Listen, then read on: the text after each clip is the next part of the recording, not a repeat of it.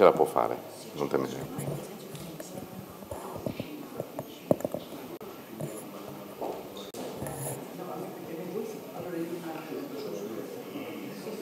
Sì.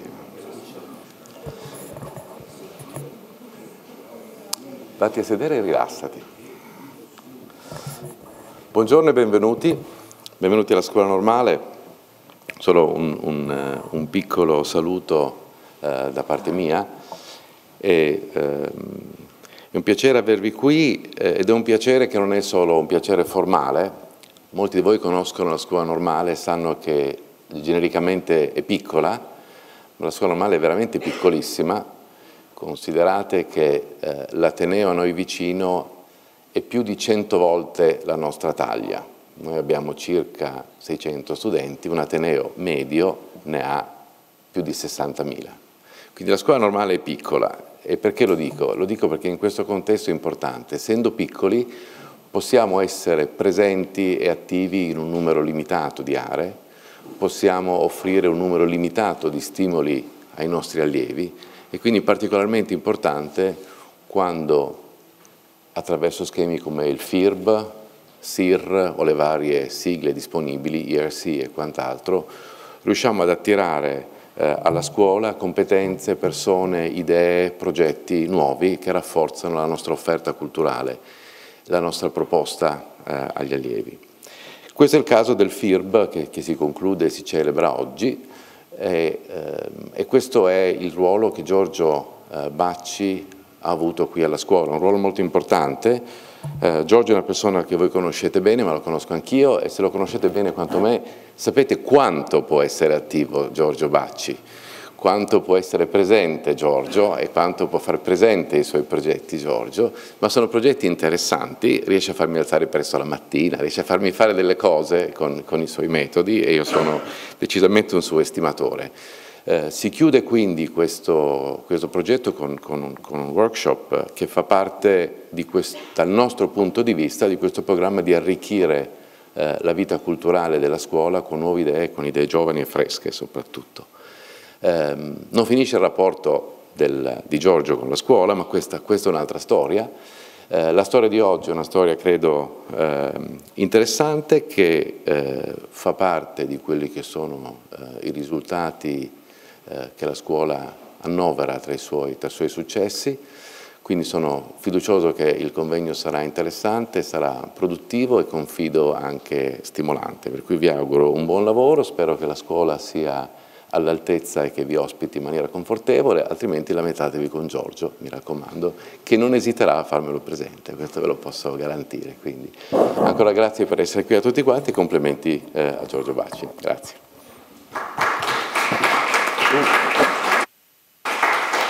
sei in charge. Ok, vi volevo anch'io salutare, sono contenta di vedervi, mi sembra che siano volati questi quattro anni che ci dividono dal precedente convegno tenuto proprio in questa sala su Emporium forse un pezzettino di Emporium e dell'aria che respirammo allora la ritroveremo anche nel progetto di oggi.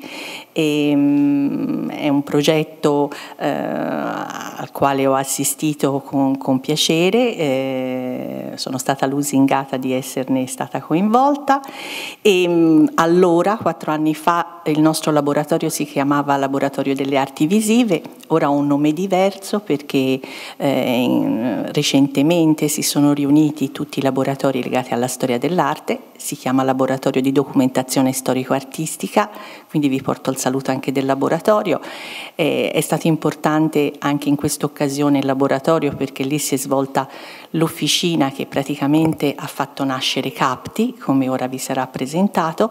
È stata un'officina importante perché eh, pur essendo stato Giorgio Bacci l'ideatore di tutto questo, eh, però ha intuito dove in Italia e anche all'estero potevano esserci delle maestranze d'eccellenza per poter svolgere l'intero, l'intero progetto e quindi eh, l'occasione di queste giornate di studio è proprio quella di poter sentire eh, anche eh, l'esperienza di tutto il gruppo, di tendere a una coralità e diciamo, il rovescio della medaglia sarà quello di tempi un po' come dire, eh, stretti nella presentazione delle relazioni che animeranno queste giornate, mh, proprio perché appunto tenevamo che tutti quanti il, i partecipanti, i collaboratori importantissimi parti, fossero presenti, in realtà ci rendiamo conto che i tempi sono un po' stretti, però eh, siamo certi di potervi nel 2016 offrire gli atti di, questa, eh, di, queste giornate di studio, quindi chiedo la vostra collaborazione nel rientrare nei tempi che avevamo previsto per le comunicazioni. Quindi con piacere passo la parola a Giorgio Bacci, a Giulio Andreoletti e Andrea Ficini della, della scuola normale che vi illustreranno diciamo, eh, le linee eh, guida eh, del, del progetto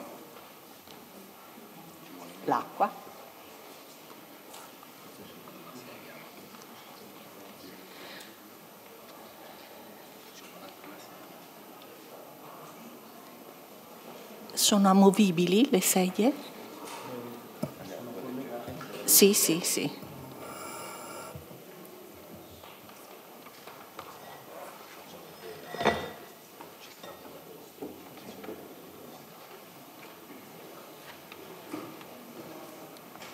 messo i bigliettini forse un po' lasciano un pochino passano lì. Bene.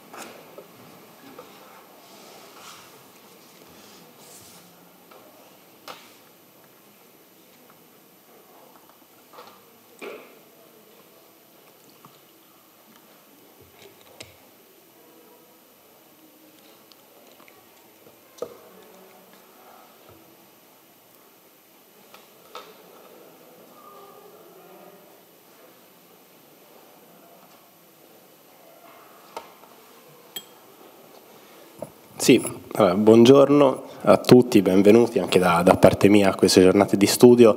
Eh, io per prima cosa passo subito i complimenti che ho ricevuto a, alle persone che insieme a me hanno lavorato a questo progetto in, eh, in questi anni, il progetto FIRB appunto che eh, è stato svolto grazie alla collaborazione tra quattro università, come sapete appunto Scuola Normale Superiore di Pisa, Università di Genova, Università di Siena, Università di Udine. E proprio grazie a questa collaborazione è stato possibile raggiungere i risultati che eh, brevemente eh,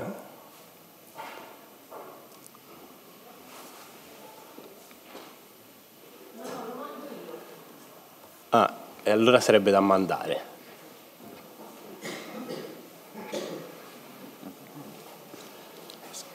No, no, no, fermo, fermo. Grazie, perfetto eh, diciamo appunto, grazie a questa collaborazione è stato possibile raggiungere i risultati che eh, brevemente vi, vi illustrerò.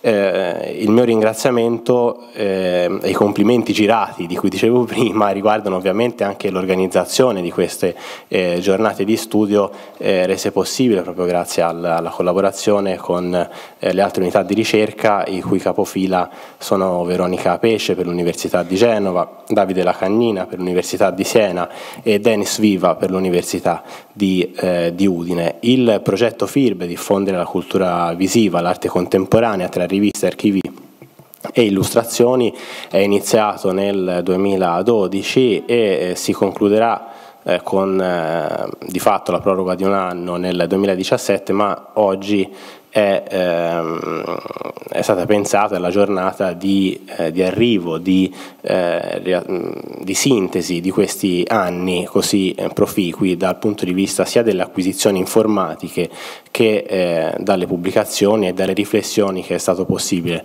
svolgere ehm, insieme. Un ringraziamento eh, che quanto mai sentito va naturalmente a a tutto lo staff della scuola normale superiore eh, che eh, ci ha affiancato in, in, in, questi anni, quindi naturalmente al laboratorio di documentazione storico-artistica, al direttore Massimo Ferretti, a Miriam Fileti eh, Mazza che con la consueta eh, generosità e, e, competenza ci ha affiancato in questi anni e ehm, gli informatici Andrea, Andrea Ficini, Giulio Andreoletti che poi vi eh, mostreranno le, alcune delle funzionalità del sito e che hanno eh, svolto un ruolo, un ruolo, essenziale proprio perché il database è, di, è diventato uno strumento di studio eh, indispensabile per, per la ricerca e per il progetto. E vorrei ringraziare anche Elena Miraglio che è stata parte integrante del, del, gruppo della scuola normale superiore e che ha funzionato un po' da jolly diciamo, in questi anni affiancando la ricerca in vari, eh, in vari, eh, in vari settori. Il progetto, eh, suddiviso tra quattro unità, è, eh, stato pensato la suddivisione è stata pensata per ambiti cronologici e tematici ed ha attraversato tutto il Novecento di fatto, partendo da riviste di grafica e anche di letteratura, di editoria, di storia dell'arte di inizio del Novecento, quindi risorgimento grafico, Riviera Ligure, per arrivare poi invece a esperimenti esoeditoriali, esperimenti ehm, d'avanguardia degli anni 50-60, ma con la poesia visiva siamo arrivati anche agli anni 70 e 80, eh, con poi un approfondimento specifico su una figura di un critico che è stata ricostruita dal gruppo senese, cioè Vittorio, eh, Vittorio Pica. Il progetto è stato reso possibile anche grazie e soprattutto grazie alla collaborazione con enti nazionali e internazionali Qui ne ho segnalati eh, alcuni, ma la lista sarebbe ancora, ancora più lunga. Sono particolarmente contento che alcuni di questi, di questi, enti interverranno nelle nostre giornate di studio e quindi avranno modo anche di presentare la loro attività, dal MART all'Archivio Storico Salani, all'Archivio della Giunta Editore, passando per la Fondazione Novario Onlus e anche ehm, studiosi internazionali che sono stati delle figure di riferimento in, eh, in, questi, in questi anni.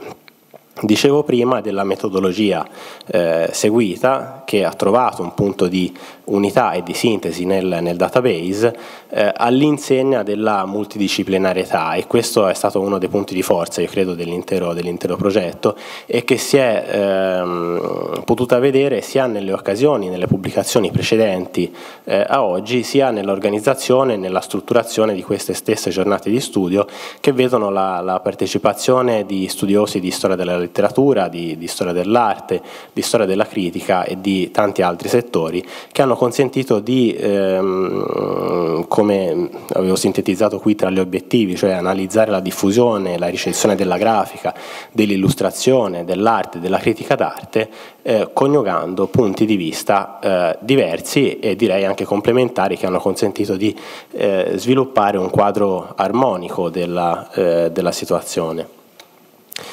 Qui ho sintetizzato alcune delle pubblicazioni che abbiamo svolto, che abbiamo fatto in questi anni. Eh, abbiamo preferito concentrarci su dei momenti di riflessione comune e in particolare vorrei ricordare il numero monografico di studi di Memmofonte uscito nel 2014, il numero monografico della Rivera Ligure uscito da, da pochissimo, per il 2016 eh, è eh, prevista la pubblicazione di un articolo riepilogativo nel volume eh, curato da Evangelia Stead dedicato all'Europe di Review e gli atti delle giornate di studio presso la scuola normale superiore, cioè quelle che stiamo facendo oggi, che vi posso già dire con certezza usciranno nel 2016 e vi, vi, do già alcuni limiti per la consegna, dovranno essere consegnati tassativamente entro la fine di, di marzo, proprio perché per, per, uscire sugli annali dobbiamo seguire eh, una serie di, di, procedure. A queste pubblicazioni eh, aggiungiamo eh, poi un numero di palinsesti che sarà dedicato alle tematiche del, del, um, del, del progetto. una delle finalità della ricerca era eh, quella di rendere disponibili e consultabili, liberamente fruibili online, materiali difficilmente accessibili, difficilmente reperibili e invece eh, renderli consultabili per gli studiosi. Qui ho riepilogato alcune eh, delle riviste, cioè o meglio tutte le riviste che sono state acquisite fino ad oggi, ma eh, un po' come la locandina con eh, il... Um, con, con, con, con, l'imbianchino e con la scala al lavoro è un work in progress che eh, va eh, evolvendosi di, di, di, giorno, di, giorno, in giorno.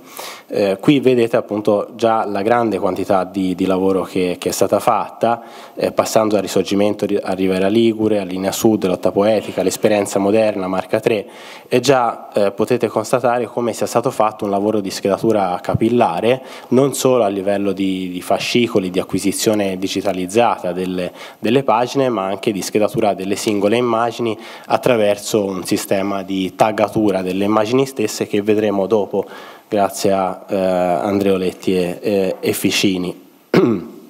non solo riviste, troverete sul sito, ma anche eh, corrispondenze e materiali archivistici, materiali bibliografici, cataloghi di mostre, soprattutto per quanto riguarda appunto la ricostruzione dell'archivio virtuale di Pica, eh, un grandissimo numero di, di lettere e di materiali archivistici grazie alla Fondazione Novaro e, alla, e a, al prezioso lavoro del, dell'unità genovese. E poi l'archivio delle eh, illustrazioni che è composto dal materiale dell'archivio storico Adriano Salani e da quello eh, dell'archivio storico Giunti, eh, Giunti Editore.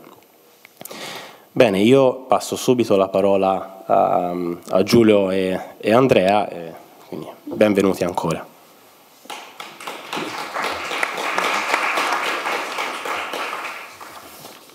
Buongiorno a tutti.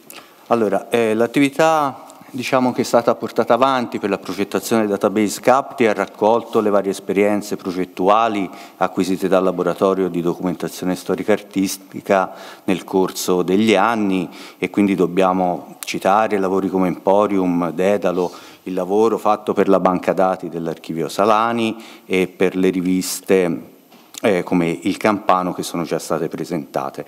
Il, il database eh, riviste e progetti che qui vediamo con, eh, raffigurati con le loro home page.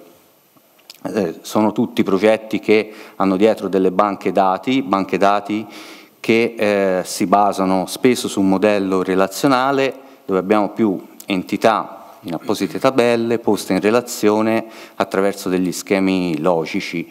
Eh, possiamo qui vedere in questa slide come gli autori di volumi, articoli, opere ed illustrazioni sono messi in relazione attraverso una chiave con un'apposita tabella che contiene tutta l'anagrafica delle persone che sono state schedate nel corso del tempo all'interno di Capti.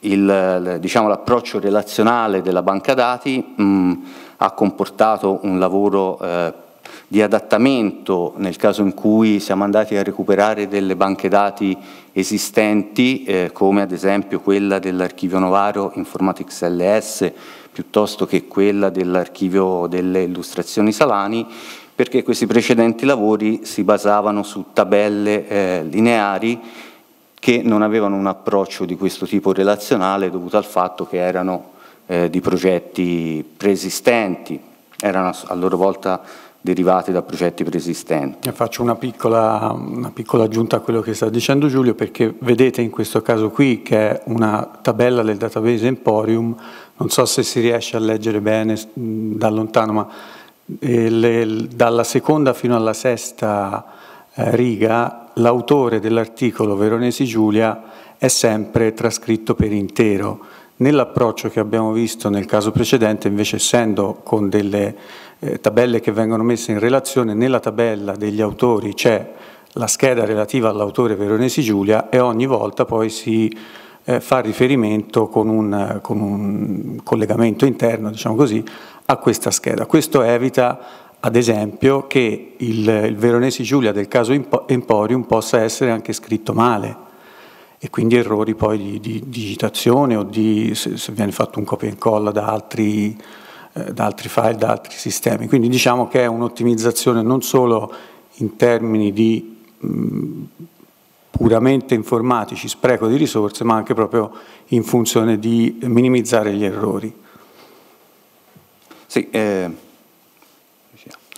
diciamo, a seguito di questo adattamento è stato possibile quindi, come si diceva prima, far confluire entrambi i database, quello per esempio dell'archivio Salani e l'archivio Novaro che era offline in formato XLS, farli confluire nella banca dati CAPTI, appunto evitando difformità che potevano esserci.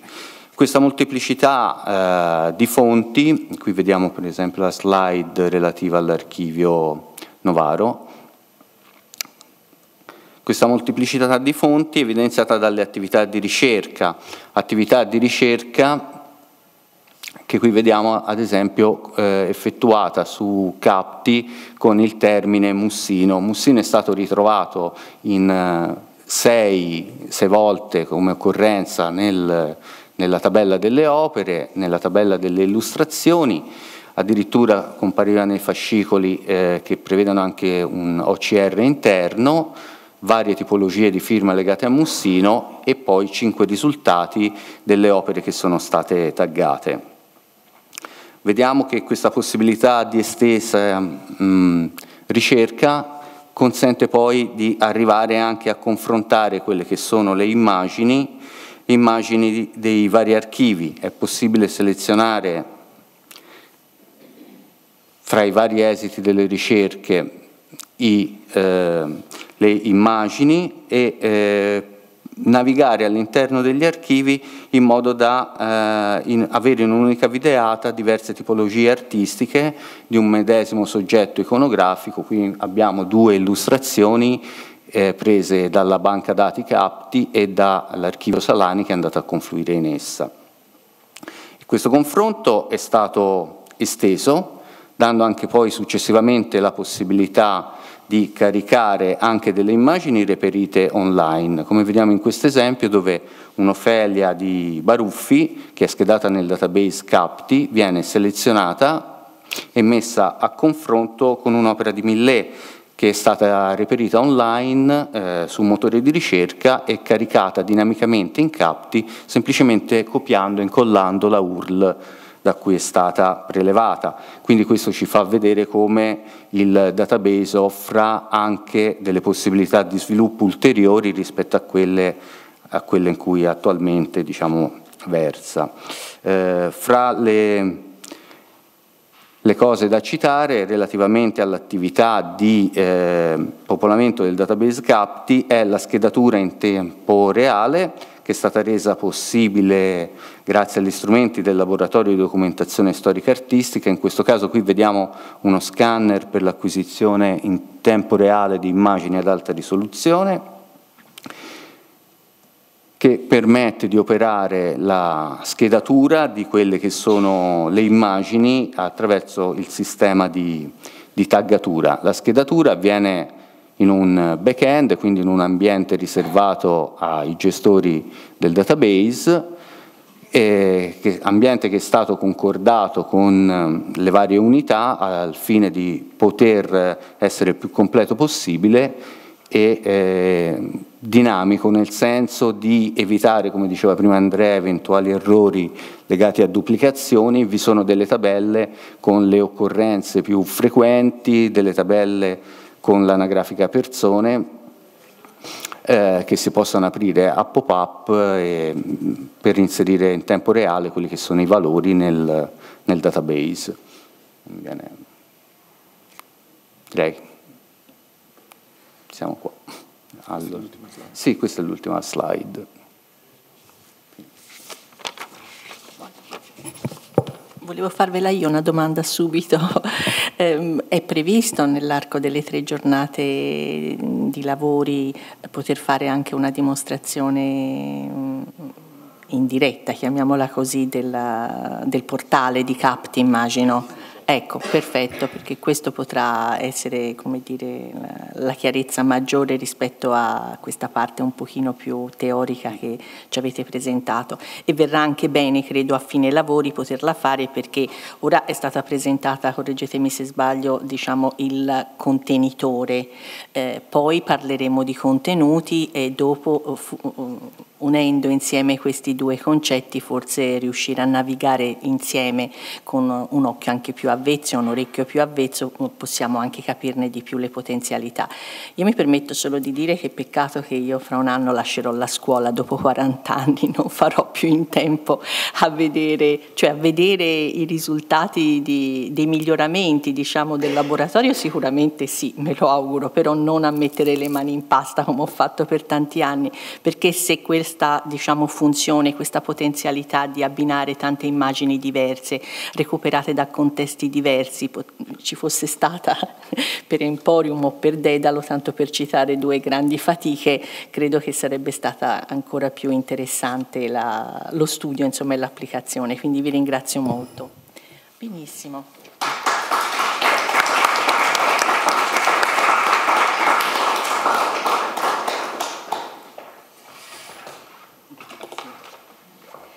Allora, io ora passerei la parola a, a, a Paola Pallottino dell'Università di Macerata che ci parlerà di, entrando subito in tema, di illustrazione, Bertieri e risorgimento grafico. Grazie Paola di essere intervenuta. Prego. Ti è più comodo stare? Ma forse sì. sì. Mi, mi avverti quando... Allora, Inesorabilmente io ti avverto fra una ventina di minuti. No, mi avverti mm, fra una diciottina di minuti. Fra una diciottina di, fra una diciottina di minuti. Allora, buongiorno, grazie, benvenuti. Eh, non so se sia... Si sente? No, si avvicini il microfono. Che altro va acceso, scusate. Ah, ecco, va bene, grazie. Allora, non so se sia opportuno, ehm, vorrei mettere la prima immagine, come faccio? Do clicco? No.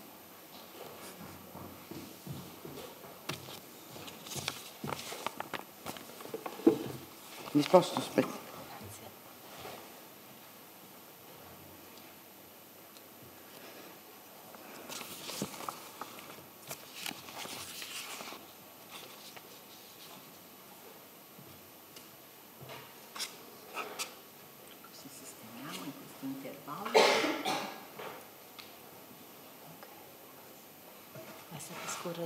Allora, eh, dove, dove, clicco poi in seguito? Questo, questo. Perfetto, gra grazie. Allora, dicevo, non so se sia il caso eh, di introdurre due parole sulla figura di Raffaello Bertieri.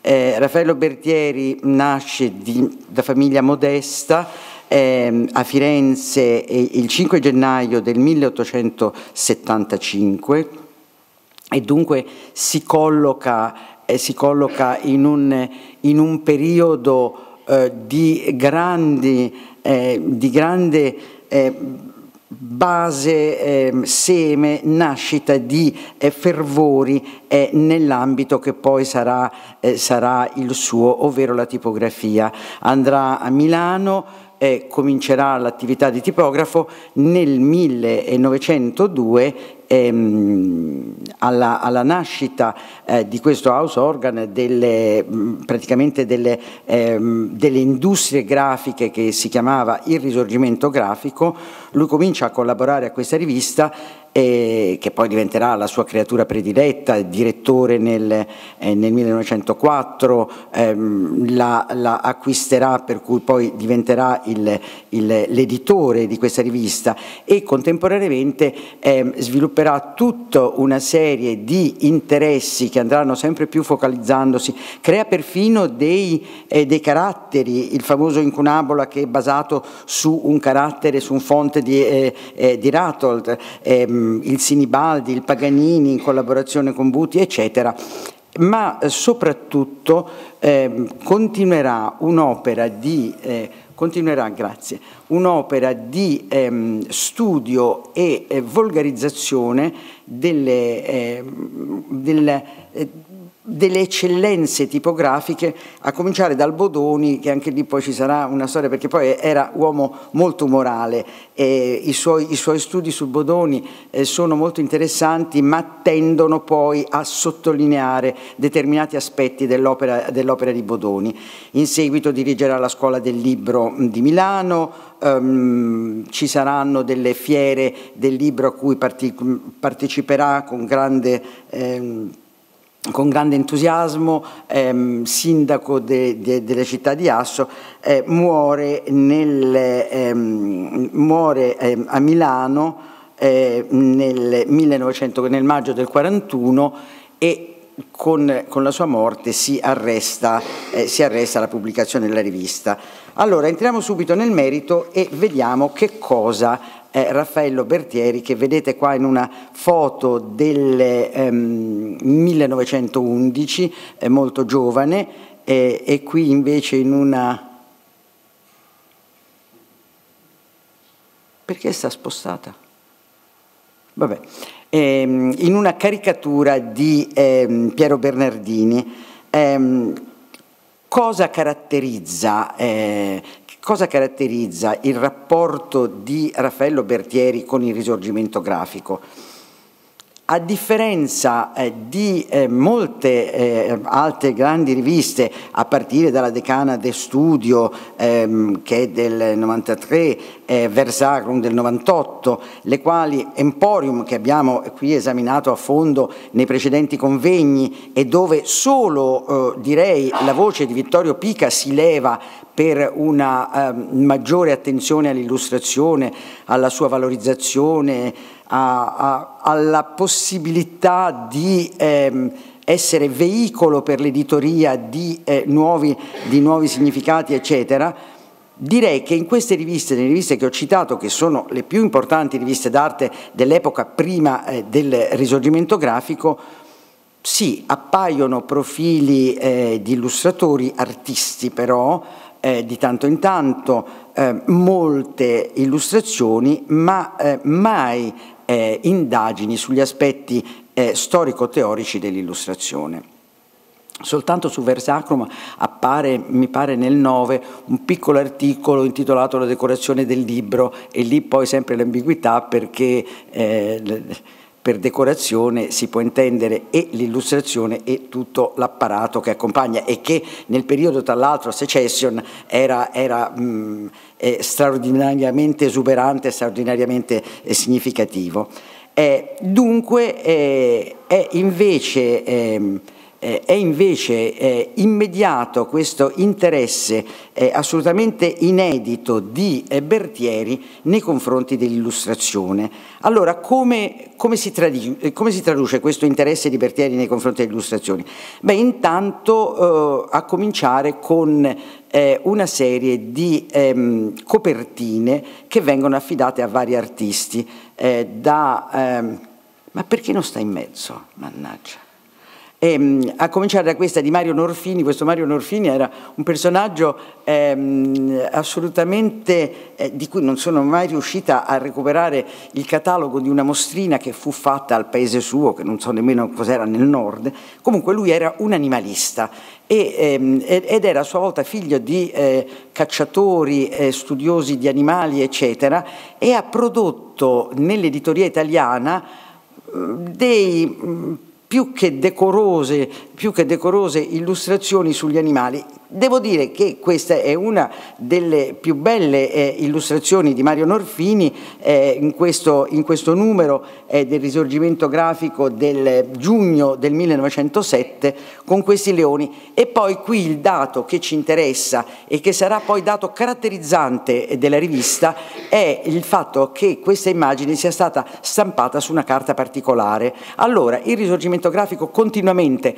proporrà ehm, campionature letture eh, affascinantissime di carte di ogni genere, eh, sia destinate all'editoria, perciò a pubblicazioni particolari, e sia carte eh, così di interesse generale per, per disegnare, per, per utilizzarle in, in, altri modi. Pensiamo a tutto quello che era una... Uh, una ciaccapista di eh, scatole, scatolette, costruzioni, cose con l'impiego eh, di carte particolari. Dunque, ehm, altro, altra ehm, copertina molto interessante sarà questa precocissima eh, parliamo dell'aprile del 1908, precocissima copertina di Rubino e qui viene fuori subito il, il motivo, eh, Rubino era ambidestro, riusciva a fare i suoi disegni eh, lavorando con tutte, con tutte, e due le mani e qui abbiamo subito un esempio e si vede già la modernità e la grazia eh, di questa, di, questa, copertina, dunque una attenzione molto, eh, molto ben mirata eh, di Bertieri.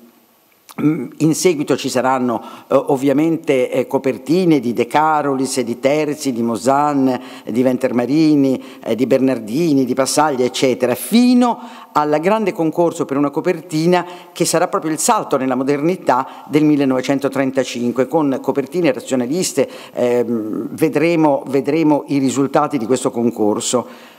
E questo, um, diciamo, um, come illustrazioni interne meno, ma eh, tutto sarà, eh, sarà, sempre affidato o alla copertina o alle immagini che vengono riprodotte eh, nel corso di studi di profili di artisti. Ehm, l'aspetto teorico, a sua volta, sarà eh, contestualmente analizzato da una serie di studiosi dell'epoca che poi vedremo ehm, a, partire stesso, a, partire dallo stesso, Bertieri che spesso è, è, ehm, è umoralmente contraddittorio.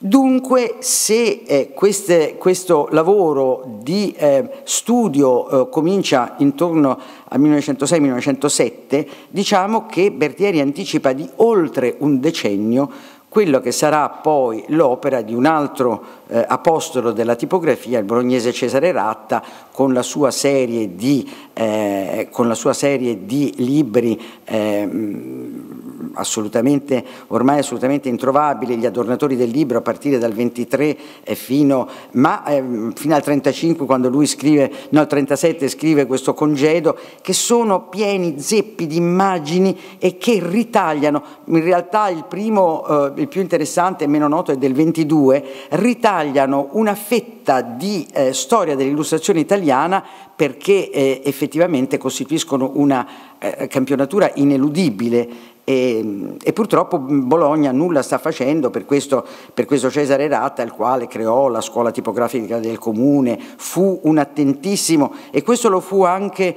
lo fu anche Raffaello Bertieri, eh, fu un eh, attentissimo alle questioni sindacali, eh, cosa che all'epoca per i tipografi era assolutamente inesistente, basta leggere le memorie di Barbera per scoprire come eh, prima dell'uscita eh, il padrone sputasse in tutti i vasetti di colla per evitare che i bambini se ne mangiassero. Mm, c'erano scene veramente così di, di, eh, da, da, da, quartissimo mondo.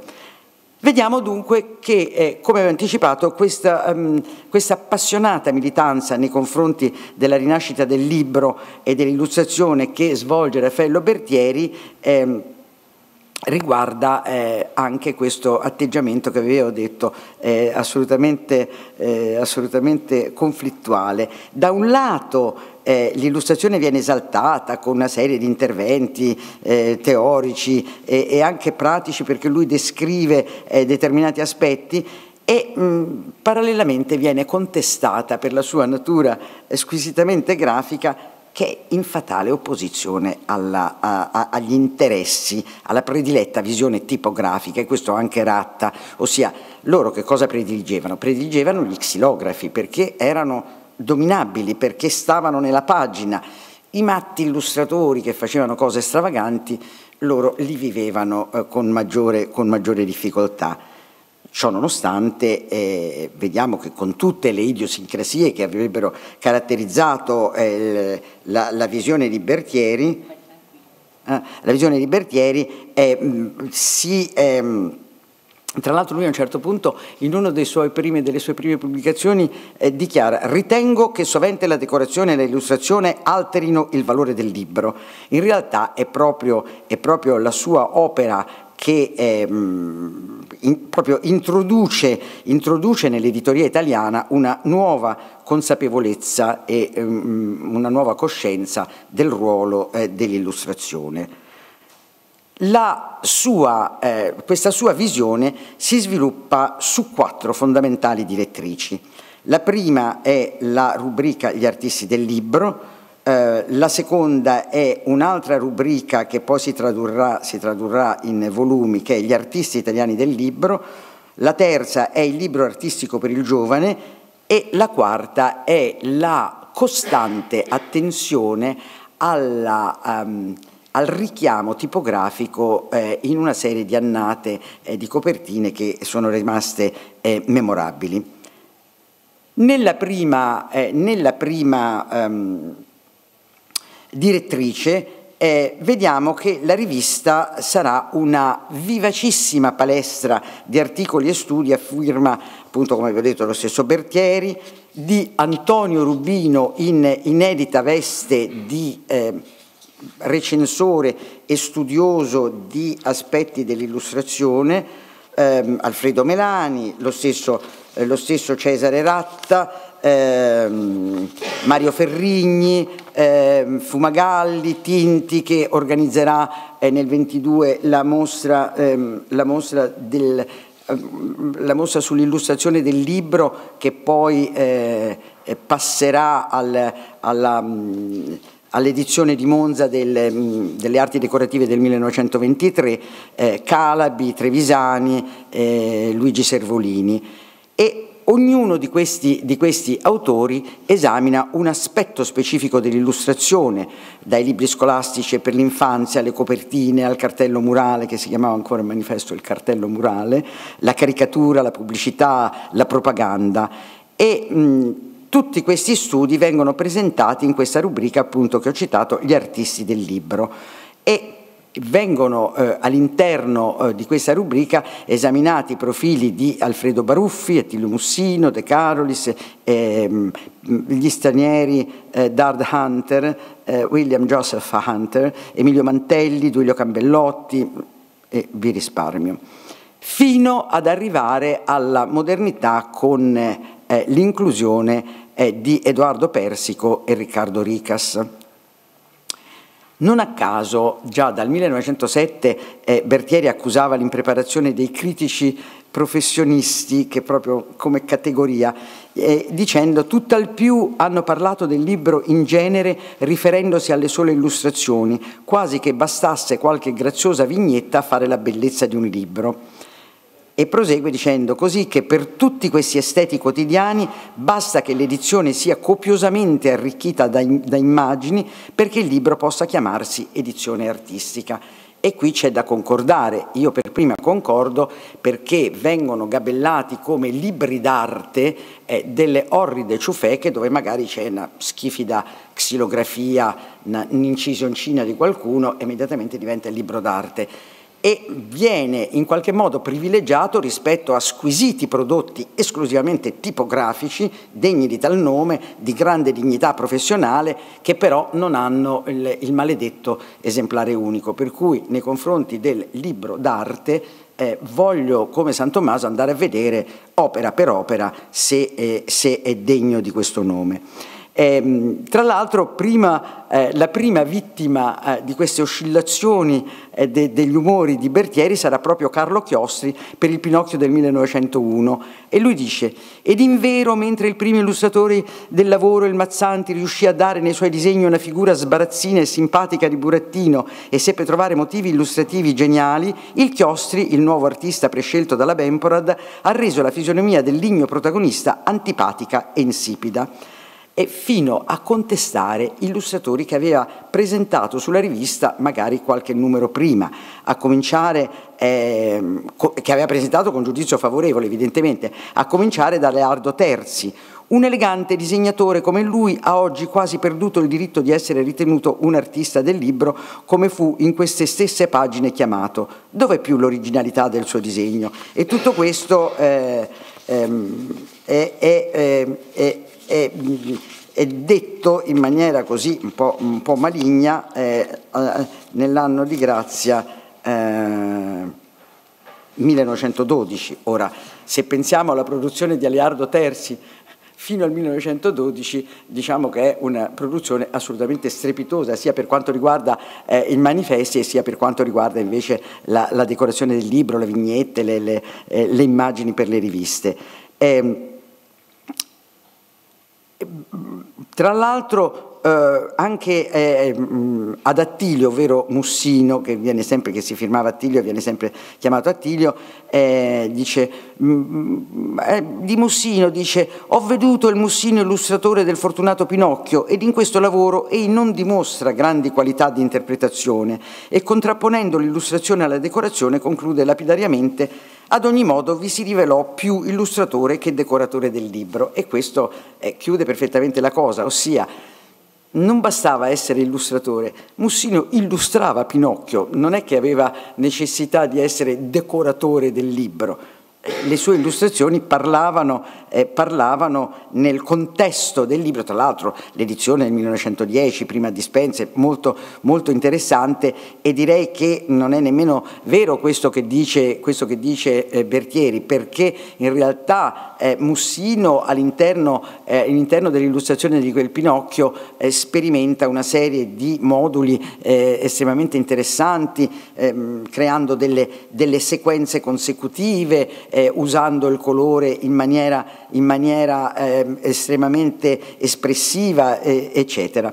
Comunque il caso più, eh, proprio più contraddittorio, quello eh, più, più, bizzarro di questi umori di Bertieri sarà proprio quello di Antonio Rubino, eh, il quale, oltre alle copertine, illustrazioni interne, e come anticipato esordisce anche come autore che inaugura la rubrica degli artisti del libro tutti i precedenti, chiamato da Bertieri evidentemente, tutti i precedenti che non impediranno eh, a, al, al direttore di scrivere nel 12 Parliamo di Antonio Rubino, questi fu da me consigliato dopo poco tempo che alcuni suoi lavori erano stati pubblicati a dedicarsi al disegno artistico applicato alla tipografia. Ciò avveniva nel 1906, ricco di immaginazione, un po' strano, ma temperatosi col tempo e fece molto sperare di sé, ma che so io, o la pigrizia o l'esaurimento sminuirono in seguito il valore dell'opera sua, salvo ricredersi lo stesso anno di fronte al volume del noto volume del 1911, Versi e disegni di Rubino, in cui ci sono le sue poesie. Ehm, tutti sanno che eh, così questa bizzarria di Rubino, Rubino si laureò in legge con una tesi in versi e nacque come poeta e mh, cominciò a fare dei disegnini eh, per accompagnare le sue poesie. Nacque poi così appunto questo versi e disegni eh, leggendario, eh, ricercatissimo sul mercato, mercato antiquario, eccetera, ehm, e che eh, è stato perfino eh, orrendamente ristampato in argento e oro per una di queste, eh, di queste foglie, eh, così insomma sono, eh, sono delle aberrazioni eh, che spesso vediamo per rendere un libro eh, più appetibile, quando invece una buona anastatica sarebbe, sarebbe la benvenuta. E, ehm, Dice, eh, dice, di fronte a versi e disegni Bertieri eh, che il libro ha una concezione ardita, sobria e seria nella sua originalità. In realtà di sobrio e serio in, in, in queste illustrazioni di Rubino che sono una, eh, una festa di eh, segni, di minute descrizioni, di nani, di, di, di, di, stregonesche, stregonesche immagini c'è ben poco, ma ehm, è molto, da un punto di vista editoriale è molto ben composto con i testi da una parte e le immagini dall'altra, cosa che evidentemente eh, sarà eh, stata apprezzata da, eh, da Bertieri. Ehm, ho perso qualche immagine?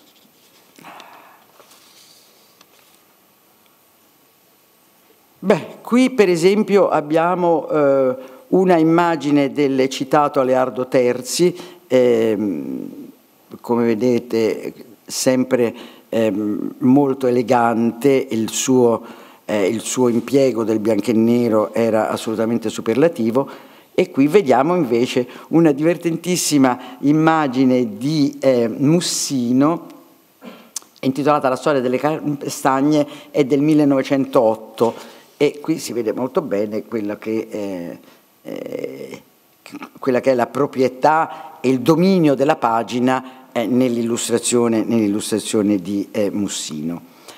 La seconda direttrice eh, sarà quella delle monografie, gli artisti italiani del libro, Uh, Melani eh, scrive eh, di Guido Marussighe nel, Marussighe nel 19, Ferrigni di Primo Sinopico nel 21 e Cozzani di Armando, di Armando Cermignani eh, verranno nel 22 che verranno poi raccolti in tre volumi e questi verranno pubblicati eh, sul Risorgimento.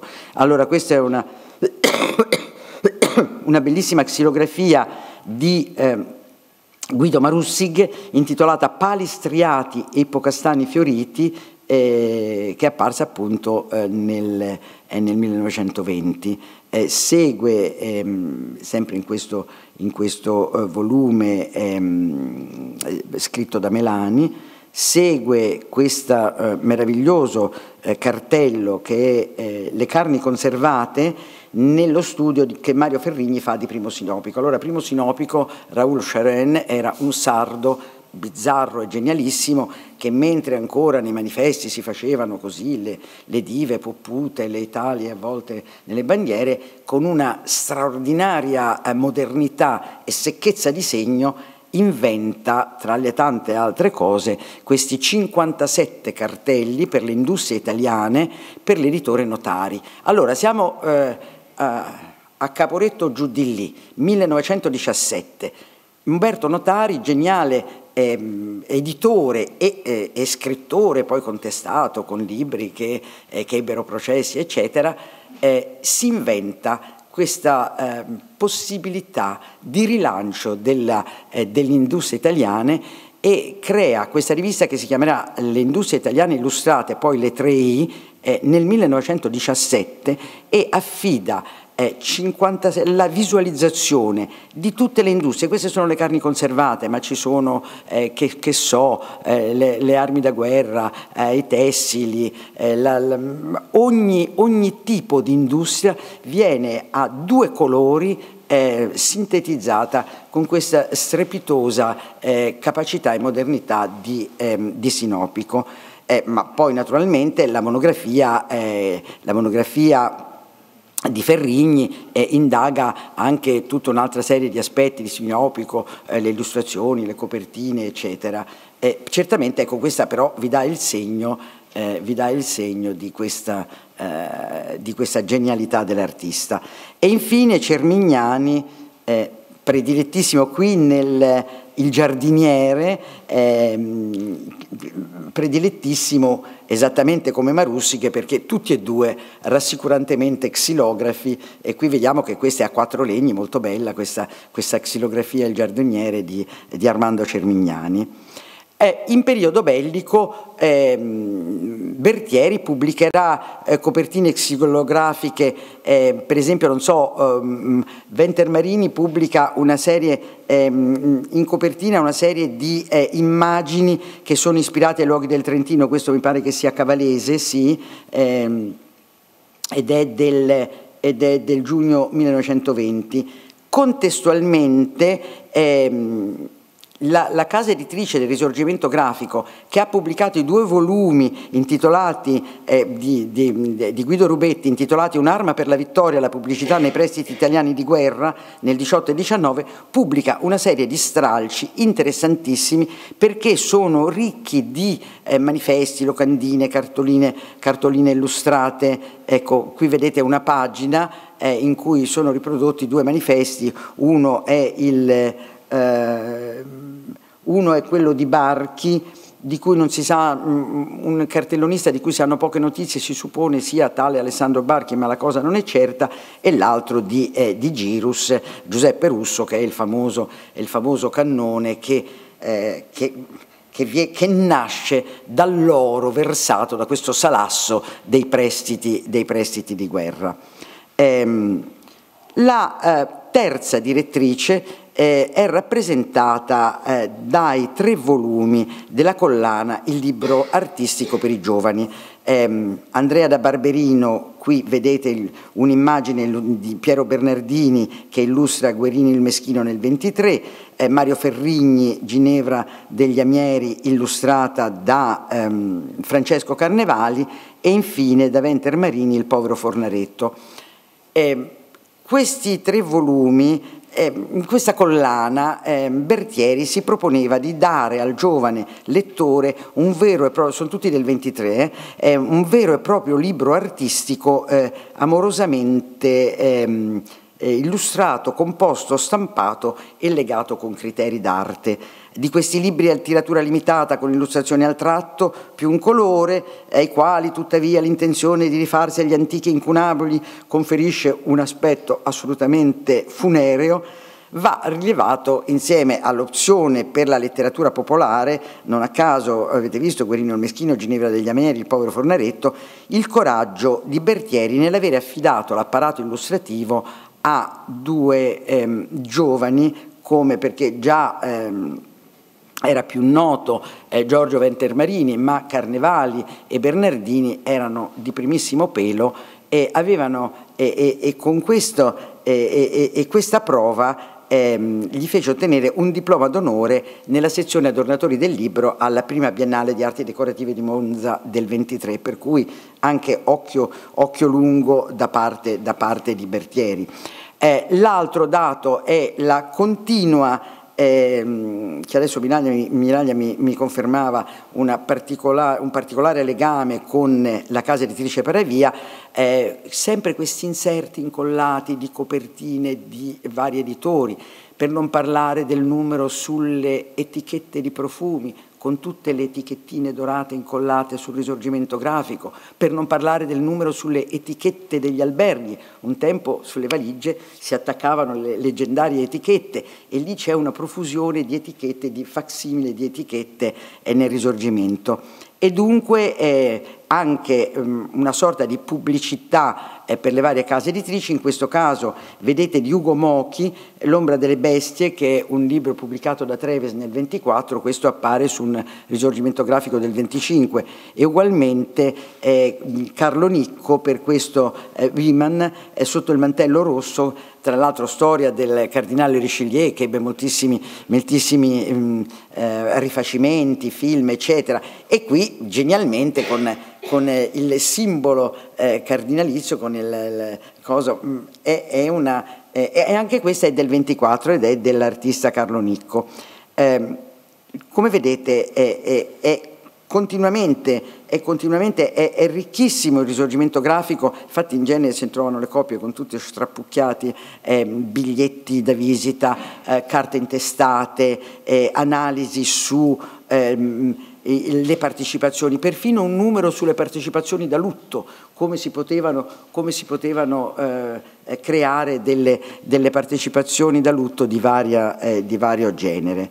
Eh, L'altro elemento interessante del risorgimento sarà il continuo stimolo agli artisti con una serie di concorsi, ehm, concorsi eh, di, di, ogni genere che eh, poi vedremo ehm, insomma, sul, sulla scorta delle riviste straniere come The Studio che aveva sempre le ultime quattro pagine dedicate, dedicate a, a concorsi.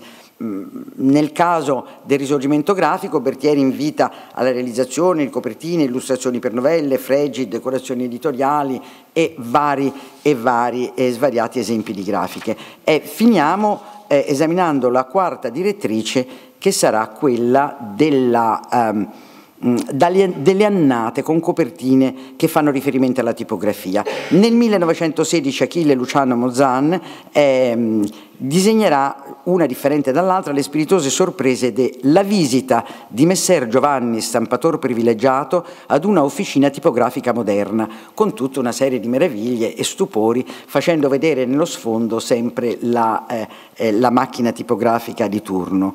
Eh, nel um, 1925 Piero Bernardini eh, replica eh, questa immagine di un eh, severo maestro eh, e, e, aiutante che stanno alla cassa tipografica e che viene scandito eh, in 12 copertine ehm, all'interno di un calendario, viene fatto un calendario di questa immagine nel 1925. Eh, nel 1932 addirittura Mario Soresina farà un, un'impresa incredibile, ovvero mostrerà copertina per copertina eh, in 12 passaggi la creazione del titolo Il risorgimento grafico da parte di un eh, laboratorio dove vari, eh, vari, ehm, vari tipografi eh, mettono, collaborano alla creazione, eh, mettono insieme i piombi eh, per la scritta e poi se ne vanno fino al, all'ultima copertina, adesso non so se si vede bene, dove ormai il titolo è stato già composto. Eh, ma eh, sarà, eh, sarà, nel 1935 eh, che i vincitori del concorso della copertina, in questo caso Ugo Graziotti, eh, vedete la, eh, magnifica, la magni il magnifico risultato e Bruno Munari secondo premio, meno interessante, eh, comunque eh, già eh, i, i, collaboratori, eh, i, diciamo, le 12 copertine eh, degli autori di questo, di questo concorso eh, mostrano tutte, rivediamo un attimo, mm, ecco Graziotti, un Henry Moore grafico, una, una, veramente una una geniale, una geniale soluzione. E, e eh, diciamo che eh, in uno scambio sempre più funzionale tra la produzione editoriale e la rivista, eh, numerose sono eh, le pubblicazioni di eh, Bertieri, da eh, Coretta e Core di Rubino alle tavole per nuove tendenze, il movimento futurista milanese eh, di Leonardo Dudreville, ai citati volumi di Rubetti nel 18 e 19, ai suoi fondamentali saggi, il libro italiano del Novecento del 28 e come nasce un libro del 31, nonché una serie di piccole, poi il lavoro sul Bodoni, una serie di piccole e grandi pubblicazioni in circostanza, eh, ma eh, spesso a tiratura limitata ovviamente, ma anche quando ehm, dopo essersi associato con Vanzetti, eh, Bertieri pubblica per terzi, eh, le sue edizioni si distingueranno sempre per la straordinaria qualità eh, del proprio editoriale, eh, la bontà delle illustrazioni e citiamo per tutti il contributo alla Campari. Nel 1937 eh, viene pubblicata La pubblicità di una grande casa italiana, che è un libro bellissimo e introvabile, su tutti gli artisti che collaborarono alla pubblicità per Campari e eh, prima ancora i famosi cantastorie di Campari, il primo illustrato da quel Mochi di cui abbiamo visto l'immagine eh, di copertina dell'ombra delle bestie e in seguito di Sergio Tofano eh, in questo secondo cantastoria di Campari con otto illustrazioni meravigliose e poi in seguito ehm, Sinopico, Munari eh, eh, che saranno tutti accompagnati dai versetti eh, di Renato Simoni. Ehm, a conferma comunque eh, di una eh, promozione lungimirante, ancorché umorale, eh, fino, eh, fino, alla fine, nel 1941, eh, uno degli ultimi articoli di, eh, di Bertieri, lui dirà eh, che ehm, in Italia l'arte della illustrazione è andata prendendo degno sviluppo abbandonando i vieti arcaismi che illusero molti. Sono sempre queste dizioni un po' ambigue che significano tutto e niente. Va bene, vi ringrazio.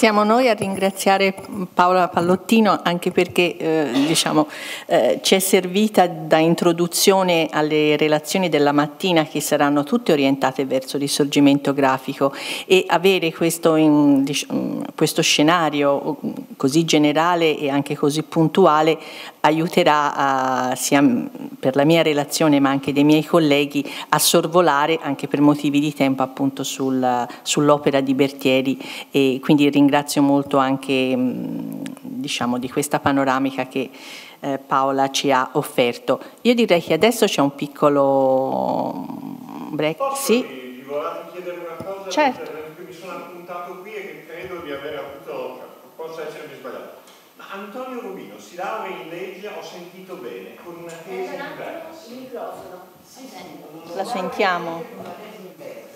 Ed è talmente la sua cioè, una tesi di laurea in legge in versi. Sì. Ma sì. è un'ottima idea per le nostre triennali, per, la, la, cioè, per riuscire a... La cosa, la cosa, da dire è che lui ha sempre avuto questo atteggiamento eh, bizzarro, ehm, assolutamente antipedagogico e i suoi quattro figli non li ha mandati a scuola. Tra l'altro lui ha teorizzato il Collegio La Delizia e altre cose sul Corriere dei Piccoli facendo queste storie, queste storie a, a vignette e perciò lui comunque si è laureato. Sì, ma voglio dire, c'era un docente di diritto, che ne so, amministrativo o penale o civile, eccetera, Potrei anche ricostruire in che... che ammetteva una tesi di laurea scritta in versi, in legge, che insomma è una notizia che mi, mi colpisce molto e che appunto apre nuove prospettive Apre a noi che dobbiamo dare tesi di laurea ai ragazzi delle, delle triennali per l'appunto. Grazie, no? credevo di essermi sbagliato nel, nell'appuntare la cosa, invece è proprio quello. Grazie, no, molto... Eh, Scusate se, se vi interrompo, alcune informazioni, alcune informazioni pratiche e logistiche. Ehm, allora, come norma generale avevamo pensato di fare le discussioni alla fine di ogni ehm, maxi sessione, cioè quindi alla fine della mattina, alla fine del pomeriggio, eh, in modo da riunire tutti gli interventi eh, insieme e poi confrontarci alla fine di ogni sessione. Eh, Informazione molto pratica, il coffee break non sarà di fronte a voi dove c'è il coffee break di un altro convegno, ma possiamo passare prima dall'altro convegno a prendere e poi proseguire, no. Eh, allora, il nostro invece è alla fine del corridoio eh, della, della, direzione, quindi andando verso la direzione poi giriamo a sinistra.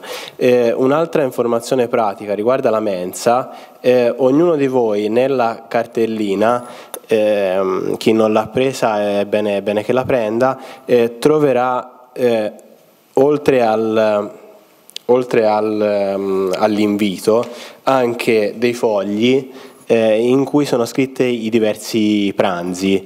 Per accedere alla mensa ognuno dovrà digitare il PIN di questo badge virtuale stampato che trovate appunto nella cartellina e questo codice vale per tutte e tre le giornate, mentre le cene, come sapete, sono alla clessidra. Beh, era solo un'informazione proprio pratica. Quindi non è il primo caffè che incontri? Non è il primo, ma il secondo sicuramente è più buono. Allora ci ritroviamo qui fra 15 minuti circa e buon caffè. Mentre il cammino dell'opera grafica stava raggiungendo traguardi e attestazioni sempre più importanti per la storia dell'arte figurativa, la diffusione e la fruizione del bene artistico si arricchiva di significati e modalità in grado di consacrare sempre con maggiore forza l'autonomia del manufatto grafico.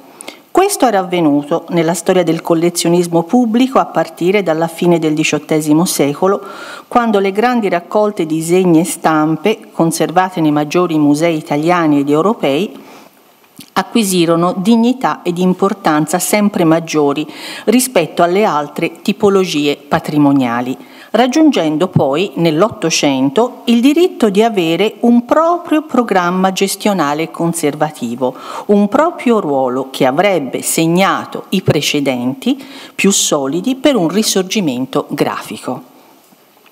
La riscoperta e la nuova affermazione delle tecniche incisorie condussero dunque le arti grafiche ad occupare ruoli primari nello scenario non solo della nuova museografia, ma soprattutto nel settore delle manifestazioni espositive pubbliche nazionali e internazionali. I rapporti tra collezionismo e mercato, tra collezionismo ed editoria, tra editoria ed artisti si intensificarono, qualificandoci eh, reciprocamente e alimentando in stretta sinergia le rispettive specificità. Fin dalla fine dell'Ottocento le maggiori riviste di storia dell'arte avevano già garantito spazi e attestazione alle arti grafiche accogliendo i contributi di un passato fortemente storicizzato e che forniva le basi di una solida e gloriosa tradizione dell'arte incisoria italiana. Allo stesso tempo l'editoria del settore si apriva alle nuove testimonianze figurative di xilografi, acquafortisti, litografi che in molti casi già conosciuti quali virtuosi del pennello e dei colori, trovarono nell'incisione e nel processo illustrativo un banco di prova altrettanto efficace, in grado di evocare, dimostrare, avvalorare la propria cifra stilistica. Fra i numerosi periodici, periodici del settore, nel 1902 era nata in Italia una rivista che avrebbe rappresentato uno dei massimi livelli di qualificazione nel campo della grafica, il nostro risorgimento grafico. In tempo reale si impose per l'aspetto altamente tecnico dei suoi contenuti che ruotavano attorno alle arti grafiche nella loro complessità, iniziando con crescente frequenza a curare la storia delle tecniche incisorie, il loro mondo di procedure, di difficoltà e di scelte, l'analisi dell'oggetto libro, che rappresenterà un microcosmo autonomo, un microcosmo tutto suo, forte, le cui dinamiche diventeranno emblema dell'evoluzione comunicativa della stessa editoria artistica. Praticamente la rivista di Bertieri cercò di accompagnare la rinascita delle arti grafiche puntando soprattutto sulla riqualificazione del processo artistico e del processo tecnico rappresentò come una sorta di tutore, eh, tutore di quell'antica tradizione che tanto aveva dato all'arte figurativa, intendendo diffondere le cognizioni proprie di quella particolare procedura artistica e riproduttiva. Raggiunse il suo principale obiettivo distaccandosi da quello che molto probabilmente forse l'avrebbe resa anche di più facile divulgazione, cioè ad esempio limitarsi a pubblicare i contributi di artisti incisori, scelse di affrontare e approfondire ogni aspetto legato al mondo della grafica, dalla produzione alla divulgazione, scendendo in campo, vivendo nelle tipografie, nelle stamperie, sporcandosi le mani con l'inchiostro delle forme, dei caratteri, delle immagini, nel costante rispetto della tradizione artigianale da un lato e delle nuove avventure tecnologiche dall'altro, forte del concetto che creatività non avrebbe dovuto significare solo nuove cose, ma nuove cose belle. Un aspetto infatti fortemente qualificante della rivista, della nostra rivista, fu la costante attenzione anche a una serie di argomenti che riguardavano i concetti della bellezza, del gusto, connotazioni dell'arte figurativa che Bertieri cercò regolarmente di ricondurre all'attenzione del lettore utilizzando i testi di autori che sia con l'arte grafica che con l'arte libraria avevano molto a che fare. Le specificità settoriali affrontate in gran misura in risorgimento grafico, tutte volte ad informare delle nuove tecnologie riproduttive del manufatto grafico, non consentivano quindi di far dimenticare il pensiero critico contemporaneo che proprio sui concetti dell'estetica stava consumando il dibattito più vivace e stimolante per le nuove tendenze. Puntualmente la rivista offriva infatti contributi che facevano riflettere sulle inevitabili interazioni che le arti grafiche, sempre con maggiore stabilità, avrebbero avuto con la linea teorico-concettuale e quella pratico-tecnologica. Ad esempio, il breve trafiletto non firmato che si intitolava Coltivazioni del gusto in tipografia, e siamo nel 1903, poneva l'accento su come il progresso tecnologico avrebbe consentito scelte e soluzioni figurative prima impensabili da realizzare. Cito, le difficoltà che si devono incontrare per ottenere un gusto corretto nella composizione dei fregi è pressoché trascurata da ogni scrittore. Troppa fede è posta nell'empirismo e l'idea del buon gusto è frequentemente confusa con le difficoltà della tecnica. Con la diffusione della tecnica vi sono però tutte le ragioni per ben sperare che in un periodo di veri principi artistici abbia a cominciare. Praticamente è proprio il concetto di principio che governa molti degli interventi della nostra rivista. È come se fosse forte l'esigenza di contrapporre, o meglio far interagire, la grande rinascita del tecnicismo grafico con una sorta di teoria del figurativo, da leggersi quindi come un'alfabetizzazione al bello. Nonostante che la rivista ci faccia assistere proprio da un punto di vista visivo ad un'ampia parabola di modalità grafiche, durante le quali alcuni mutamenti avvennero seguendo proprio i dettami dell'estetica contemporanea, sostanzialmente il bello era da riscontrarsi nell'eleganza, nell'equilibrio, nella nitidezza del segno, nella semplicità, nell'essenzialità e nel rigore queste parole che ricorsero spesso nei testi che affrontarono nei primi anni del secolo tali problematiche, trovavano soddisfazione nelle pagine del periodico, dove lo stesso impaginato per decenni utilizzò schemi formali che furono specchio di queste idee, idee che guardavano eh, molto all'estetica naturalmente francese ed anglosassone. Ed eccoci all'articolo che nel 1905 firmava Alfredo Melani, Alfredo Melani, pistoiese che aveva concluso gli studi eh, di architettura all'Accademia di Belle Arti di Firenze, poi a Milano, dove aveva intrapreso una lunga e fortunata carriera proprio nel campo editoriale e come docente presso la Scuola Superiore di Arte Applicata all'Industria, di cui poi divenne eh, direttore. Il patto della bellezza, si intitolava, questo titolo efficace che raccoglieva uno scritto dedicato agli amici dei libri e nel quale si ribadiva la volontà della rivista e si parlava proprio del ritorno al gusto di fare libri belli, nel superamento della ragione economica che spesso sormontava la ragione estetica. Vi si legge, dovremmo volere che il libro stampato male, senza gusto e senza arte, esulasse dalla vita non dovremmo permettere che le stamperie, le quali sono officine divulgatrici di cultura, consentissero alla produzione dozzinale peggio che dozzinale. Si associava un valore così forte alla proceduralità di realizzare libri che si esortava alla creazione di un clima, proprio così è la frase esatta, un clima estetico delle stamperie si affermava che la bellezza tipografica sarebbe potuta diventare un canone per diffondere il gusto estetico. Applicare i nuovi rigori per una bellezza anche formale ad un mezzo di così ampia traduzione e quindi diffusione era visto come tramite privilegiato all'educazione al bello in maniera esplicita Melania auspicava che proprio le pagine di risorgimento grafico potessero essere il manifesto che sancisse questo patto della bellezza, che potesse essere l'organo di questa idea. L'esortazione di Melania ebbe subito molti riscontri e sempre titolando i contributi Patto della bellezza, lo studioso ritornò periodicamente su questo tema. Siamo ora nel 1906, quando il torinese Enrico Vegetti, incisore che aveva studiato a Brera, firma L'arte nella stampa, dove ancora una volta nell'indice della rivista si sente l'esigenza di ritornare al concetto di gusto e al concetto di bellezza. Addirittura si parla di finezza del gusto, quale diritto esclusivo dell'artista, ma allo stesso tempo diritto di tutti coloro che sentono sinceramente il bello, per istinto meglio ancora che per educazione.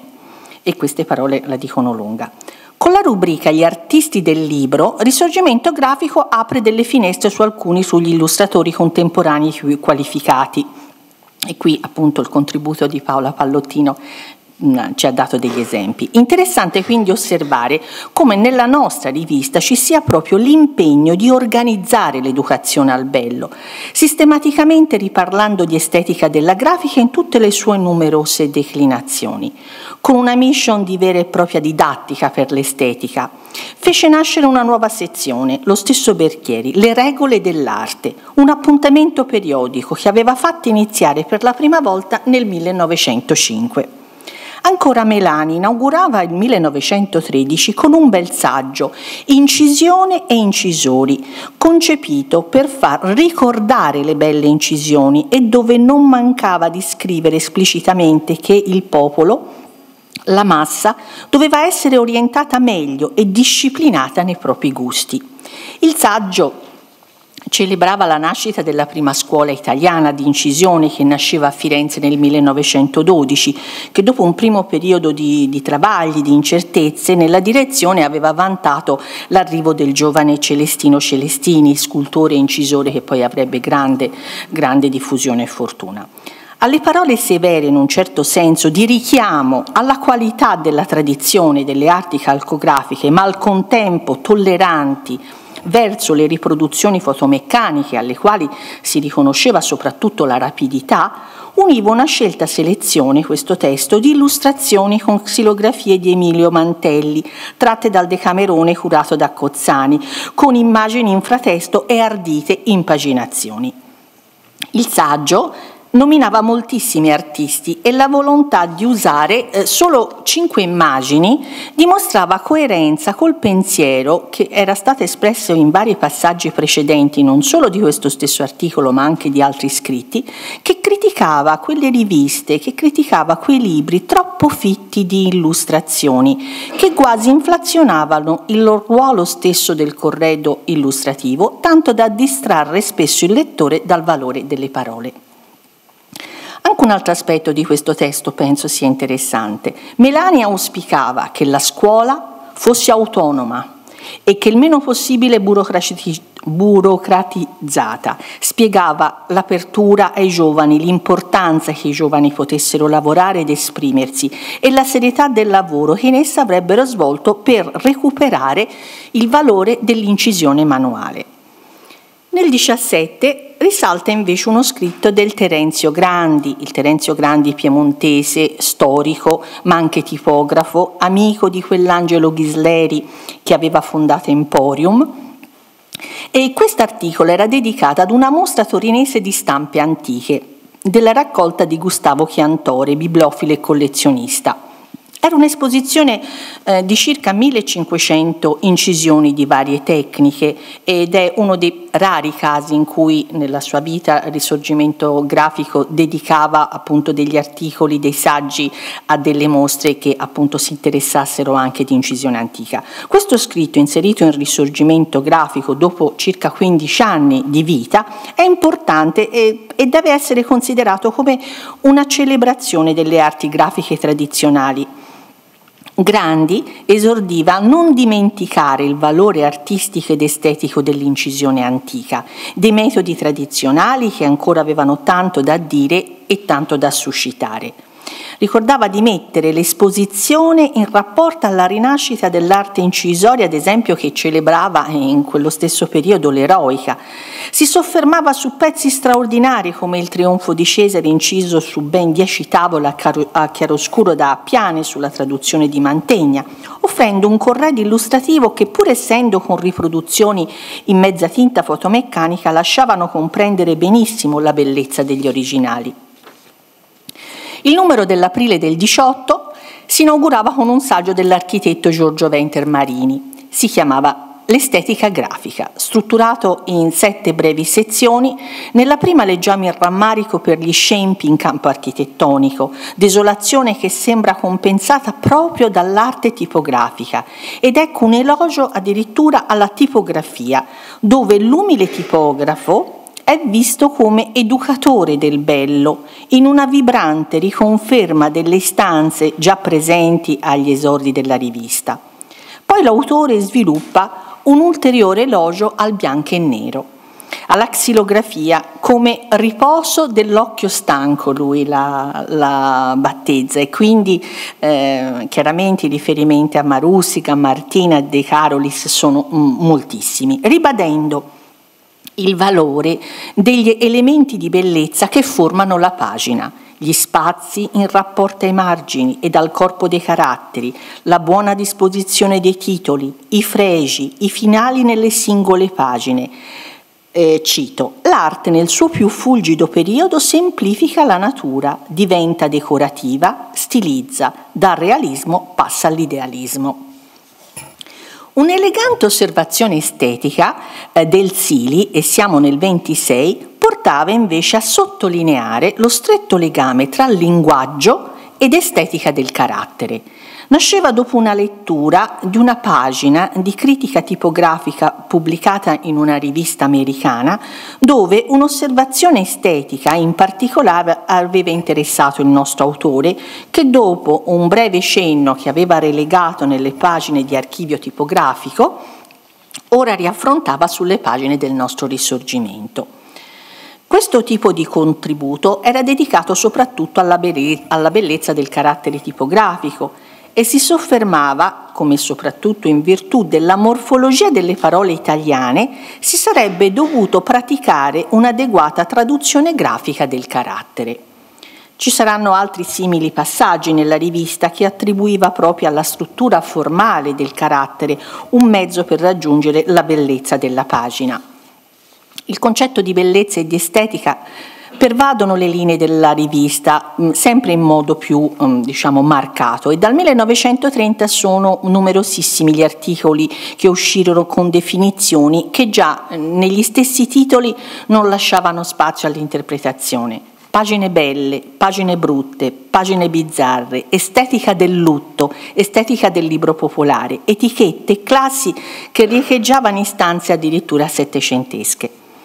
Nel 1933, riprendendo idee già dichiarate nei primi anni della rivista, in particolare mi riferisco all'articolo di Raffaello Bertieri eh, stesso eh, del 1915 che titolava Gli artefici nuovi, gli artefici nuovi scusate, dove cominciava a, ad affermarsi l'idea che il maestro incisore del passato ora si poteva identificare con il tipografo contemporaneo. Questo è un testo importante che dovrà essere sicuramente ripreso e approfondito negli atti. Dicevo che nel 1933 viene pubblicato un contributo interessante che ancora spiega la sensibilità di quegli anni e il modello artistico ed estetico a cui molti miravano, per un'estetica grafica italiana.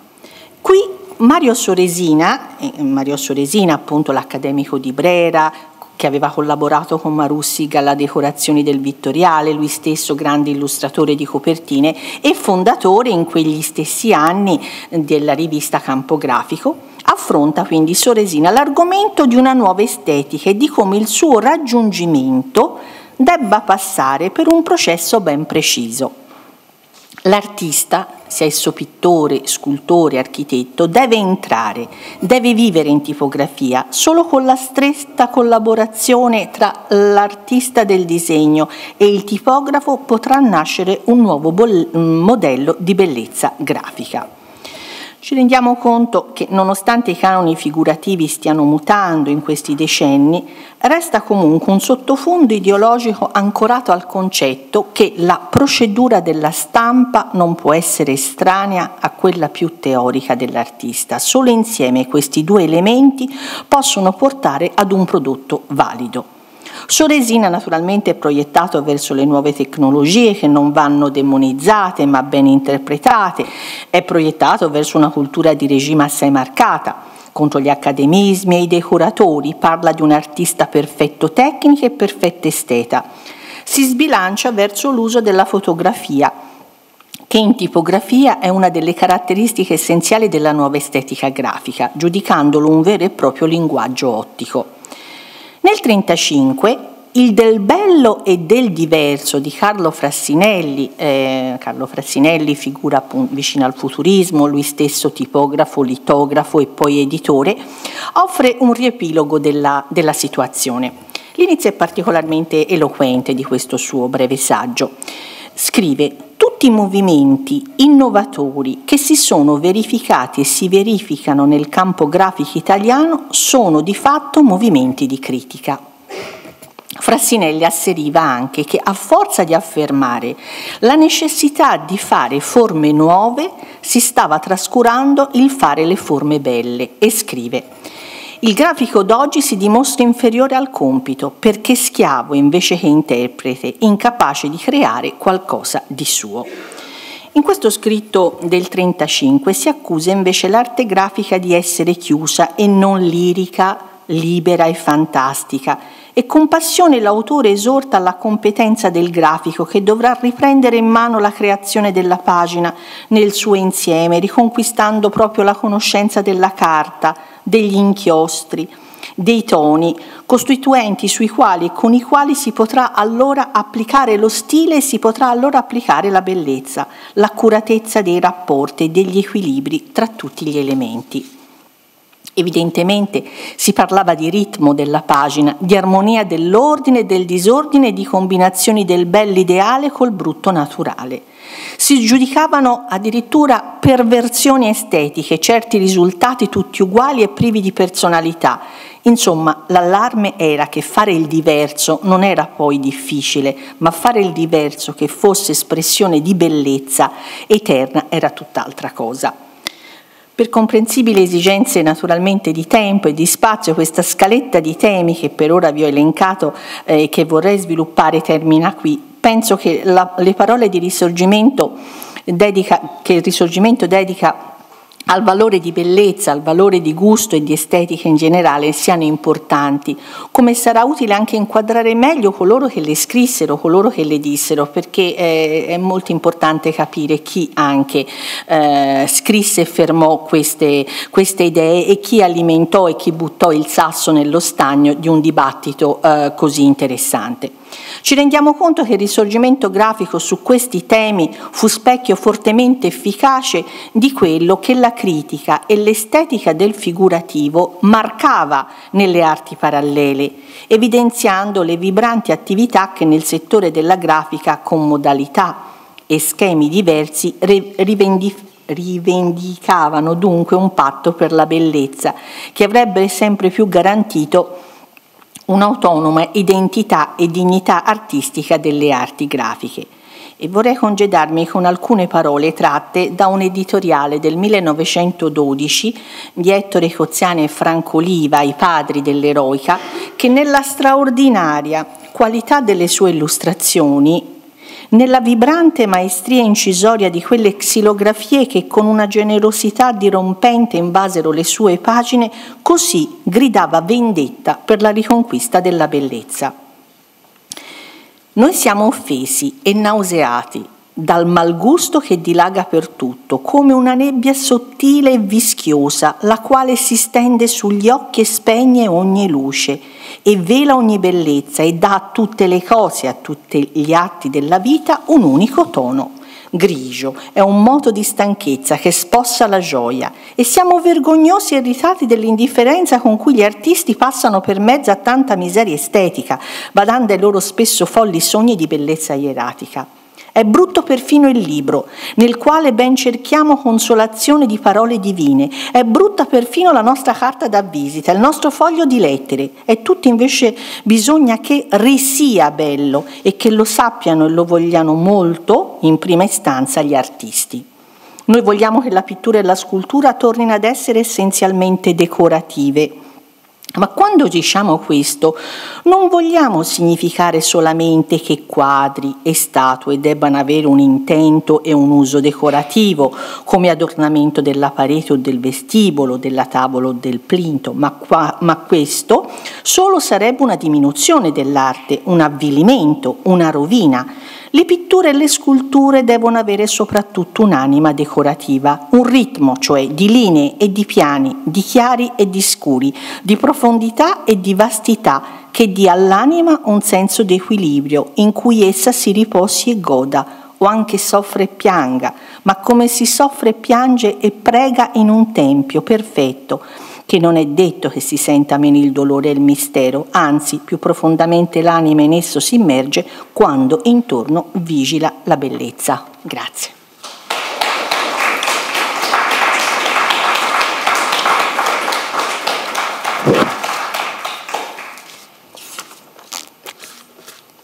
multitask a questo punto vi ringrazio e passo la parola ad Elena Miraglio della scuola normale che vi parlerà di risorgimento grafico, educazione al senso artistico tra editoria per l'infanzia e libro scolastico.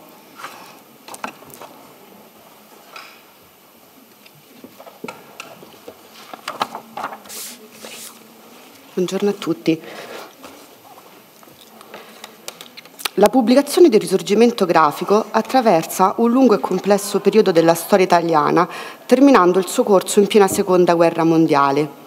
Il dilatato arco temporale comporta la difficoltà di rintracciare un carattere univoco della rivista, che nei molteplici cambi di veste può essere annoverata fra quelle che in Italia, all'inizio del Novecento, appoggiarono il rinnovamento delle arti applicate sono anni questi in cui assistiamo al fiorire di esposizioni, rassegne che promuovono la riqualificazione delle arti minori e dunque un'estensione del concetto artistico in diversi campi. Il risorgimento grafico indirizza tale aggiornamento al settore della stampa, il rapporto al rinnovamento delle arti grafiche e tipografiche. Prodotto di arte applicata, come si evince dai sottotitoli della testata, il libro diventa così il protagonista di un'appassionata battaglia, svolta in nome della sua rinascenza, e che non include unicamente il libro di lusso per l'amatore, ma anzi quello solito, usuale, quello insomma che può entrare nelle case di tutti. Un'utopia che mira così ad abbellire la produzione corrente, a portare il bello anche nel libro a poco prezzo. Per raggiungere questo scopo sono presi in esame, analizzati e illustrati ai lettori le forme materiali a cui avviene affidata la trasmissione del testo e che influiscono, condizionano la lettura e dunque la ricezione, come avviene d'altronde per la presenza o meno di certi elementi paratestuali. Si avvicendano nel tempo articoli sul carattere tipografico, che per Raffaello Bertieri rappresenta il segreto del carattere di un libro nazionale, sulla scelta della carta, sull'illustrazione, sulla rilegatura, cioè su tutte le attività che concorrono a formare il libro e che se sono sviluppate e raffinate lo rendono più perfetto, cioè artistico. Sotto il baluardo Il libro bello per tutti si adombra un ideale estetico di matrice inglese che corrisponde a una visione artistico-artigianale tipica dell'opera di William Morris e della Kelmo Scott Press e ci riporta alle numerose attestazioni spesso pronunciate da Alfredo Melani, Cesare Ratta e dallo stesso Bertieri sulla capacità intrinseca del libro e dell'arte della stampa in genere di diffondere democraticamente il buon gusto. Come avviene per i nuovi media pubblicitari, di cui ampiamente il risorgimento grafico si occupa, nel libro il libro può esercitare una notevole forma educativa e, parafrasando le parole di Melani, non solo perché i libri dicono delle cose alte e le dicono nobilmente, ma perché queste cose porgono con modi ispirati a bellezza. L'educazione estetica diviene così necessaria per tutti gli operatori, in particolare per il tipografo che con una solida cultura estetica può assurgere al ruolo di artista, per gli operai, per i direttori e i principali di case editrici o di tipografie. Secondo la rivista, in questi luoghi si dovrebbe seguire costantemente quella preoccupazione dell'eleganza che regna nelle case di moda, un'atmosfera artistica che per mezzo del libro può diffondersi al pubblico, che per tale via può raggiungere una sana educazione al bello. Tale atteggiamento presuppone anche una concezione dell'arte allargata non solo alle tipologie di manufatto, ma alla godibilità del fruitore. Essa diviene di fatti privilegio di tutti. Una socializzazione dell'arte auspicata dal risorgimento grafico affinché essa diventi una necessità da ricercare in ogni manifestazione e in particolare nel libro, che dovrebbe farsi, citiamo dalla rivista, e citatore del sentimento che vuole l'arte confortatrice della vita e mezzo a sollevare gli spiriti dalla volgarità. Diffondere il bello ed educare al senso artistico sono per il periodico milanese gli obiettivi che l'industria editoriale dovrebbe raggiungere e maggiormente richiesti nel campo del libro per i fanciulli, sia esso di natura scolastica o di amena lettura, termine quest'ultimo utilizzato all'epoca per collegare il mercato scolastico con quello del libro di svago per bambini e ragazzi. Questo è un argomento che trova risorgimento grafico impegnato dai primi anni di pubblicazione, restituendo al lettore di oggi uno spaccato storico composto da diversi fattori che vanno dal contesto culturale, segnato in quel momento da una borghesia dominante, all'evoluzione legislativa della scuola, da modelli diversi di insegnamento a processi di alfabetizzazione dei ceti popolari, dalla diffusione del libro alle vicende delle più importanti case editrici, dalla storia dell'illustrazione a quella della letteratura. La rivista incomincia a occuparsi di questo particolare settore dell'editoria nei primissimi anni del Novecento, durante la cosiddetta età giolittiana, che segna per la scuola una svolta importante. La progressiva democrazia, infatti, comporta un notevole sviluppo della scolarizzazione e la legge Orlando prima e quella Credaro poi innalzano l'obbligo scolastico con corsi popolari e avocano allo Stato le scuole elementari. In un clima in cui l'infanzia non è più celata dalle maglie della negazione, come avveniva nel secolo precedente, la classe dirigente e le istituzioni culturali mostrano di tener conto di aspirazioni, istanze del bambino per potenziarle, assecondarle, utilizzandole come risorsa politica, nazionale e commerciale. Come ha scritto lo storico Antonio Gibelli, sull'infanzia viene posto così un investimento positivo perché è considerata come preludio alla creazione di energie nuove per il Paese. La linea pedagogica perseguita sia nella scuola ma anche nei libri di testo scolastici o parascolastici riflette proprio questo status. Lo scolaro o il bambino viene percepito come l'italiano del futuro. È un messaggio questo che echeggia anche dalle pagine della nostra rivista, dove si afferma che l'educazione estetica infantile e la creazione di una cultura figurativa adeguata concorrono alla creazione di una correttezza morale e civile per l'uomo. Ma la necessità esplicata dal risorgimento grafico si scontra con una realtà ben diversa.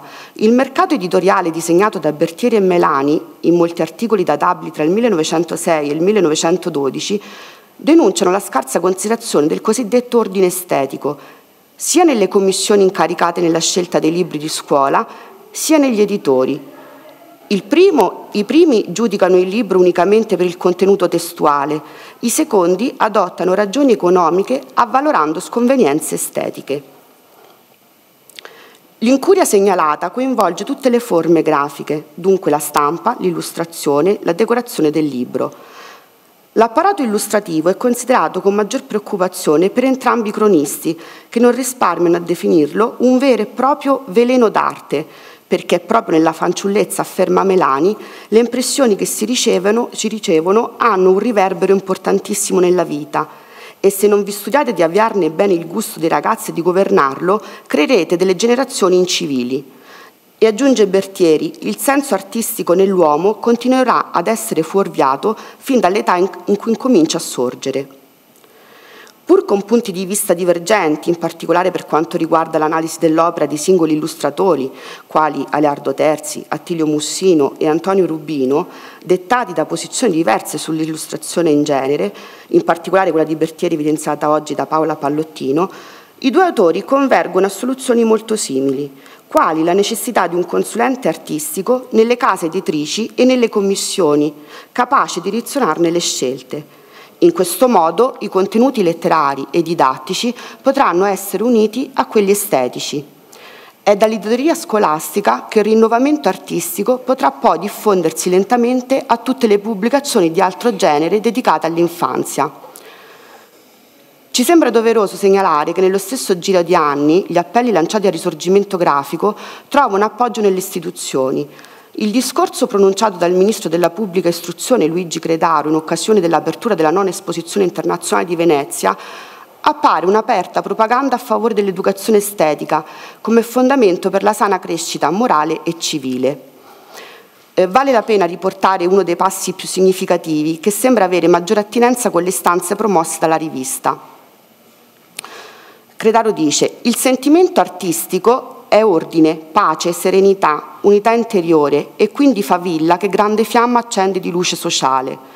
Una nazione che aspiri a darsi un assetto di governo democratico pone l'educazione artistica tra i compiti più gravi della cultura nazionale e viene creando un'arte sociale, che non è l'arte splendida e fassosa delle aristocrazie, ma soddisfazione dei bisogni spirituali delle moltitudini, creati dalla grande industria, elevate a diritto di cittadinanza dalla storia, rese abili dei destini degli Stati, con la potenza del numero e col vigore della solidarietà fraterna.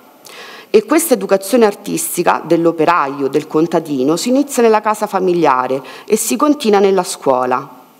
A queste case della scuola, dove i caratteri si plasmano, dove l'amicizia e la solidarietà si rinsaldano, non deve mancare il concorso dell'arte, sia nella semplice e ben intesa decorazione, sia nella parola stessa dell'insegnante, che deve sentire la nobiltà della sua missione nell'additare ogni espressione del bello che, anche nelle giovani coscienze, possa trovare la via della sensibilità.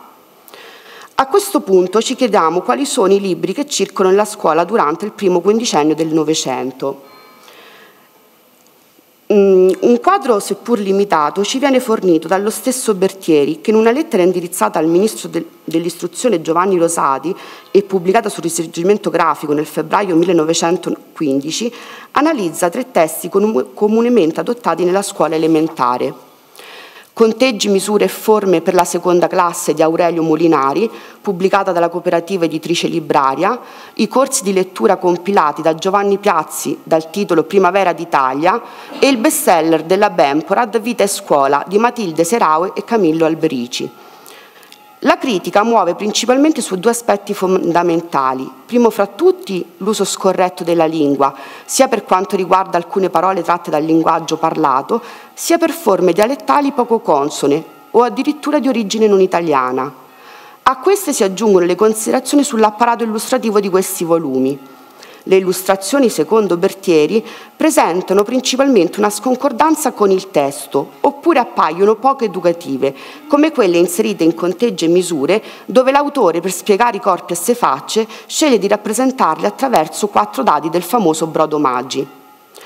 In Vita e Scuola della Serao viene criticata invece l'inadeguatezza delle immagini, queste sembrano evocare esempi poco edificanti come quello in cui il bambino punta un fucile verso due ladri che tentano di entrare in una casa. Pur trattandosi di un giocattolo, come viene specificato nel testo, Bertieri polemizza sul messaggio intrinseco rivolto al fanciullo, contaminato da un'erronea morale di cui l'illustratore si fa interprete. La campagna a favore del libro scolastico, promossa così dal risorgimento grafico e da cui questa lettera prende ufficialmente avvio, trova l'appoggio di numerosi uomini di cultura del tempo.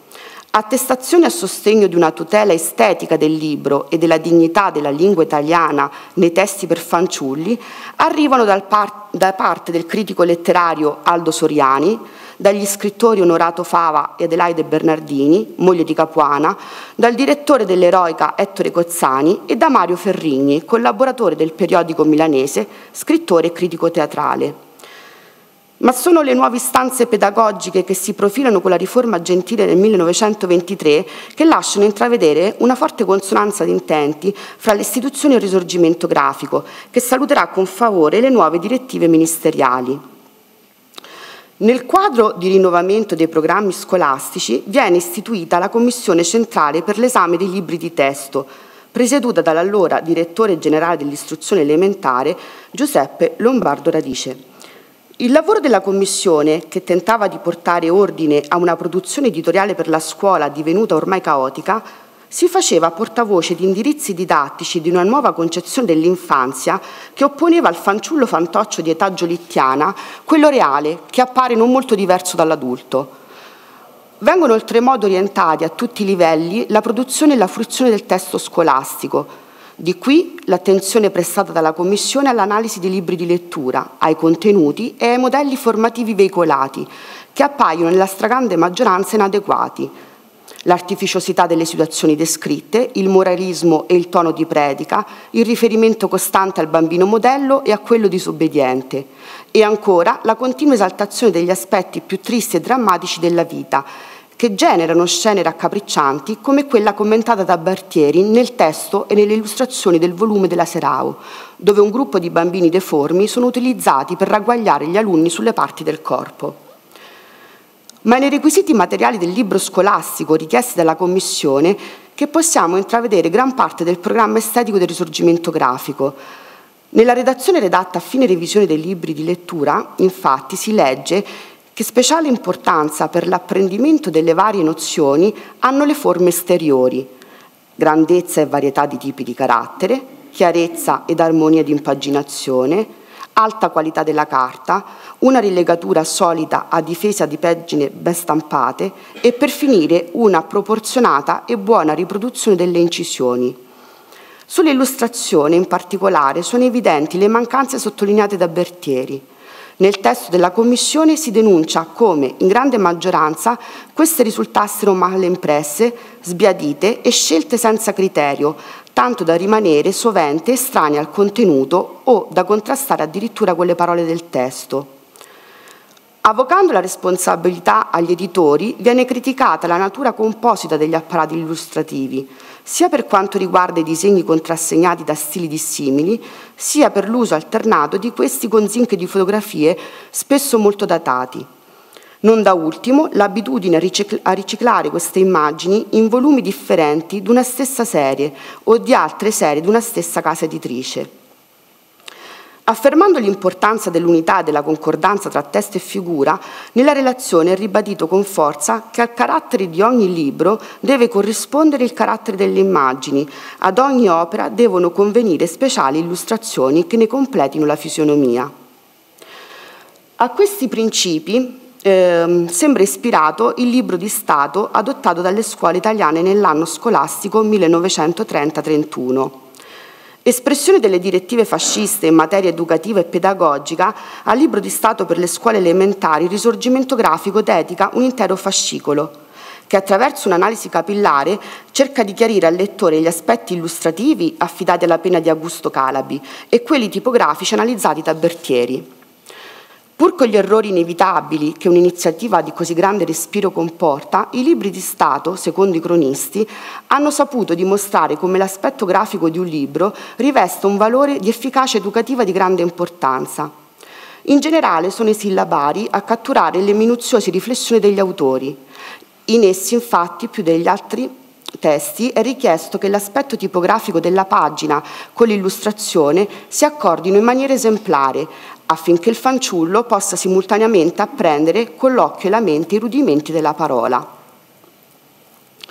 Concordi nel giudizio positivo sul sillabario per le scuole rurali di Alessandro Marcucci e Duilio Cambellotti, definito bello e classico, artisticamente educativo, per l'equilibrio degli elementi rappresentati nelle tavole e per il disegno che ha un forte valore descrittivo, entrambi i censori bocciano a pieni voti quello di Quercia Tanzarella, con illustrazioni di Mario Pompei. Caratterizzato da una mancanza di equilibrio che rende la pagina inquieta per l'assenza di armonia tra carattere, decorazione e illustrazione, la rivista giudica il tratto deformante di Pompei come una falsa riproduzione del disegno infantile, risultando così non idoneo a un corretto apprendimento da parte del bambino. Come è evidente anche dalla selezione delle tavole fuori testo annesse al fascico, sia Calabi che Bertieri concordano nell'eleggere migliore sillabario il volume compilato da Bucciarelli Belardinelli con disegno di Angelo della Torre.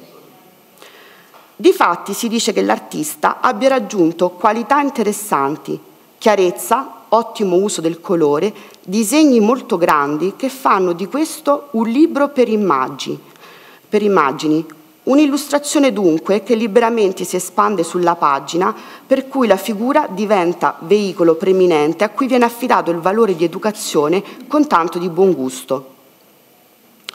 A sostegno di quanto detto in questo breve excursus per quanto riguarda l'impegno profuso dal periodico milanese nella valorizzazione del libro e dell'illustrazione come veicoli di un'educazione estetica e non solo didattica, possiamo citare il concorso il Risorgimento Grafico promosse per una copertina di quaderni scolastici nel 1922. Con esito entusiastico la gara aveva l'obiettivo di porre in collegamento l'artista con il mondo industriale affinché venisse realmente commercializzata una serie di quaderni. Tra i lavori segnalati fu quello dedicato ai fanciulli celebri dell'illustratrice Marina Battigelli a essere prodotto e stampato per conto della cartiera Binda proprio da Bertiere e Vanzetti nel 1925. Già nota per aver esordito eh, nel 1921 con il Vangelo raccontato ad un bimbo dalla sua mamma, l'illustratrice compone con poche note di colore, con segno chiaro, semplice, non privo di una certa leziosità, sia le figure della copertina, dove è sempre rappresentato il fanciullo, sia gli elementi attinenti all'ambiente dell'episodio principale posti a decorazione della quarta pagina. La serie viene considerata risorgimento grafico non solo uno stimolo della fantasia, già così vivace del bambino, ma dice sono piccole, eh, sono piccole sparse e quotidiane suggestioni capaci di assuefare l'occhio del fanciullo alla grazia, alla bellezza e all'eloquenza delle espressioni grafiche. L'attenzione nei confronti della produzione editoriale per l'infanzia non si esaurisce nell'ambito propriamente scolastico, anche se come precedentemente accennato, per risorgimento grafico i libri di amena lettura o quelli di tipo parascolastico devono seguire le stesse regole e devono soddisfare gli stessi principi estetici richiesti al libro per la scuola. L'evoluzione del genere letterario per bambini e ragazzi può essere seguita attraverso due direttrici. La prima è quella che riguarda i numerosi articoli sugli artisti del libro, una delle più note e longeve rubriche della rivista che di volta in volta fanno luce sulla produzione di illustratori, come oggi spiegato da Paola Pallottino. La seconda è rappresentata dalle numerose tavole fuori testo che, confezionate con eleganti cartoncini colorati, formano l'apparato illustrativo dei cosiddetti supplementi artistici, distintamente separati dalla parte testuale. Vetrina del tutto privilegiata per gli stessi editori, le tavole riproducono molto spesso copertine di libri per l'infanzia o singole illustrazioni tolte da questi volumi. Se per il primo decennio del secolo possiamo citare il solo volume di Eugenia Giordani sotto il velame, illustrato dal marito della scrittrice Attilio Mussino, è dal 1915, in evidente coincidenza con lo scoppio della guerra, ma soprattutto con l'inizio della pubblica campagna a favore del libro scolastico, che le riproduzioni di questi volumi subiscono un significato incremento, che solo intorno al 1924 riceverà una brusca battuta di arresto. Mentre per qualche anno ancora continueranno a presenziare copertine di volumi per un pubblico adulto o prodotti grafici pubblicitari, i libri per l'infanzia scompaiono definitivamente dalle tavole, le quali saranno lentamente eliminate dall'impaginato della rivista che dal 1930 in poi assumerà una veste grafica diversa da quella abitualmente utilizzata tra gli anni 10 e 20 del Novecento.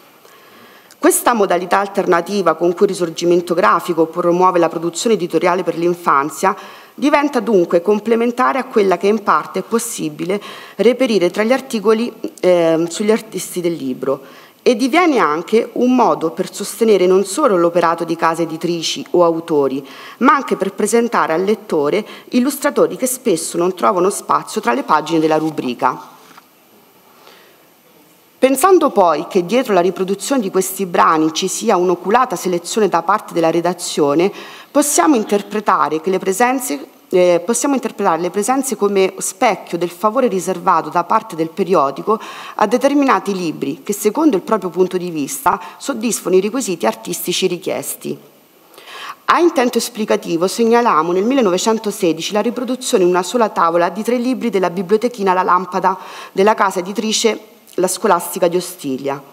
Famosa collana fondata nel 1912 da Arnoldo Mondadori, ogni serie si componeva di sei volumetti dal tipico formato chiamato quadrotto e riprodotto nella tavola di risorgimento grafico. Nella pagina principale è raffigurata la copertina del volume di Angelo Gustavo Capitani Rullano i tamburi, con illustrazioni di Filiberto Scarpelli esempio di quella letteratura per l'infanzia che durante gli anni del conflitto diffonde tra i bambini l'immagine della guerra. Concepito come un inserto apribile, al suo interno invece sono rappresentate due illustrazioni di Nino Bertoletti, rispettivamente tolte dai volumi di Gian Bistolfi, eccetera, eccetera, e fiabe in versi di Amalia Guglielminetti. In cui il tratto semplificato forme dalle forme geometriche ben rispondeva al gusto del periodico, che aveva più volte espresso come la semplificazione della forma fosse una prerogativa necessaria per l'illustrazione dedicata all'infanzia. Gli esempi potrebbero continuare, eh, ma ci riserviamo di approfondire in altra sede questi aspetti, che come ovvio mettono in campo altri fattori, quali ad esempio lo studio approfondito del testo in relazione all'illustrazione e non da ultimo la storia e la politica perseguita da diverse case editrici. Grazie. Grazie.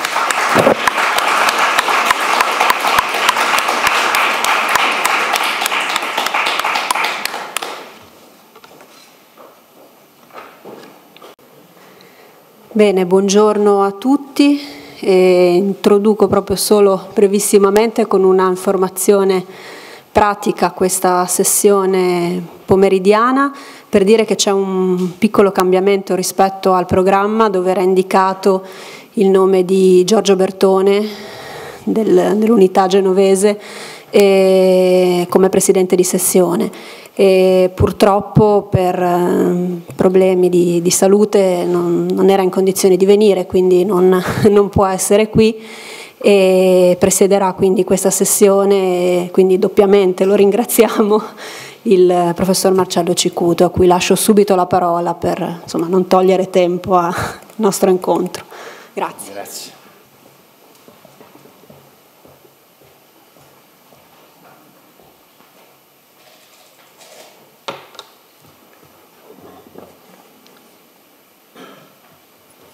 Sono io che ringrazio voi eh, di questo invito che mi onora e soprattutto mi solleva eh, da una fittissima serie di appuntamenti con convegni danteschi che mi hanno seppellito sotto una marea di dati e adesso eh, mi sento quasi in vacanza a parlare dell'argomento di cui vi dirò oggi.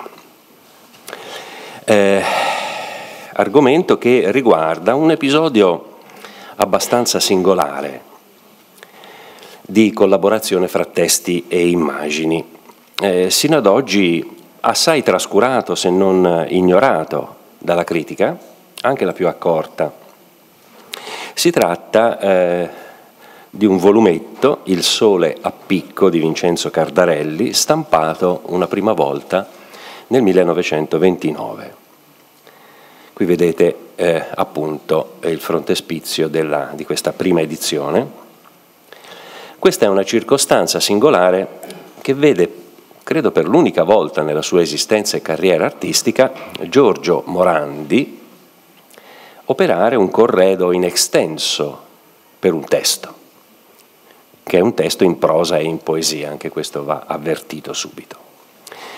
L'attività di Morandi eh, relativa ai libri eh, di solito eh, espressa in qualche sporadica, isolata concessione, un frontespizio per la, per la prima opera edita di Giuseppe Raimondi, ad esempio, ancora nel 22, per le stagioni di Raimondi, o qualche tavola, poche tavole sciolte in cartelle di pregio.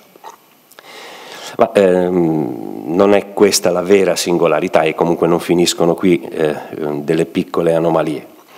Perché eh, se pensiamo di avere a che fare con un tentativo di illustrazione complementare o additizia rispetto nei confronti dei testi in questa raccolta stampa, ci sbaglieremmo e anche di parecchio. Eppure i disegni che Morandi ha preparato per questa edizione sono 21, uno per ogni pezzo del volume e collocati tutti ad apertura dei singoli pezzi. Poi nelle edizioni successive questa architettura, questa struttura e queste sequenze vengono completamente stravolte, scompaginate, eh, non si rispetta nemmeno più l'ordine originario delle tavole, dei disegni. Eh, nella, lo vedete subito, questa è la seconda edizione, 1952, ma addirittura il frontespizio è questo, cioè è stata soppressa l'illustrazione del frontespizio. E arrivo a dire eh, in modo estremamente casuale poi sono state poste le illustrazioni eh, all'interno del volume. Lo rilevava, questo fatto eh, era stato rilevato subito eh, da uno dei primi e più attenti lettori di quest'opera, eh, Giuseppe De Robertis, con queste parole. Ho il dubbio che quest'ultima edizione mondadoriana, 1952, abbia perduto un po' dell'antico pregio. E l'antico pregio è questo, quella svelta, ariosa, spaziata architettura e a meglio scompartirla o cadenzarla i 21 disegni di Morandi ai 21 inizi. Beh, mh, mm, tentare di pensare tentare di pensare che almeno una o due di queste illustrazioni possa avere un rapporto, come dire, descrittivo o di riflesso con i testi è pura utopia. Certo, già da questo rapporto fra il titolo e l'immagine che qui figura eh, possiamo ricavare qualche suggestione, ma eh, vedete immediatamente eh, questa cosiddetta natura morta morandiana eh, in rapporto a un personaggio leggendario di Tarquinia nulla a che fare, ma anche qui vedete eh, benissimo che eh, si trattano di percorsi paralleli e che certo non si incontrano sul terreno, di, su campi semantici comuni, diciamo così. Eh? Eh, ora, mentre soggiorno in Toscana può anche andare bene, eh, questa certo non è eh, un, un, luogo caratteristico di Capri, eh, così come eh, questo non è certo un autunno veneziano. E via dicendo. Ora torniamo di nuovo alle prime battute.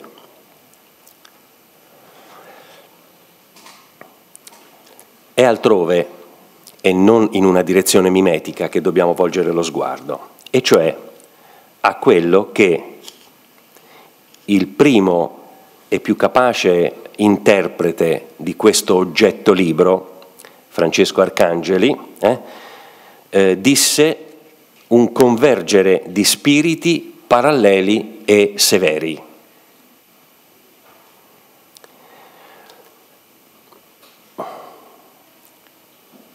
Arcangeli eh, individuava anche chi erano questi spiriti paralleli e severi che avevano operato per una comune sensibilità illustrativa e verbale, diciamo così.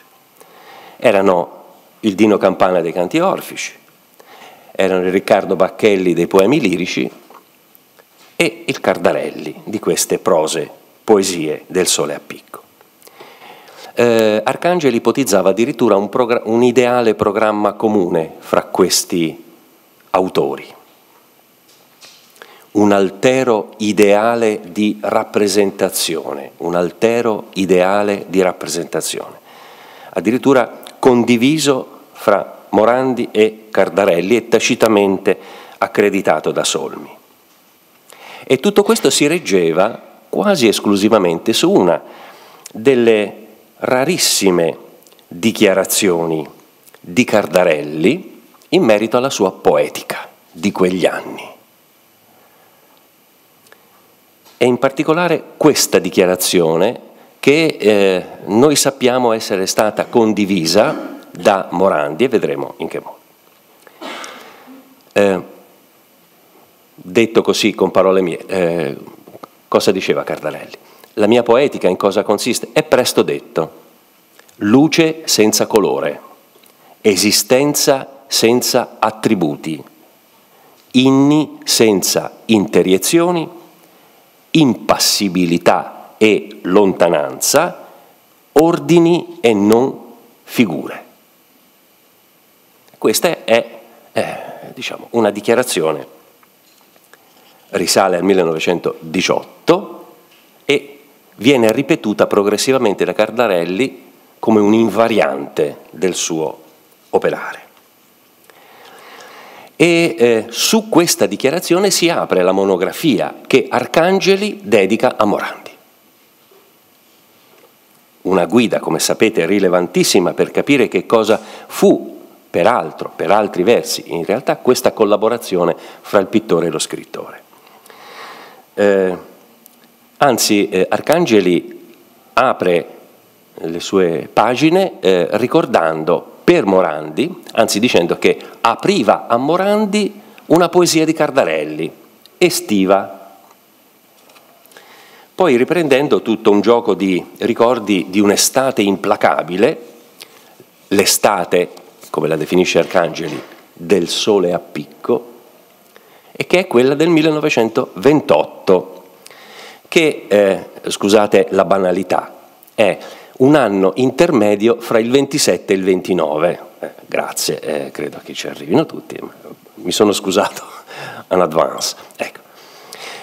L'estate del 28, quella che io ricordo meglio della mia prima adolescenza e che io venivo ricompitando fra me e me in quei primi versi moderni, distesa estate, stagione dei lenti climi ne rammento bene, anche se quasi miticamente, il gravare che dava l'idea di una stasi quasi sconfinata. Era tale che, sembrando senza fine, poteva immaginarsi che davvero mettesse nell'ordine che procede qualche cadenza dell'indugio eterno. Arcangeli sta parlando, sta introducendo Morandi e usa il lessico cardarelliano.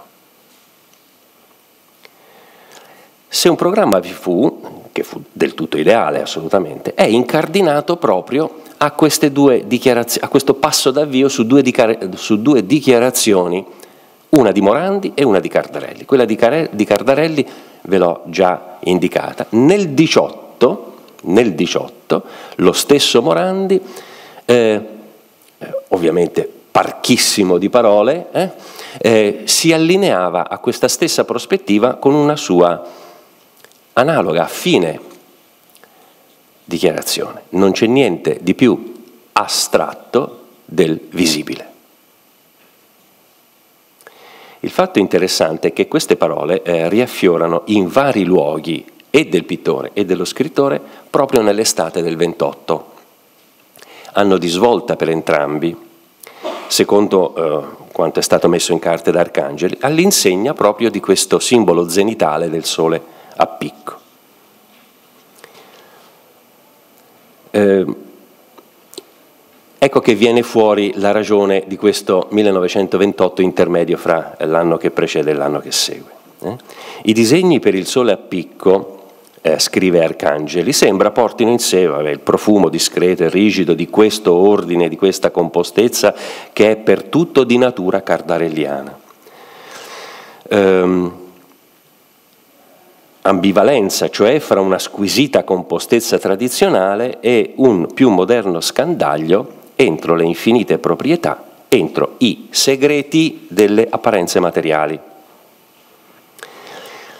Tutti i riscontri che Arcangeli trasferisce da Cardarelli su Morandi, su, nella sua lettura eh, di Morandi, vanno nella direzione di un recupero concettuale e visivo dell'opera di Piero della Francesca, che comincia ad agire in profondo per i due proprio negli anni 27-28, a ridosso, come immaginate, benissimo, eh, dell'uscita della monografia di Roberto Longhi sul pittore di San Sepolcro, che è del 27, e il 28 è l'anno nel quale Morandi si espone verbalmente su Piero in una eh, leggendaria ma brevissima autobiografia apparsa sulla rivistina bolognese L'Assalto proprio nel febbraio di quell'anno.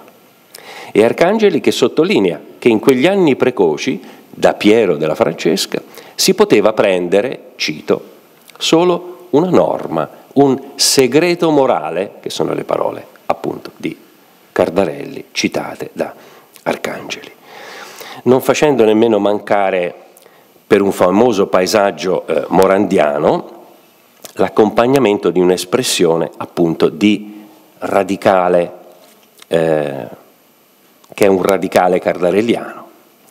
eh, eh, l'estenuante estate. C'è dell'altro da leggere però in questo dossier di poche, di poche, cose e in questa direzione di senso. Innanzitutto qui siamo in un momento in cui Morandi si allontana dalla prima metafisica, quella degli enigmi ferraresi, del sole nero, la metafisica di ritmo, verginità e perfezione e dunque anche da quel concetto di negazione della luce che è, è stato considerato da sempre, ma a mio avviso del tutto casualmente, come uno degli elementi di convergenza fra i due personaggi. Concetto di negazione della luce che infatti eh, Riccardo Bacchelli in un, in, un inter, in un articolo sul tempo sempre nel 18, eh, diceva non essere la caratteristica della prima pittura morandiana. Quasi un decennio, un decennio prima che si cominciasse a usare per Cardarelli la formula identificativa della luce senza colore, per le sue parole, che è un'espressione longhiana e che compare nella monografia su Piero del 27. E per il sole a picco eh, si citava proprio l'elemento della luce meridiana senza riflessi né evoluzione temporale che aveva eh, attirato per altri versi anche l'attenzione eh, di eh, un lettore eh, fine come Longanesi. Nel caso specifico delle illustrazioni del Sole a picco per mano di Morandi non si tratta eh, affatto dunque di negazione della luce eccetera, ma di ben altra e più complessa evoluzione rispetto al primo lessico metafisico. Anche se poi a chiusura del mio discorso eh, vedremo eh, un'immagine dechirichiana che ci riporterà parecchio indietro, alla, proprio alla prima metafisica, ma in una forma ormai arricchita, ormai nutrita da un lungo percorso di eh, convergenze, ma è presto per dire questo. Ho detto allontanamento dalla prima metafisica per accostarsi ai temi che, eh, così in modo un po' grossolano possiamo definire, dell'eterno presente eh, incorporato al naturale. O, se volete, di una eh, dignità esistenziale degli oggetti, che probabilmente sono metafisici proprio perché non hanno più nulla a che fare con una realtà fattuale, riconoscibile per via mimetica. Dunque, protagonista di queste illustrazioni, eh, di queste immagini, pardon, il vuoto, l'inappartenenza dello spazio, la non riconoscibilità dello spazio, dei luoghi qui figurati da Morandi.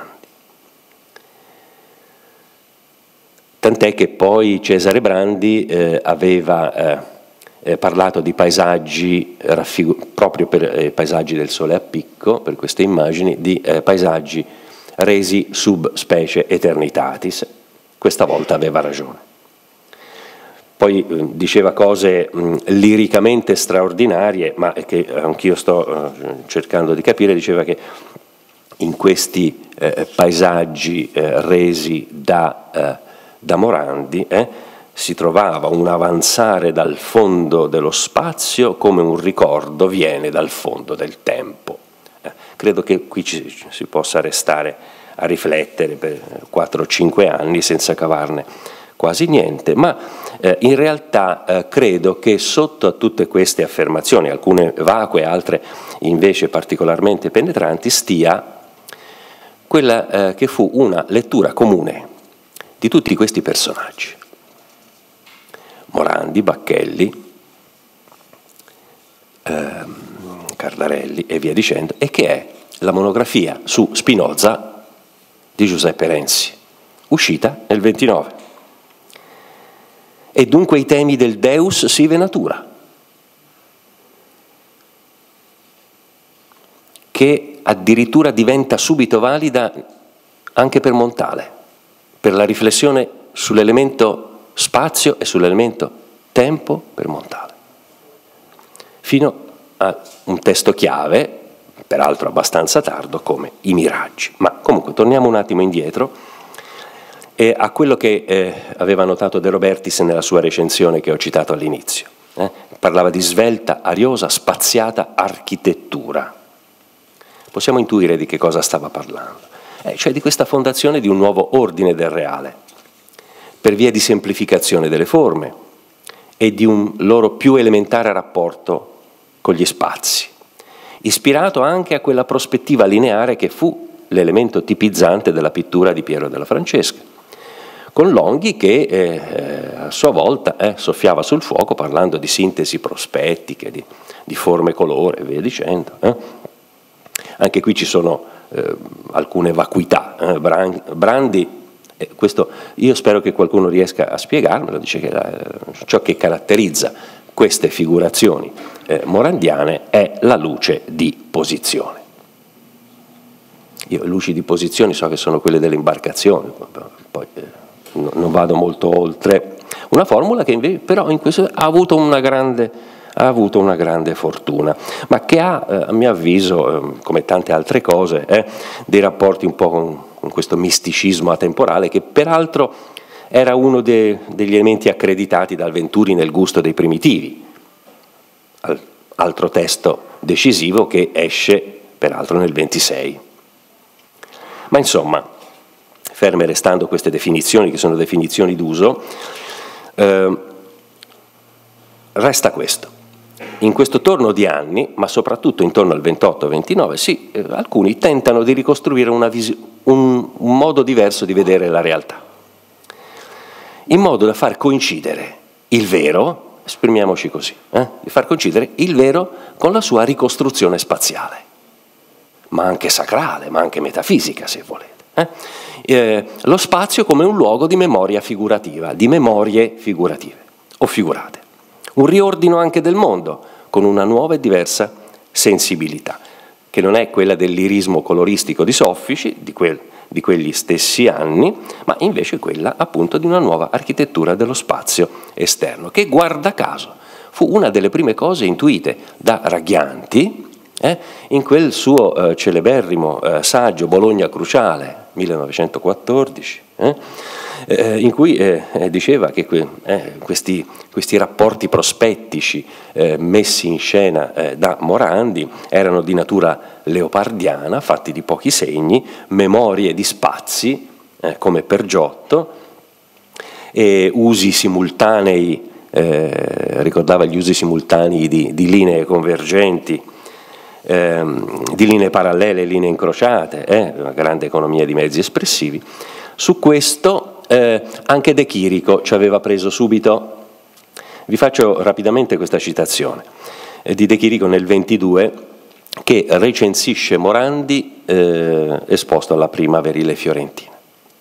Egli guarda un gruppo di oggetti sopra un tavolo con l'emozione che scuoteva il cuore al viaggiante della Grecia antica allorquando mirava boschi e valli e monti, ritenuti soggiorni di divinità bellissime e sorprendenti. Egli guarda con l'occhio dell'uomo che crede. È l'intimo scheletro di queste cose morte per noi, perché immobili, gli appare nel suo aspetto più consolante, nell'aspetto suo eterno.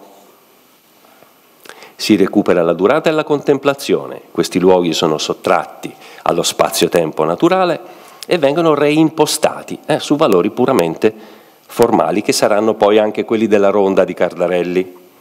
E rispondono appieno al cosmo ordinativo della prosa di Cardarelli, che per parte sua, da letterato, poco prima di fondare questa, eh, questa sua epica metafisica con il sole a picco, aveva fatto una dichiarazione che sembra così gettata là, del tutto casuale, ma che invece ha un riscontro, un riflesso molto significante eh, su quello che stiamo dicendo noi. Eh? Dice, a 30 anni, che sono gli anni del sole a picco, a 30 anni la vita è un gran vento che si va calmando. E si calma proprio nell'estate del 28-29, nella luce zenitale in parecchio altro del sole a picco. Ci sono molti elementi d'ordine nel mondo di Cardarelli. Eh, Cardarelli dice di scrivere per riportare tutto, a puro volume, puro tono, puro colore, pura forma. E sin dalle prime pagine di questo, eh, di questo testo noi troviamo immagini di una vita, di un'età dell'oro, di una vita beata, fatta però su luoghi disabitati e disanimati, dove le condizioni naturali, la normale meteorologia, eh, è normalmente rovesciata, ma la natura tutta è rovesciata. I tronchi d'albero sono torri, torri a forma di cono o di trapezio. Poi vedremo che cosa vuol dire eh, questo. La vegetazione in queste lande desolate dell'Etruria eh, non fiorisce e non appassisce. I monti sono d'argento, i pioppi eh, scintillano sotto il sole come vetri, tutto preso da un tedio infinito non scorre il tempo, ma c'è solo una vita silente. Sono terre del silenzio di civiltà tramontate. E Cardarelli dà anche una definizione precisa di questo suo silenzio che è onnipervasivo nel libro. Nel silenzio si stringono in segreto rapporti paradossali, non lineari, con la storia e con la realtà. Anzi, alcuni paesaggi sono rivelazione oscura del paesaggio ideale italiano. Quali sono le cose più vive di questi paesaggi? I sarcofagi etruschi. I paesi sono pervasi dalla morte. Talvolta sono solo deserti. Non c'è vita, anzi eh, è la pietra che segna lo scorrere del tempo, cioè la presenza di un ponte che dà l'idea di qualche cosa che passa da un punto ad un altro, altrimenti non ci sono altri segnali di dinamismo in questi paesaggi visti in distanza. È un museo meccanico, parole di Cardarelli, dove le più numerose sono le ore morte. Anzi Roma è definita una cornice neoclassica dove muore il secolo, dove muore il tempo. Il vento, che ogni tanto soffia, non è quello che soffia nel tempo, ma è quello che dà a tutto un estatico bambolarsi. Il soggetto narrante stesso, lo stesso soggetto narrante, eh, osserva il tempo senza viverlo veramente. Eh, la condizione temporale di questi racconti è, è morto anche il paesaggio virtuale, è un incanto del tempo. Eh? La situazione narrativa è quella di un incanto del tempo, di un tempo bloccato. Tutto l'incanto d'essere, eh, questo, era, questo mio era tutto l'incanto d'essere in un paese che non conosco e che dura quanto può durare il mio sogno. Tutto viene sigillato poi da un racconto conclusivo intitolato Astrid, eh, che ebbe una certa fortuna eh, anche figurata in seguito, ehm, fu ripubblicato nel 1941 sulla rivista eh, Tempo, sulla rivista mondadoriana Tempo, e eh, furono allegate delle tavole ben diverse da quelle morandiane eh, di eh, Arturo Tosi. Eh, che erano però, queste sì, perfettamente illustrative, con belle fanciulle, aree lacustri eh, ridenti e via dicendo eh? tutto il contrario di quello che abbiamo qui. Emerge anche in queste prose il, diciamo, un concetto di, di prospettiva, di, di un'architettura eh, che domina ovunque, priva di intrusioni naturalistiche, dice Cardarelli che assorbe nelle sue fughe di archi e via dicendo anche la nozione stessa del tempo. Si parla di vuoto sonoro degli edifici, di città metafisica, di mondo troppo perfetto per essere abitato, luoghi che non hanno più tempo, dove tutto è matematicamente architettato a tal punto che le rare persone in cui ci si imbatte appaiono come pedine fuori posto e la città diventa la sua stessa astrazione. Eh? Non c'è niente di più astratto del visibile, aveva detto Morandi, e qui la convergenza è fortissima. Eh? Ci sono tanti altri eh, riferimenti che vi risparmio, eh, relativi anche eh, eh, a, eh, alla città senza tempo per eccellenza, cioè Venezia, ma non vi sono segni morandiani dedicati a, a questi elementi. Qui abbiamo le mitizzate, le, le, mitografiche campagne bolognesi o di Grizzana e, e via dicendo. Si compie il percorso di eh, Cardarelli con quest'opera e con queste immagini, ora ve le faccio scorrere tutte per arrivare all'ultima che forse mi interessa, poi l'ultima è quella dell'indice. Eh? E ben più tardi eh, Cardarelli, ricordando proprio l'episodio del, del Sole a picco, dice eh, che avrebbe voluto fare eh, un libro che mettesse assieme eh, non solo il racconto Astrid, che per lui era il culmine della sua stessa poetica, ma anche quelle prose del viaggio in Russia, eh, viaggio in Russia che lui fa nel 28-29 e che è ricchissimo, straordinariamente ricco di quei segni di cui vi ho dato qualche eh, segnale, qualche eh, esempio adesso ehm, e che però viene riedito solo nel 1954, ehm, recuperando tutti questi articoli pubblicati sul periodico Il Tevere. Ecco, e eh, aveva in mente Cardarelli di fare, eh, di giungere a chiusura della sua carriera a una forma romanzo che mettesse assieme eh, queste corrispondenze e eh, anche il racconto Astrid. All'insegna di che cosa? Eh? All'insegna di questi tre, eh, forse no, di questo unico elemento. Che fosse fatto questo romanzo, questo insieme eh, di elementi paesistici, visivi e solo architettonici. Abbiamo fatto tanti passi avanti, ne facciamo uno indietro. In questo De Chirico, che è del 13-14, poi, insomma, speriamo che sia del 13-14, eh, qui figurano concentrati pressoché tutti gli elementi che Cardarelli ha testualizzato nel sole a picco.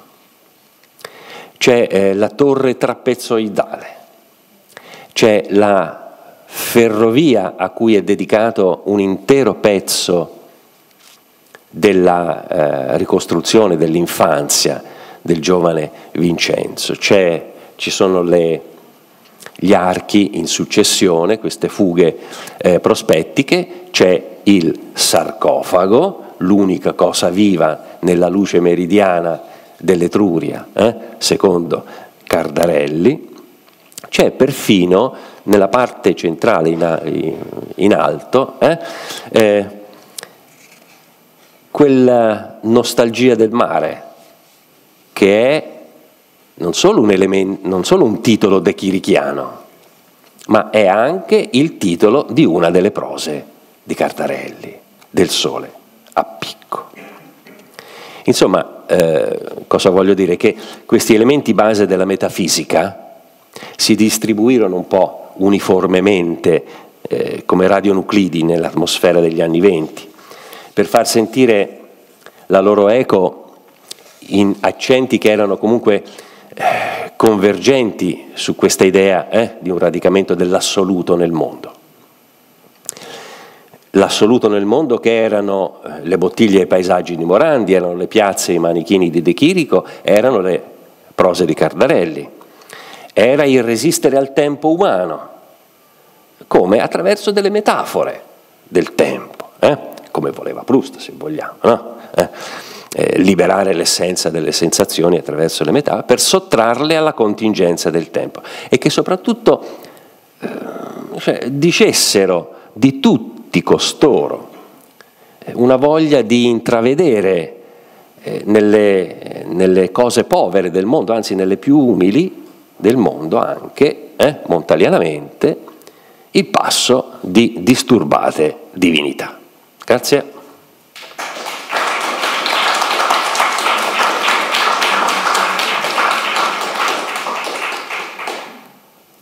E ora procedo subito a introdurre il successivo relatore, eh, che prego di accostarsi al tavolo, eh, che è Antonello Perli, della eh, Université de Nice, eh, Sofia Antipoli, eh, che il titolo della sua relazione è Ut Pictura Poesis, eh, la poetica visiva di Sbarbaro, gli cedo immediatamente e volentieri la parola.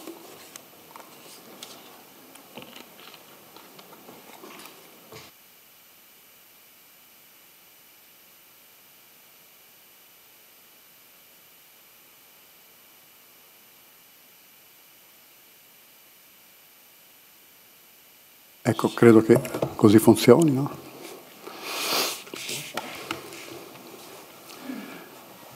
Grazie.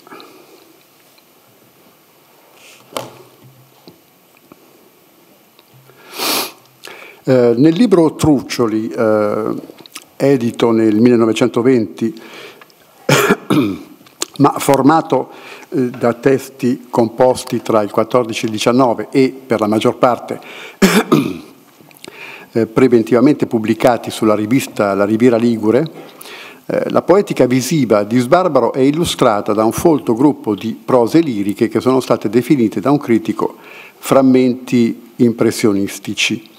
Eh, questi testi, questi truccioli, eh, che io chiamo più generalmente paesaggistici o più particolarmente rivieraschi, per indicare quelli che hanno come sfondo luoghi de- della Riviera Ligure, testimoniano una svolta e un'evoluzione della poetica di Sbarbaro nei confronti del suo precedente libro, il libro di versi uscito nel 14, Pianissimo, eh, al cui proposito Emilio Cecchi, non a caso un critico letterario che era anche un critico d'arte, eh, notava, recensendolo in quello stesso anno, 14, che Sbarbaro per la sua arte di autoanalisi non può giovarsi dei poeti italiani più vicini a noi che sono prevalentemente pittorici visivi. Ora, l'indagine intertestuale rivela che questa eh, nuova poetica eh, sbarbariana, questa poetica del paesaggio, visiva, figurativa, sorge e si sviluppa sotto l'impulso e l'influsso di coeve esperienze poetiche che possiamo appunto definire figurative, visive o, se si vuole, poetico-letterarie. Un primo nome è quello di Ceccardo Roccatagliata Ceccardi, assiduo collaboratore della Riviera Ligure e notevolissimo esponente della prosa impressionistico-figurativa. Penso soprattutto alle lettere di crociera, testi nei quali i colori sono stesi a piene mani sullo sfondo rivierasco della baia di San Michele di Pagano, del promontorio di Portofino, del piccolo porto di Camogli, di San Fruttuoso, queste lettere di crociera sono una serie di descrizioni che tratteggiano il profilo di località della costa ligure, esattamente nello stile di quei reportage eh, così frequenti nei primi anni della rivista La Riviera Ligure, come ha rilevato eh, Veronica Pesce, che è qui fra noi oggi, eh, in un suo saggio sulla eh, rivista di Mario Novaro uscito in studi di, Medo- di Memofonte. Eh, Veronica Pesce, la quale ha messo l'accento sulla contaminazione tra sfera verbale e sfera visiva, scusate, contaminazione tra sfera verbale e sfera visiva evidenziata dalle titolazioni seriali di questi scritti, acquarelli, impressioni e simili. Eh, Pierangelo Baratono, amico di Ceccardo come di Sbarbaro, definiva le lettere di crociera, cito, una serie di articoli impressionisti scritti bordeggiando con una barca a vela fra Sturla e Quinto al mare. E lo stesso Ceccardo, in, scritto, in un suo scritto rievocativo, eh, usa, virgolettandolo, il termine di impressioni per parlare proprio di queste sue prose descrittive, le lettere di crociera. L'indagine intertestuale rivela altresì che questa poetica figurativa di Sbarbaro è tributaria dell'avanguardia letteraria pittorico-visiva, diciamo con Cecchi, oppure diciamo anche senz'altro impressionistica. Dobbiamo a riguardo fare nome di Campana, il Campana visivo col cromatismo diffuso lungo tutti i canti orfici, è capillarmente presente nei truccioli, ma in quest'ambito il maestro di Sbarbaro, eh, riconosciuto maestro perché eh, così lo stesso Sbarbaro lo definisce in una lettera del 31, è stato Ardengo Soffici, non a caso uno scrittore che era anche un pittore, eh, potremmo anzi dire un poeta pittore, eh, se pensiamo in particolare al primo Soffici. Affidandosi al magistero teorico e creativo di Soffici, Sbarbaro viene condotto verso la sua nuova e figurativa poetica del frammento, rinvenibile in quei truccioli impressionistici, paesaggistici, che testimoniano l'assimilazione della lezione impressionista impartita da Soffici sin dagli scritti sull'arte pubblicati sulla voce negli anni 1909-1910 sotto i titoli seriali L'impressionismo e la pittura italiana e L'impressionismo a Firenze. Scritti dove vengono espressi i propositi teorici che troveranno la loro illustrazione in un testo di importanza fondamentale nell'apprendistato letterario di Sbarbaro, quale il giornale di bordo di Soffici, 1915.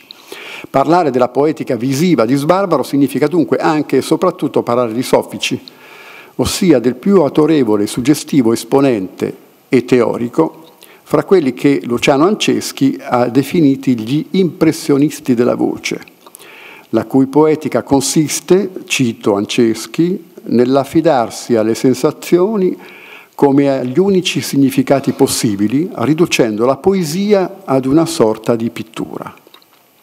O ancora nel posare le parole come il pittore i colori, come si legge in una notazione del giornale di bordo di Soffici, e qui cito Soffici, posare le parole come il pittore i colori, per il poeta come fa il pittore con la distribuzione di lembi, lembi cromatici sopra una superficie, organizzare un tutto evocativo verbale capace di propagarsi e di agire come un fluido o una scarica esplosiva.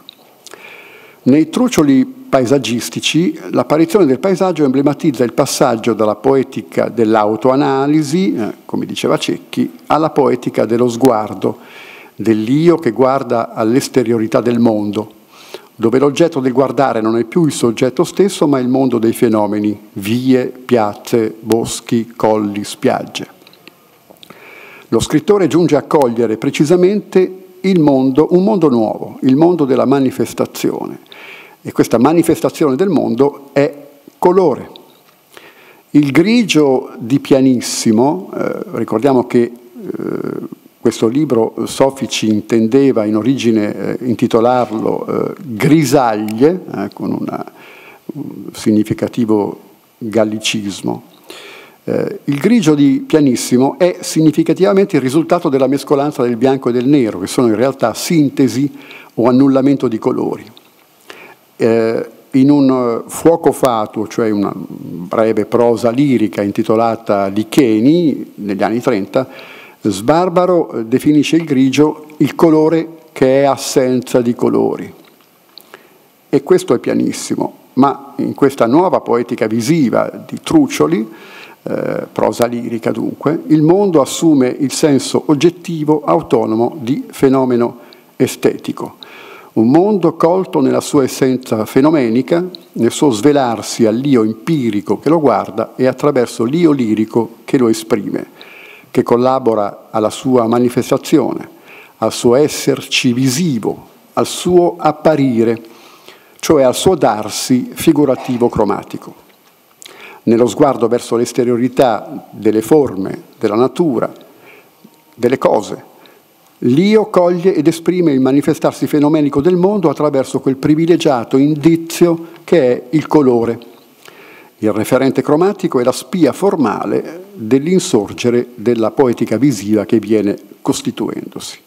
Su questo referente cromatico e sulla modulazione iconico-cromatica Sbarbaro imbastisce il truciolo paesaggistico e l'approdo a una compiuta maturazione stilistica di questa nuova poetica visiva rivela l'incidenza delle arti figurative come fonte di ispirazione lirica in una espressione del paesaggio propriamente caratterizzabile come una pittura verbale.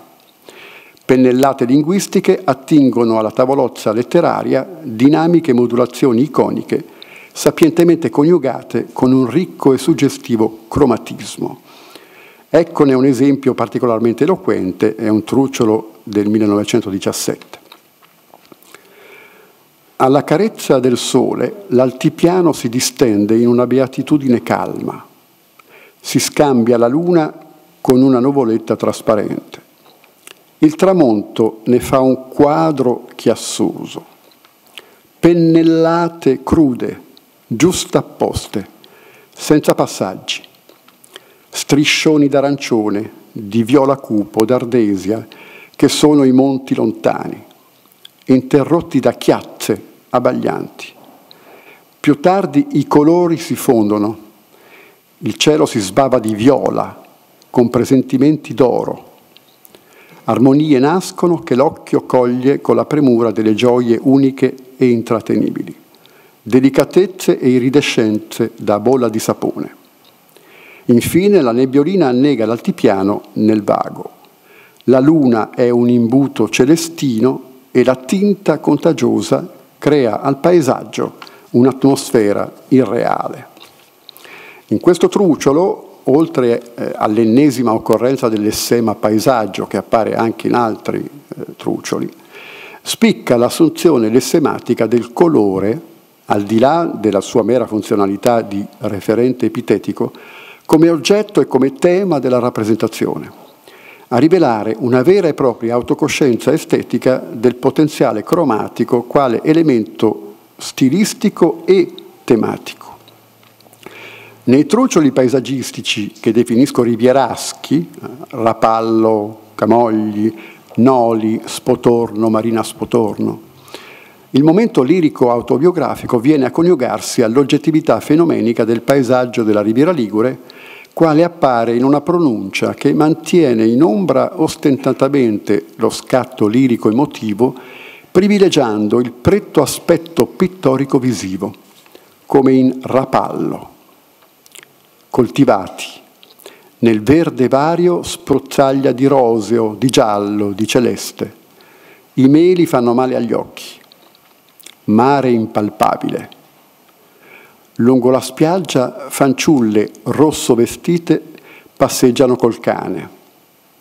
A notte ramaglia nera su vetrate rosa, cipressi, stelle. Un ol mette un po' d'oro nella conca buia del mare. Oppure Marina Spotorno, si vive in un ex voto a vedere come il paesaggio si comporta ingenuamente in cospetto di questa levata di sole. Le montagnette paiono pecore tosate, tutte a pezze da bruciacchiato e di verde smalto. Il muso di cane in faccia allo scoglio di Bergeggi, seminato ratamente di globetti verdi. Ma il più irreale è il mare. Un mare così impalpabile da credere a un inganno ottico, un mare che è tutta una pietra preziosa liquefatta, d'un blu indicibile. Quando ecco, nell'appropriato scenario, il sole balza, bolla infocata, sciorinandosi ai piedi un tremolante tappeto arancione. Questa nuova poetica è altresì attiva nel contesto tematico della città, marcando il trapasso dall'anonimato astratto e incolore di pianissimo al cromatismo e all'impressionismo lirico di un poeta-pittore, definizione di Sbarbaro non mia ma di eh, Enrico Calenda, che nei truccioli su Genova ritrae il paesaggio della città, la fenomenologia dello scenario urbano. La poetica visiva, questa nuova poetica delle, delle forme o del paesaggio, rappresenta dunque anche il presupposto di una nuova poetica della città, la quale viene progressivamente elaborandosi fino a realizzazioni che mostrano come la città venga a costituirsi quale fenomeno cromatico e, nel senso etimologico, fotografico. Via 20 settembre. Via 20 settembre al primo sole, rossiccio, per la maggior parte nell'ombra, grigia e monumentale, ma rosea lassù la piazza, fiore in cima al gambo, aria fredda, dei lumi inutili, i tram vesperonzanti fanno già la spola, bruni qui, lassù sfavillano. Una vetrata mette nel roseo un tocco di fuoco. Giunto alla piazza, invece, volgendomi, un pulviscolo d'oro annega tutto. Acquazzone a staglieno. La spazzola dell'acquazzone ha dato alla lesta una ripulita al paesaggio, lavato la faccia alle case, rimesso a nuovo i monti sbiaditi. Anche l'aria è netta. Ora si apprezza ogni gradazione del verde. Villanelle indomenicate, le case fanno insieme una stoffa a quadratini e rettangolini di tutti i colori. Quel giallo, l'ingenuità di quel celeste. A levante il paesaggio è lumeggiato da una luce che pare di magnesio. I tetti riflettono. Al luogo d'ogni ruga le montagne fanno mostra d'un filone d'argento. Questa nuova poetica della città trova la sua più alta espressione nei ritratti o, come preferisco dire, nelle visioni di Genova, consegnate da Sbarbaro in alcune prose liriche del primo dopoguerra, pubblicate negli anni 20-21 della collaborazione letteraria di Sbarbaro alla stampa periodica genovese. A catturare l'attenzione è già la titolazione seriale di questi testi, impressioni vedute eh, numerose sono le impressioni liguri che appaiono sulla Gazzetta di Genova, eh, altrettanto numerose le impressioni genovesi che appaiono eh, ugualmente su questo quotidiano, Gazzetta di Genova, anche sull'Azione, altro quotidiano genovese. Eh, impressioni genovesi, eh, tra le quali anche un tramonto da Ponte Pila che sarà raccolta prosa che sarà raccolta più tardi, molto più tardi, 40 anni più tardi, in un volumetto intitolato Vedute di Genova, 1921. Impressioni liguri, impressioni genovesi. Queste prose genovesi del 2021 sono evocazioni ritratti di vie, quartieri, zone e località di Genova, eh, vedute paesaggistiche di alta intensità lirica, poste nel segno di un'estetica dello sguardo che denota una decisa visività oggettivante e la prospettiva fenomenologica dell'approccio e accoglimento della città nel suo autonomo esistere di forma e di struttura anche topografica, di cui è segnale precipuo la toponomasia di vie, piazze, ponti, quartieri, colti da uno sguardo che sintetizza, senza mai scadere nella banale oleografia da cartolina, prospettivismo fotografico e impressionismo pittorico. In queste prose del 2021 sono escluse le carrellate nel centro storico, i piani ravvicinati dei carruggi. Il paesaggio genovese di queste prose è infatti caratterizzato da inquadrature dall'alto, dalle alture alla periferia della città o da Castelletto, con uno sguardo in plongée, come esemplificano le vedute di Genova da Ponte Pila eh, o dalla spianata di Castelletto. Da Ponte Pila si assiste d'estate a un maestoso calar della notte. Bisogna attendere, volti al cuore di Genova, l'ora che i rossi vapori all'orizzonte o la mole della nuvola sospesa che compendiano il tramonto in città cominciano a perdere del loro lume. Ed ecco la prima sera lagrima oro, sbiadito oro di lampioni a gas che l'uomo della Pertica va accendendo per via dell'edera tra le aiole di Piazza Brignole. Il cielo diventa di stagnola e su quella le forbici della notte ritagliano in carta nero fumo la sagoma della città. Un attimo ancora e fuoco s'appicca da un capo all'altro. Tramutata in braciere, laggiù, Piazza dei Ferrari, in pozzi di luce le strade. Da Castelletto dalla spianata di Castelletto. Oh, covata con gli occhi dalla spianata di Castelletto, la città che là sotto s'accavalla. Un mare in burrasca pietrificato, verso cui da ogni parte si sporge questa terrazza spazzata dal vento. Fessure vi si aprono le strade e vi si stacca qua e là il verde d'un parco. Ecco il palazzo a imbuto del municipio, l'occhio giallo del Carlo Felice, a momenti si specchierà nel mare che impaluda tra i docks il mazzo di lumi di San Benigno. Quassù il caffè, il caffè spertino, gabbia di vetro che il tramonto fondeva, pare adesso di madreperla. Gli occhi del poeta sono lo strumento di una visione della città che, nello sguardo testuale, si configura come rappresentazione di un evento mobile, secondo le modalità appunto cinematografiche dell'inquadratura dall'alto e della fotografia, volta quest'ultima alla rappresentazione degli esterni tramite la ripresa della luce e del referente cromatico di momenti aurorali, crepuscolari o notturni della città, con vario uso della similitudine e dell'analogia. Ecco l'esempio di un mattino, eh, genovese naturalmente. Spartita dal greto del Bisagno, la vallata si apre tra colli facili, festante di borghi, campagna povera ma sontuosa per lo scialo di colori che autunno vi fa.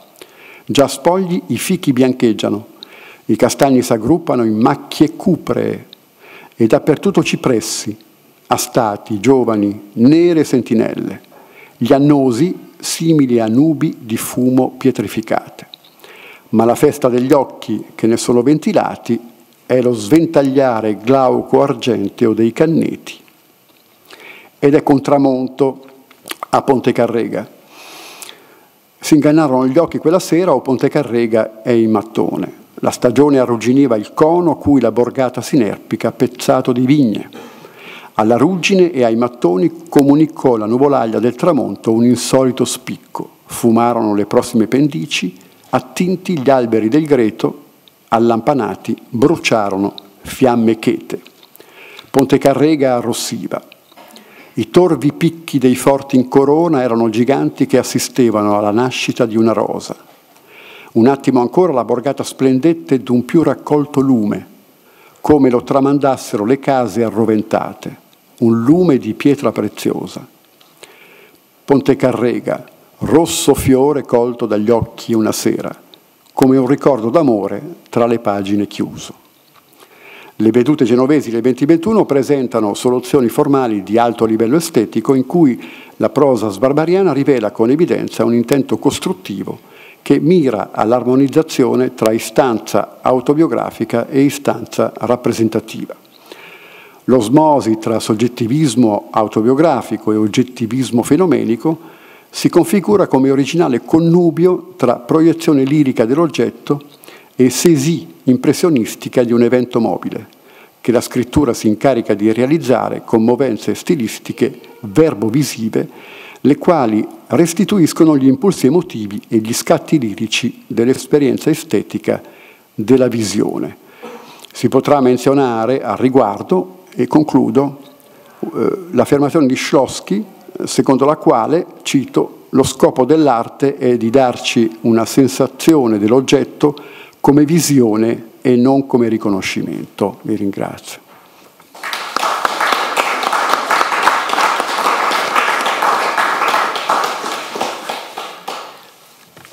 Benissimo, grazie ad Antonello Perli per questa sua relazione, eh, oltretutto rispettosissima dei tempi. E adesso è la volta della nostra Veronica Pesce dell'Università di Genova.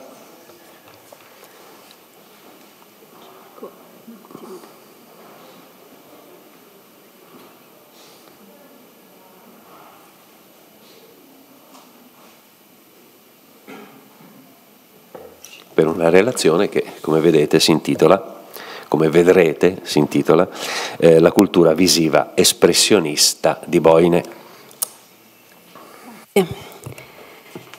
Dunque, mh, mm, sempre chiamata in causa per gli esiti linguistici della produzione letteraria boiniana, lirico-frammentista soprattutto, eh, la categoria di espressionismo è stata invocata in misura decisamente minore sul piano tematico e prettamente visivo. I due aspetti mh, io credo non devono necessariamente separarsi, anzi mh, vorrebbero nelle nostre intenzioni qui provare a dialogare e insieme integrandosi più di, sia, di quanto non sia stato fatto fino a questo momento. Anzitutto occorre mh, almeno una premessa generale sull'impiego del, del, del, termine e quindi della categoria critica di, di espressionismo al di fuori del suo eh, contesto storico-geografico.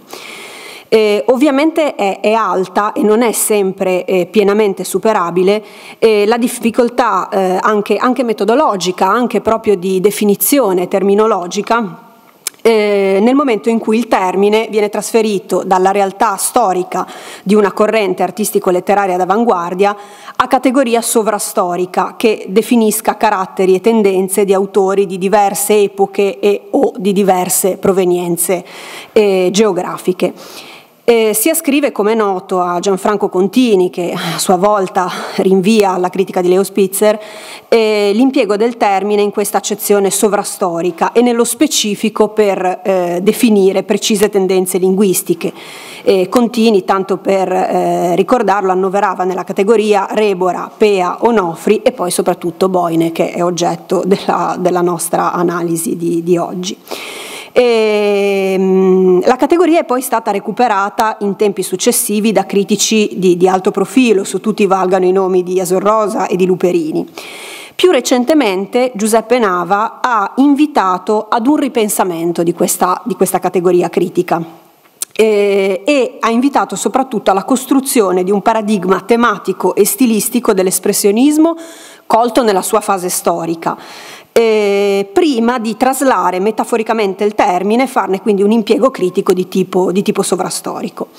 Per fare questo Nava ha provato a definire i tratti che ritiene eh, salienti, basandosi a sua volta sugli studi di Ladislao Mittner o di Paolo Chiarini, e, e di questi, come dire, provo a ehm, ricordarne e a enumerarne almeno, eh, almeno alcuni. Una riflessione gnoseologica di tipo antipositivista, mm, decisamente anti-impressionista nella rappresentazione della realtà, da inquadrarsi quindi in una sostanziale crisi della, della, soggettività che è comunque il segno di un valore centrale che viene attribuito all'individuo, al rapporto del soggetto con il mondo, in particolare dell'intellettuale nei confronti della società, la presenza di tematiche apocalittiche, palingenetiche, insieme con una dimensione religiosa o utopica. Eh, su questa base, eh, per esempio, Nava espunge dalla schiera dei, dei vociani espressionisti Dino Campana, letto più come tardo simbolista maledetto, salvo poi naturalmente indicare significative eccezioni nel suo corpus a questa, a questa affermazione, e, mentre riconosce una, una piena eh, riferibilità al gruppo di Clemente Rebora e una riferibilità solo parziale di, di Camillo Sbarbaro. Ora naturalmente non mi soffermo sulle argomentazioni destinate ai singoli che eventualmente potranno trovare un po' di approfondimento e qualche spazio maggiore nel, negli atti. E, ehm, è un po' su questa linea, proprio a partire da queste suggestioni, che vorrei indirizzare questo intervento provando ad integrare in modo sistematico queste fondamentali riflessioni linguistiche che, che su Boine la, la critica continiana ci ha, ci ha, offerto e poi andranno ovviamente debitamente considerati anche successivi interventi di Barberi Squarotti, di Coletti, eccetera, con un'analisi di tipo tematico e mm, un po' più a tutto tondo in cui possano trovare veramente sintesi aspetti differenti. La nostra riflessione quindi si focalizza su uno dei più assidui eh, collaboratori della rivista che è stata oggetto insieme con l'archivio ad essa connesso del lavoro dell'unità di, di Genova nell'ambito del, del, presente progetto. E, e la rivista in questione è La Riviera Ligure. Quello fra Mario Novaro, direttore della Riviera Ligure, e Giovanni Boine non è un rapporto di collaborazione assimilabile ai molti altri che hanno avuto luogo in seno alla rivista. E, mh, è proprio mh, un'amicizia genuina, un rapporto di stima reciproca, per Boine anche un quasi immancabile sostegno economico, insomma ricordiamo anche la, la, le difficoltà con cui eh, ha combattuto nella sua breve vita no? Giovanni Boine e, e, e, non solo eh, Boine veniva sistematicamente, questo come tutti, retribuito per, per i suoi testi e le sue collaborazioni, ma, ma, spesso come dire, questo sostegno economico si configura anche come aiuto extra nei frangenti proprio di, di maggiore difficoltà. Insomma, eh, Boine, come tutti ricorderemo, è ucciso dalla tisi a solo 29 anni e combatte per tutta la vita appunto con una situazione di, di semi-indigenza. Nel 1916 scrive a prezzo Pasolini, mangio più medicine che pane e non ho un quattrino per pagarlo, ecco, e lettere di questo tipo nella sua corrispondenza naturalmente se ne leggono, se ne leggono molti.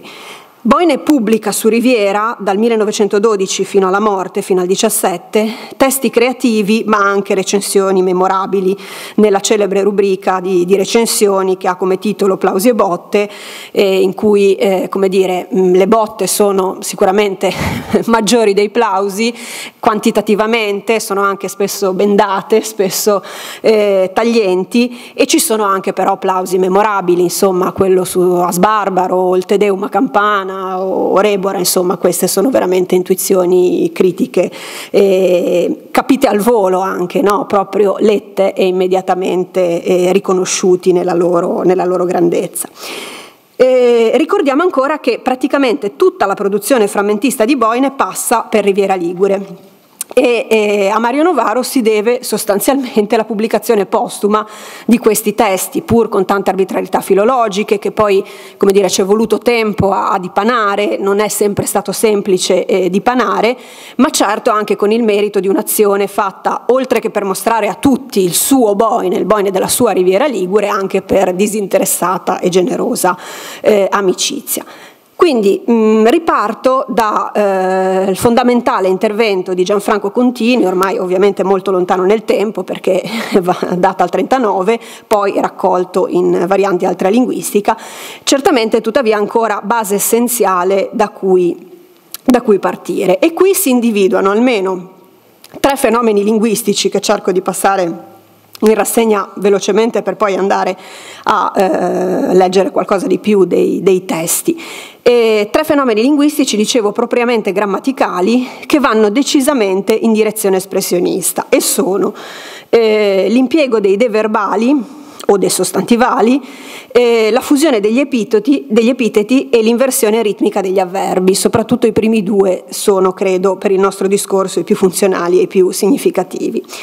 Per esempio, fra i deverbali, sbarri dell'impossibile, sconfino dell'ansia, eh, rispecchio di lago, spalanco di blu, questo blu con l'accento poi ci, ci torno, e, mm,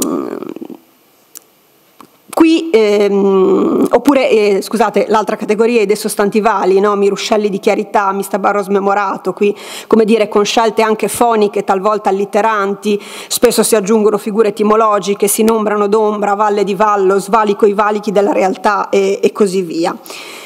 Altro fenomeno a cui facevo riferimento è quello della fusione degli epiteti o degli aggettivi divaricati, eh, viscide spalancate occhiaie, no? oppure iride soffio, riso ferita, lo scoppio scintille del tuo volto vecchiaia, il guizzo cilestre del tuo occhio dolore.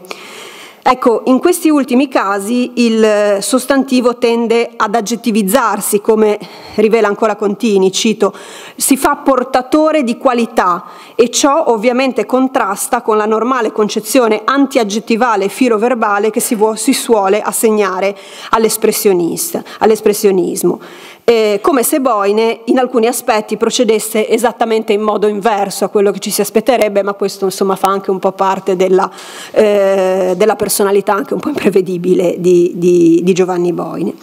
E nei casi elencati si osserva spesso una pregnanza proprio visiva del lessico scelto, che altro non fa che accentuarsi nel fenomeno descritto, a cominciare proprio da quei deverbali già, eh, già ricordati, anche laddove si indica qualcosa di astratto.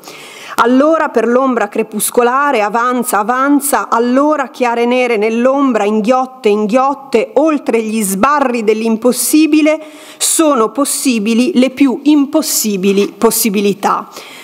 Qui gli sbarri si pongono come una delimitazione spaziale, pure con molta efficacia espressiva, anche fonica, naturalmente il termine consuona con i successivi impossibili, possibili, eccetera, a qualcosa di assolutamente astratto e incidentalmente mh, osserviamo che il contesto ha anche una sua definizione cromatica, no? ombra crepuscolare, chiare nere. Discorso simile per gli altri esempi che abbiamo visto, sconfino dell'ansia, rispecchio di lago, no? ancora di più forse, a cui è assimilato il mondo che si riflette nel mare, fino all'abisso dello spalanco di blu che si staglia con questa forza cromatica, peraltro in contrasto con eh, due parole che, che seguono, cioè sul barbaglio del bianco, no? di nuovo con scelta fonica allitterante, eh, con cui si identificano i mondi innevati del, dell'Ormeasca di Resoconto dell'escursione, un testo pubblicato su Riviera su cui torneremo. Eh, analogamente per eh, gli aggettivi o genericamente per eh, quelli che sono stati definiti epiteti, dentro la cui categoria si comprendono anche gli aggettivi divaricati, che giustapposti come appaiono ampliano il ventaglio semantico, spesso deformando l'immagine, rendendola ancora più allucinata, stravolta, come le viscide spalancate occhiaie già, già viste, eh, o in scenografie di iri, di nebule, s'aumenta la cavità degli spazi, ci sono angosce rapide vaste come bitume di nubi sopra le, valle, le valli, dove per via metaforica e figurale l'idea l'idea astratta, la cavità dello spazio nel primo caso, il sentimento d'angoscia nel secondo, trovano una qualche forma visiva. Peraltro già Barberi Squarotti rimarcava come spesso il fenomeno risponda alla necessità di risolvere il termine visivo, anche solo inizialmente descrittivo, in una conclusione di meditazione, di immediata applicazione spirituale, per cui il termine metaforico precede quello puramente fisico, mentre si registrano anche altri casi in cui l'ordine è invertito, cioè sostantivo o aggettivo visivo precedono quello, eh, quello meditativo. Un altro procedimento, questa volta più retorico che, che linguistico, no? strettamente retorico, non, non, un fenomeno grammaticale propriamente detto, ma un tratto stilistico appunto, è l'impiego massiccio della sinestesia.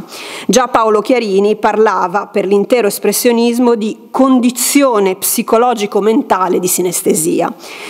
Frantumi testimonia bene eh, dell'uso dilagante di questa, di questa, figura. Non so che riverbero giallo di ambigua impostura colori di dentro l'atto di me che t'ascolto, il ronzio vasto dell'allucinazione, il nero sbattere del cuore, l'oleoso silenzio, l'amico che da lungi mi guata con ambiguo, con ambiguo giallore e, e qui anche naturalmente si potrebbe andare avanti con, con gli esempi. Spesso, e per questo cresce, io credo, l'interesse, la sinestesia è associata alla perdita dell'identità, alla questione del riconoscimento, no? a qualsiasi forma di, di smarrimento e di reificazione del soggetto. Quasi che, e vorrei in questo senso provare a formulare un'ipotesi, la fusione percettiva, sinestetica, l'investimento del corpo e della sua sensorialità possano in qualche modo compensare lo smarrimento della soggettività o la definizione di un'identità altrimenti astratta astratta e, e inafferrabile. Con una funzione analoga ci paiono impiegati i deittici, gli avverbi di luogo, i pronomi, gli aggettivi dimostrativi, che contribuiscono alla, in qualche modo alla spazializzazione nelle varie immagini che il poeta inserisce nella sua lirica. Anche i passi che sono più, più vertiginosi, più, più allucinati, e stravolti di apparente delirio, come un titolo autoriale ci, ci, suggerisce, appunto deliri, non perdono mai questi due dati, cioè l'impiego della dimensione sensoriale e in qualche termine una specie di spazializzazione. E nel testo domande, che è questo che eh, si vede nella diapositiva, sempre parte del gruppo eh, Deliri appena citato, si registra un'insistita ripetizione del pronome personale e dei pronomi possessivi di prima persona. Alla porta di casa la risata del campanello lacera talvolta così improvvisa lo strateso spasimo dell'ansia. Per me, per me, ma non è mai per me. Sul tic-tac della febbre, l'ora che scocca par sempre in sgomento la mia, ma ora di che? Mi piglia uscendo talora ai crepuscoli per le vie stranote il bizzarro ansimo dell'avventura. Subito butto il mio nome e sono slegato, a mille miglia spatriato, e chi si ricorda di me o di te Naturalmente il riferimento al nome eh, lo, lo, riprenderemo perché poi la questione della nominazione o autonominazione è, è ovviamente altrettanto importante in questa questione, per così dire, identitaria. Segue a questo passo un breve quadro spaziale di una città portuale non meglio definita ma è riconoscibile Porto Maurizio, eh, che pur non viene mai nominata, dove Boine vive e scrive. E la sensazione chiaramente è di smarrimento del soggetto che si è appena definito spatriato, ma che tuttavia enumera le strade, il porto, dà una collocazione spaziale, c'è giù un porto, poi ancora le navi, i moli, procedendo infine verso l'orizzonte, anch'esso in apparente relazione spaziale rispetto agli altri elementi. In cima, in cima ai moli, un orizzonte. Sembra quindi esserci comunque una qualche organizzazione organizzazione dello spazio, un certo ordine dato alle cose. La spazialità quindi è resa con un pur labile orientamento del soggetto che riconosce i campi del lontano e del vicino, dell'alto e del basso, delle dimensioni, forse un ultimo appiglio di una realtà esteriore diversamente inafferrabile, difficilmente conoscibile o riconoscibile, proprio al pari della interiore eh, coscienza di, eh, di sé. Al di là del processo strettamente linguistico è proprio nei temi e complessivamente nelle modalità rappresentative che si impone qualche, qualche riflessione. E la città, insieme con la passeggiata, naturalmente tema tipico sia dei poeti frammentisti vociani sia della pittura eh, espressionista dove si rivela luogo dell'attività, della confusione ma anche dell'angoscia, della, della nevrosi alienante dove gli uomini si possono aggirare come spettri, no? pure deformati, spigolosi nei tratti, reificati.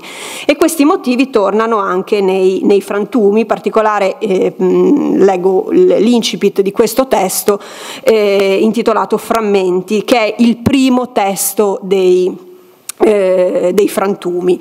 Talvolta quando al tramonto passeggio stanco pel corso che è vuoto, uno che incontro dice forte il mio nome e fa buonasera. Allora ad un tratto, lì sul corso che è vuoto, mi imbatto stupito alle cose di ieri e sono pur io una cosa col nome. Questo è l'incipit del componimento, ripeto, di apertura della raccolta. Per la verità questa posizione di incipit non va assolutamente caricata di, di, significato proprio in virtù della situazione editoriale della raccolta che non fu mai neanche pensata dall'autore, dicevo prima, no?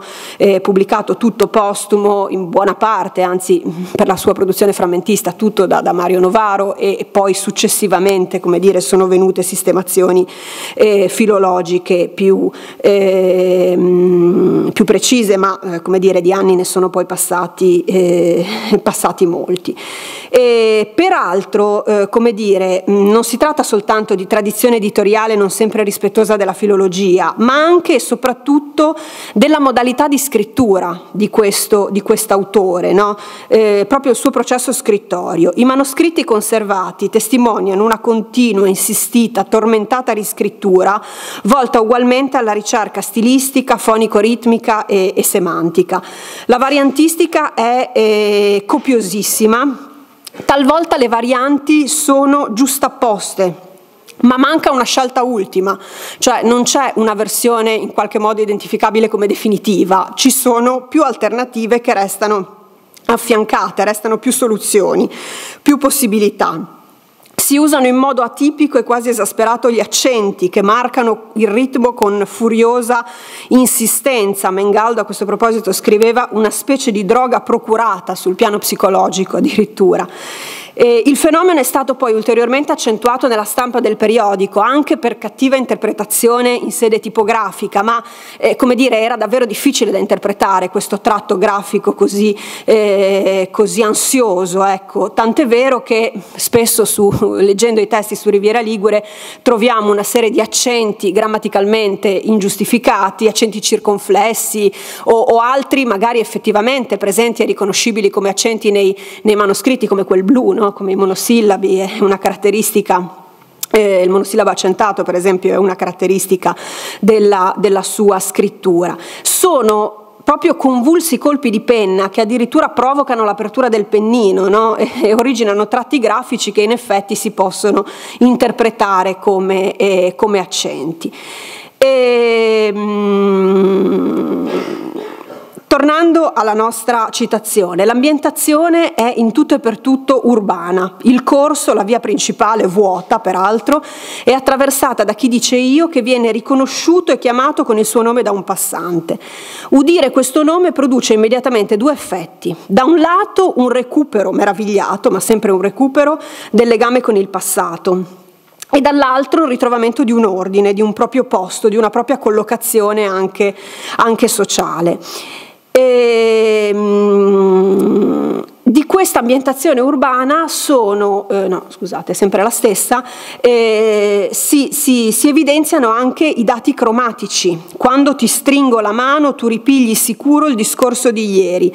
Non so qual riverbero giallo di ambigua impostura, colori, latte l'atto di dentro, l'atto di me che ti ascolto. Il colore è introdotto da una figura sinestetica, appunto, dove si lega una sensazione visiva, cioè il colore giallo, ad un concetto astratto, producendo un efficace effetto di straniamento, come se chi parla in prima persona si vedesse appunto da fuori, nell'atto di me che ti ascolto, con un effetto di, di spersonalizzazione molto forte. Uno scenario urbano già di per sé anomalo, straniante, perché vuoto, in cui l'incontro tra l'io, e chi dice io, e un passante si colora di giallo, no? degno del, del cromatismo antinaturalistico di tante tele eh, espressioniste. Si susseguono quindi una serie nutrita poi di immagini legate al nome, la tendenza è quella di dare al nome una forma concreta e spazializzata, con immagini che evocano l'idea di chiusura, di protezione, eh, immagini anche del tutto opposte che ora evocano scenari eh, antinaturalistici, espressionisticamente stravolti, cateratta aperta, nubi cangianti nell'abissale cavo del cielo, eh, mi seggo all'acceso cammino, fuori la valle è grigiume di nebbia e notturna opacità, o ancora mi si leva dentro l'amarezza del pianto come nebbia da una nera palude. Tremulo diafano nella immobilità della notte, ruppe con taglienti lame il mattino.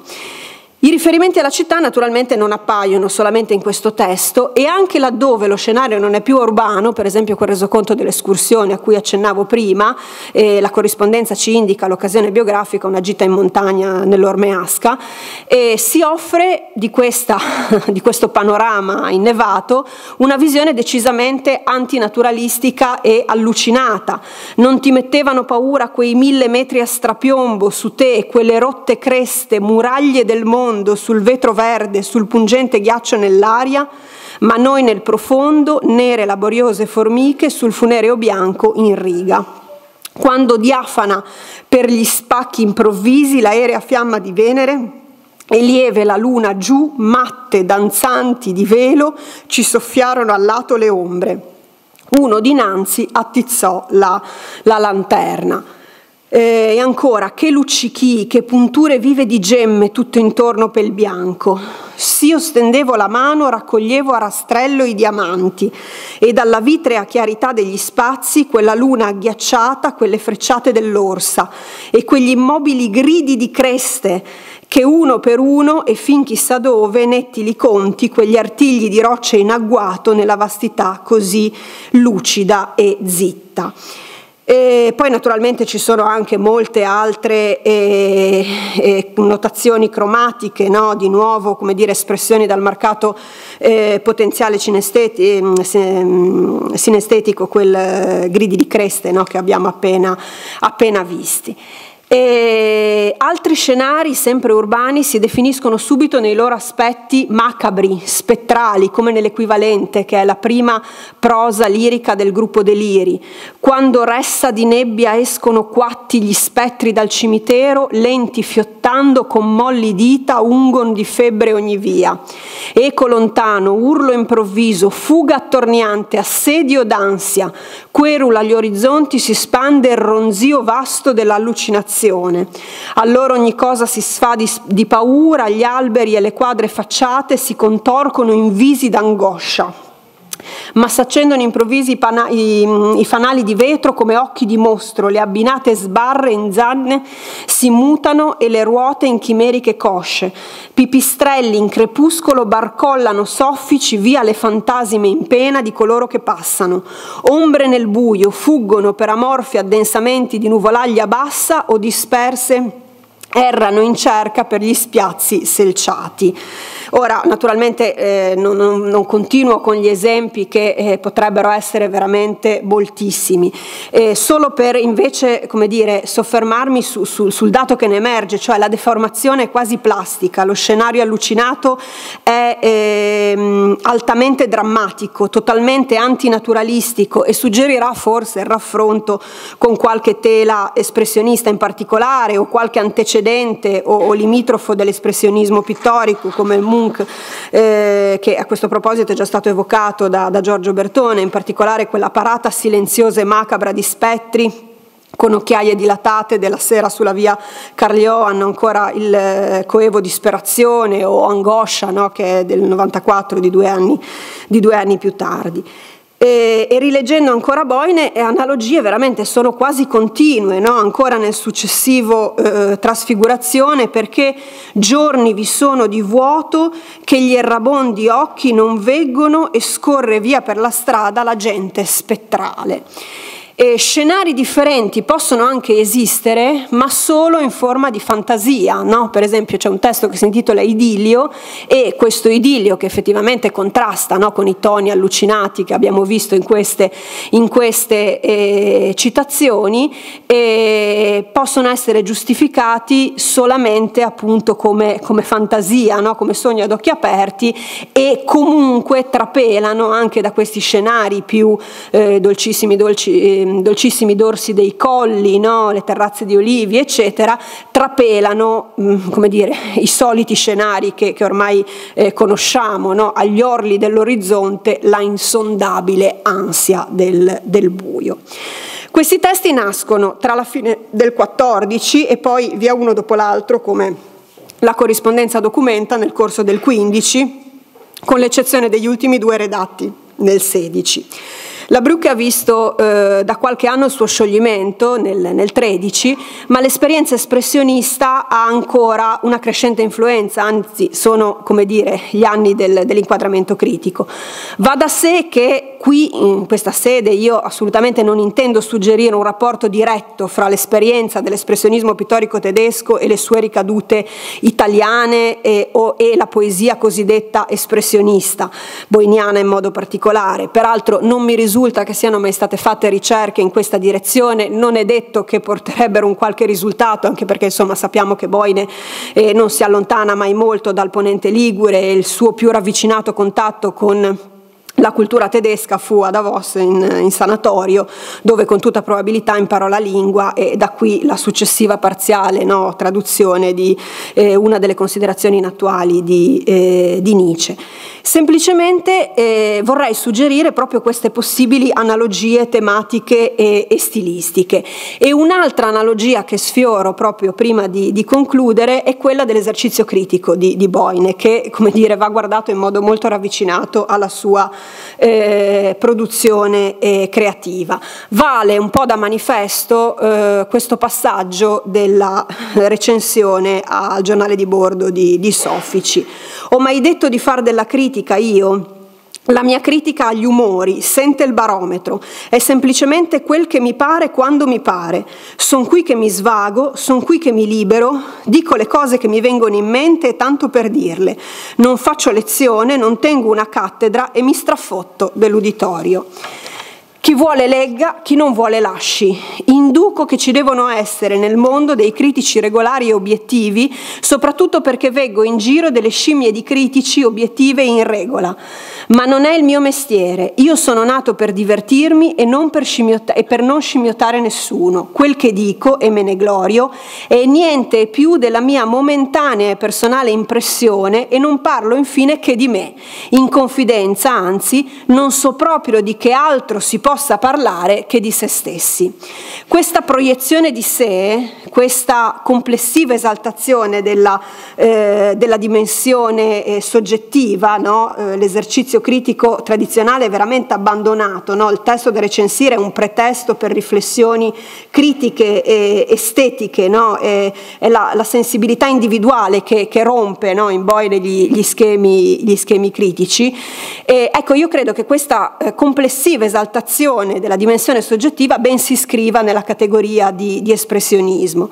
E tra l'altro attende ancora le dovute riflessioni, già lo suggeriva Pier Vincenzo Mengaldo, il rapporto di dare e avere fra poetica frammentista ed esercizio critico militante su Riviera, dove guarda caso sono proprio gli altri frammentisti che hanno gli elogi eh, più, più, alti e più, più, favorevoli e che condizionano molto da vicino la scrittura lirica boiniana, no? per esempio un raffronto testuale fra la recensione ai canti orfici di Campana e i, i deliri per l'appunto, i successivi frantumi che vengono composti veramente a stretto giro di, eh, di giorni o di settimane no? dalla lettura dei, dei canti orfici, beh, è un raffronto molto proficuo perché Boine eh, nel commentare, nel recensire riproduce anche un certo campanismo lessicale proprio nella recensione e poi senza soluzione di continuità alcuni di questi passi confluiscono nei, nei, suoi, eh, nei, suoi, eh, nei suoi testi. E, insomma, per concludere, eh, il dettato boiniano, almeno quello frammentistico, può essere, credo, collocato sotto l'insegna dell'espressionismo. Eh, non sarà solo un fatto strettamente linguistico, ma un espressionismo tout court, in senso storico e sovrastorico ad un tempo, dove la strategia linguistica, stilistica e retorica, la scelta tematica, la modalità rappresentativa in genere, la resa dello spazio, il cromatismo talvolta violento, concorrono da un lato legato a una complessiva accentuazione della soggettività che si imprime nella realtà senza filtri drammaticamente e che va di pari passo, ma d'altro canto, con una progressiva spersonificazione, con quella già evocata reificazione del soggetto, uno dei molti aspetti di quella crisi ideologica che caratterizza l'intellettuale e il poeta di, di inizio secolo, no? proprio storicamente inquadrabile nella realtà italiana fra età geolitiana e primo conflitto mondiale, di cui penso penso Giovanni Boine sia certamente un interprete straordinario. Fine.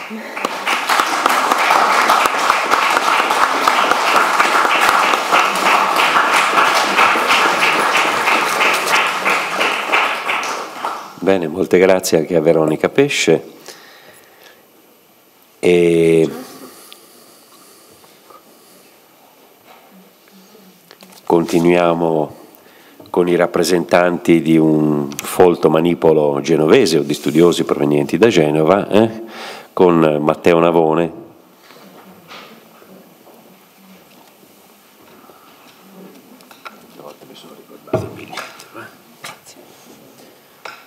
Con Matteo Navone, anche lui appunto dell'Università di Genova, la sua relazione riguarda le eh, clexografie poetiche di Corrado Govoni.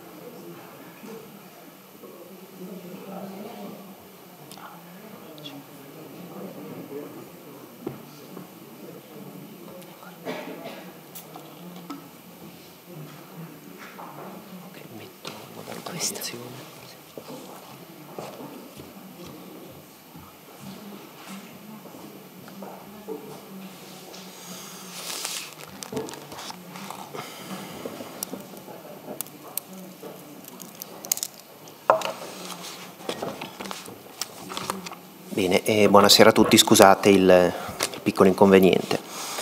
E il mio intervento si propone di presentare un particolare caso di analogia tra forme letterarie e categorie della rappresentazione visiva, costituito da una serie di brevi testi poetici firmati da Corrado Govoni e pubblicati sulla Riviera Ligure e altre riviste tra il 1914 e il 1915, sotto il titolo collettivo di Clexografie titolo che, come è evidente, rivela da subito la volontà di collegare questi componimenti a una particolare tecnica di disegno, la clexografia appunto,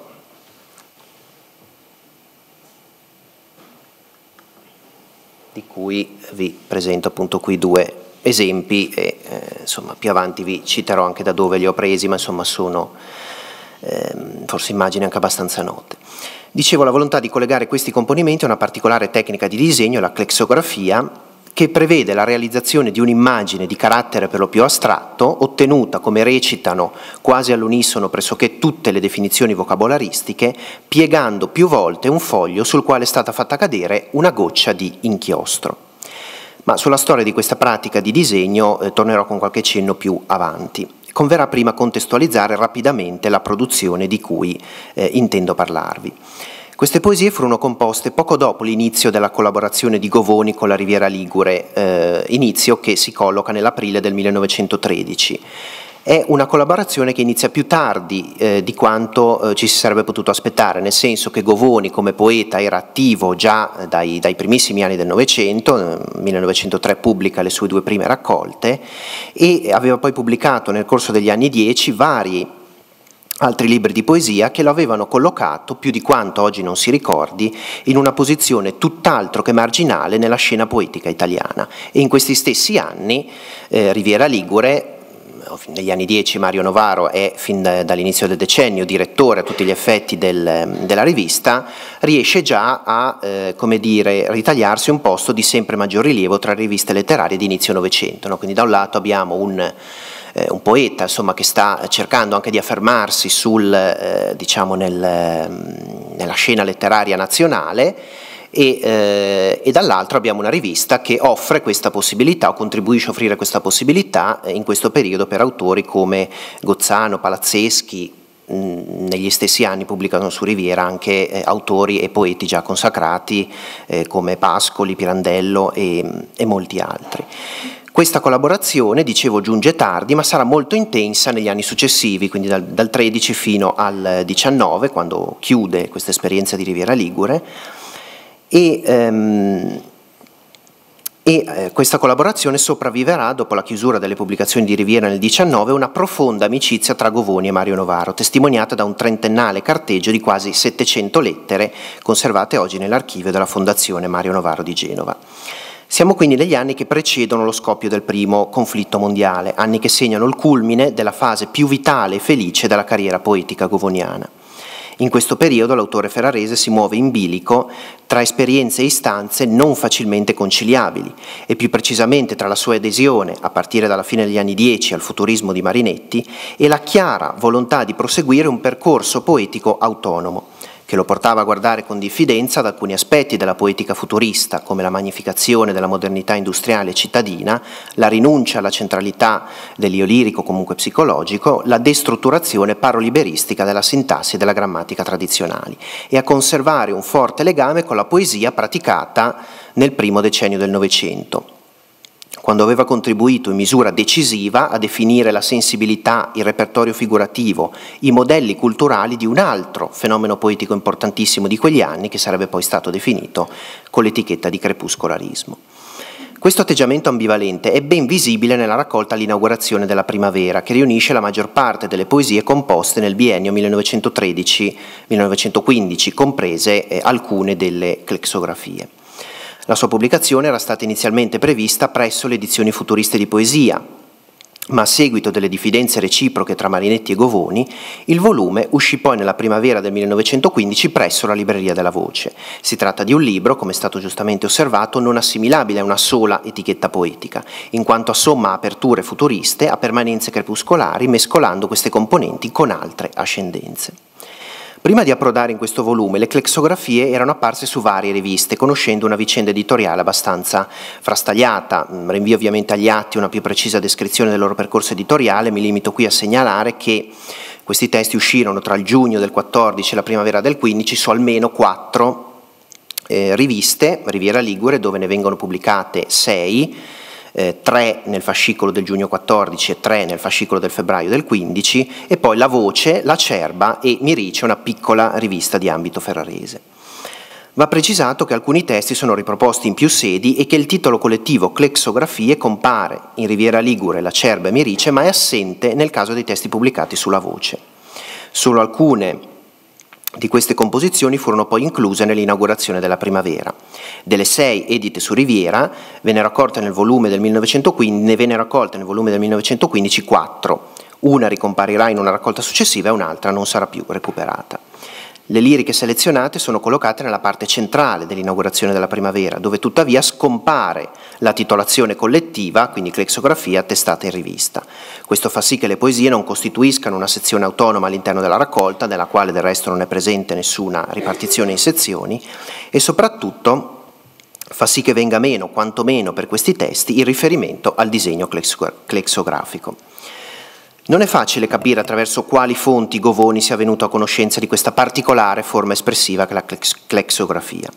Di sicuro quello di creare e poi interpretare macchie d'inchiostro sparse su fogli ripiegati era un passatempo diffuso nell'Ottocento nei paesi di area germanica, come rivela anche l'etimologia della parola, che viene appunto dal tedesco Klex, ehm, macchie, specificamente macchie d'inchiostro, e grafie, grafia, scrittura, anche disegno.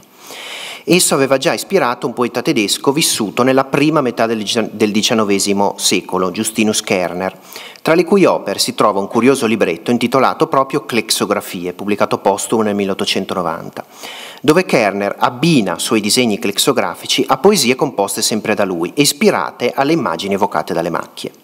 Di sicuro questo libro finì tra le mani di Jung e probabilmente dello psichiatra svizzero Hermann Rorschach che vide nelle clexografie una possibile chiave d'accesso alla psiche umana, utilizzandole nel suo celebre test in cui al paziente viene richiesto di individuare le immagini rappresentate in una serie di tavole clexografiche, mentre il terapeuta ricava dalle risposte ottenute e dalle loro motivazioni indizi sulla sua personalità. E sono appunto i due piccoli esempi che vi ho proposto ehm, all'inizio, tratti cioè dalle tavole di Rorschach. Ora, del test di Rorschach, reso noto in uno studio del 1921, Govoni non poteva sapere nulla, quantomeno non all'altezza in cui compone questi testi, mentre avrebbe potuto conoscere il libro di Kerner attraverso un'edizione in tedesco risalente proprio al 14 che circolò anche in Italia come prova la sua reperibilità tutt'oggi in alcune biblioteche nostrane. Per quanto il precedente di Kerner sia significativo, in quanto associava clexografia e scrittura poetica, non vi sono indizi chiari che attestino che Govoni conoscesse questo libretto. Se così fu, va altresì precisato che Govoni accosta clexografia e versi solo concettualmente e non anche visivamente come aveva fatto Kerner, in quanto le sue poesie non sono accompagnate da alcun disegno. Eh, cosa se vogliamo un po' singolare, nel senso che in questa fase Govoni sta anche sperimentando questa possibile associazione di poesia e disegno e lo fa con ehm, Rarefazioni, Parole e Libertà, che è la sua raccolta eh, più diciamo, vicina alle istanze del futurismo, pubblicata anch'essa nel 15. Ehm, non meno arduo è capire quando esattamente il termine clexografia cominciò a circolare nella lingua e nella cultura italiana. Gli strumenti lessicografici a nostra disposizione infatti aiutano poco o nulla. Basti pensare che, come ha già notato eh, Veronica Pesce, il grande dizionario italiano dell'uso, diretto da Tullio De Mauro, fornisce addirittura il 1942 come data della prima attestazione scritta del vocabolo, indicazione che ovviamente i testi govoniani permettono di retrodatare di 30 anni. Allo stato attuale delle nostre informazioni, Govoni sembrerebbe essere stato il primo a introdurre questa voce nell'italiano scritto. Non si può ovviamente escludere che ulteriori ricerche condotte magari su pubblicazioni specialistiche di ambito artistico figurativo svelino altri precedenti che difficilmente però potranno togliere a Govoni quantomeno la palma di prima attestazione di questa voce nell'italiano letterario. Questa prima attestazione non è però quella documentata su Riviera nel giugno 14. Il termine era infatti già comparso nella precedente produzione govoniana, in forma non di sostantivo ma di aggettivo. Mi riferisco alla lirica Autunno, compresa nelle poesie elettriche eh, raccolta del 1911, che aveva un po' ufficializzato l'ingresso di Govoni nel Cote futurista, anche se anche le poesie elettriche sono insomma, un libro futurista molto eh, sui generis. Ehm, la lirica appunto autunno dove contemplando nella natura i segni del passaggio dalla stagione estiva a quella autunnale il poeta afferma tra l'altro addio belle nubi clexografiche con la stessa funzione grammaticale il vocabolo torna nell'inaugurazione della primavera, con due occorrenze che rappresentano le uniche allusioni, della, le uniche allusioni presenti all'immagine della clexografia, venendo meno, come eh, ho detto, l'uso del sostantivo in funzione di titolo collettivo, quindi venendo meno insomma, l'attestazione in, in rivista. Queste due occorrenze si leggono nella poesia I sobborghi, cito, l'ombrello clexografico del temporale con le sue stecche elettriche di fulmini rovesciato dal vento sulle case e ancora in fotografia medianica del temporale, cito, e la morte nella sua uniforme stretta e irreprensibile di scheletro galoppa nel suo mantello sferzante di vento sul suo cavallo clexografico. Come si vede in tutti e tre i casi, l'immagine viene utilizzata pressoché con la stessa finalità espressiva contribuire alla descrizione insolita e originale di un temporale, anche nell'ultimo caso dove il cavallo della morte vale comunque come metafora del cielo in burrasca, stabilendo in particolare un nesso metaforico tra le macchie di inchiostro e il colore e le forme delle nubi. In questo modo l'aggettivo clexografico e l'immagine che esso veicola rivelano una forte ascendenza futurista.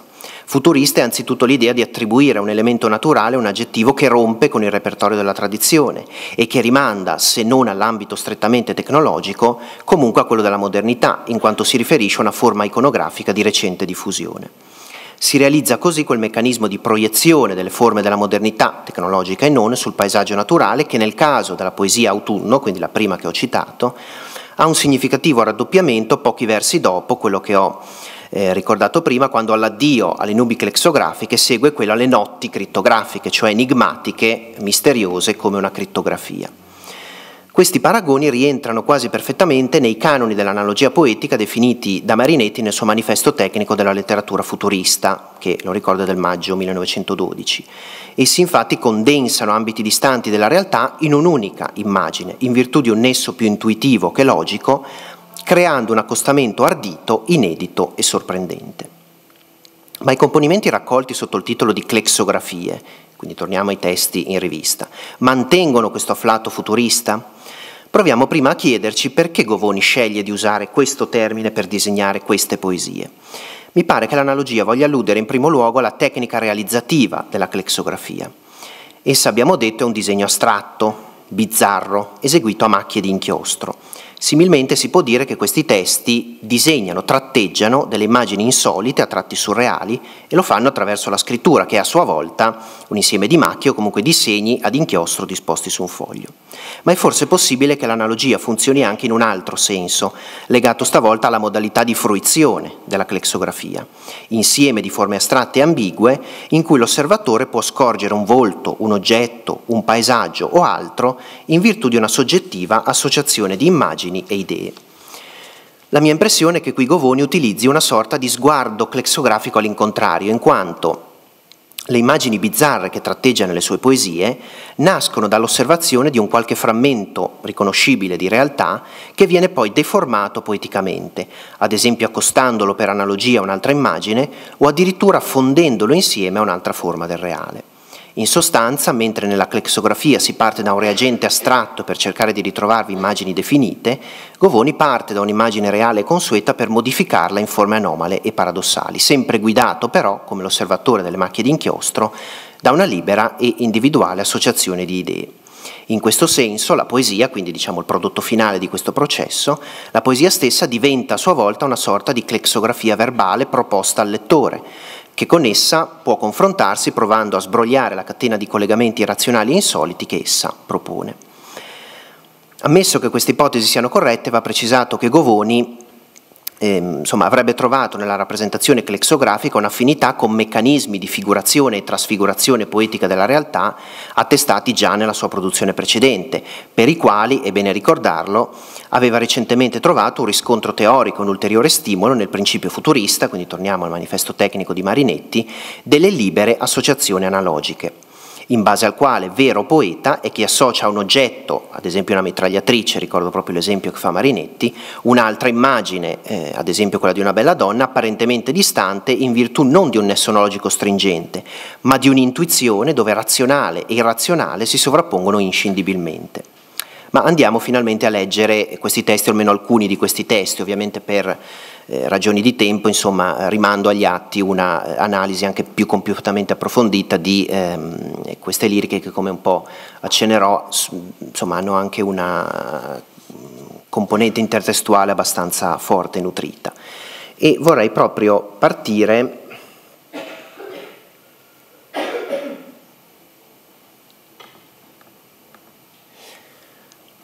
Ecco, da questa breve poesia che è l'ultimo dei, ehm, dei, tre testi editi sul primo fascicolo eh, di eh, Riviera Ligure, quindi quello del giugno 14.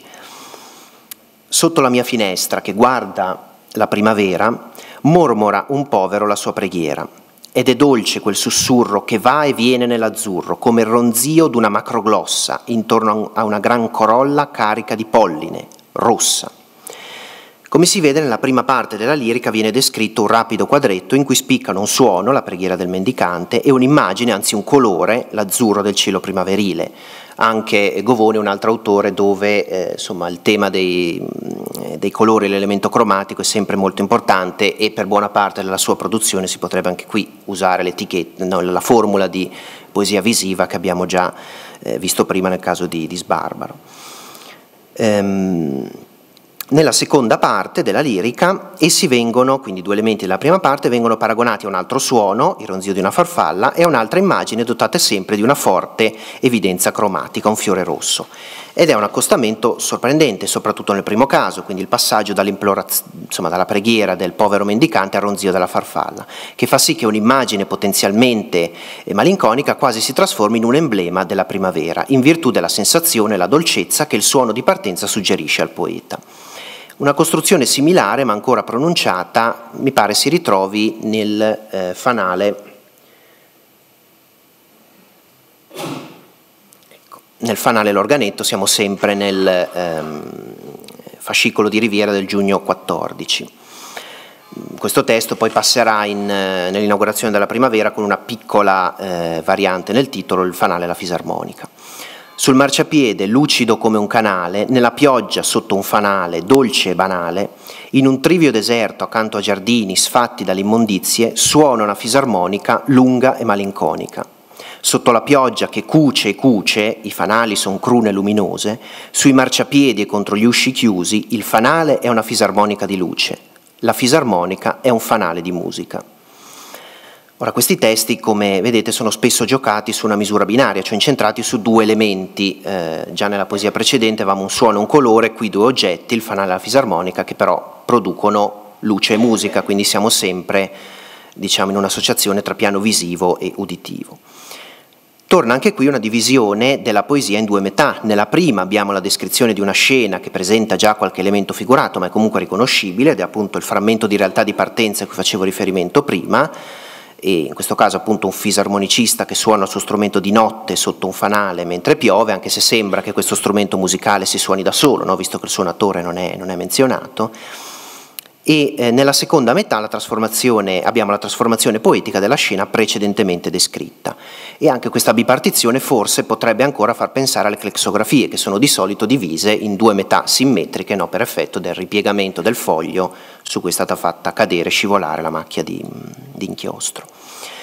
Quindi la seconda parte abbiamo un'analogia, eh, le gocce di pioggia che passano attraverso il fascio di luce del fanale che diventano fili eh, che vengono cuciti utilizzando il fanale come ago e il fascio di luce come cruna, eh, va detto che Govoni ama molto applicare analogie, trasfigurazioni, insomma eh, analogie di questo tipo ehm, alle gocce di pioggia, eh, alla pioggia che cade, altrove sempre nell'inaugurazione della primavera le gocce di pioggia sono eh, paragonate a proiettili eh, sparati da, da, una mitragliatrice. Mm, e poi assistiamo a un fenomeno ancora più marcato nel distico finale, caratterizzato da una struttura a chiasmo, in cui i due poli, i due oggetti della poesia, fanale e fisarmonica, si trasfondono analogicamente in virtù di un legame intuito dal poeta, annullando i propri contorni consueti e diventando quasi un'unica realtà, o se si vuole due macchie di realtà confuse tra loro e eh, si noti come nel processo si assiste a uno eh, scambio tra piano visivo e sonoro, no? per cui il, finale, il, fanale diventa anche strumento musicale, la fisarmonica diventa fonte di, di luce.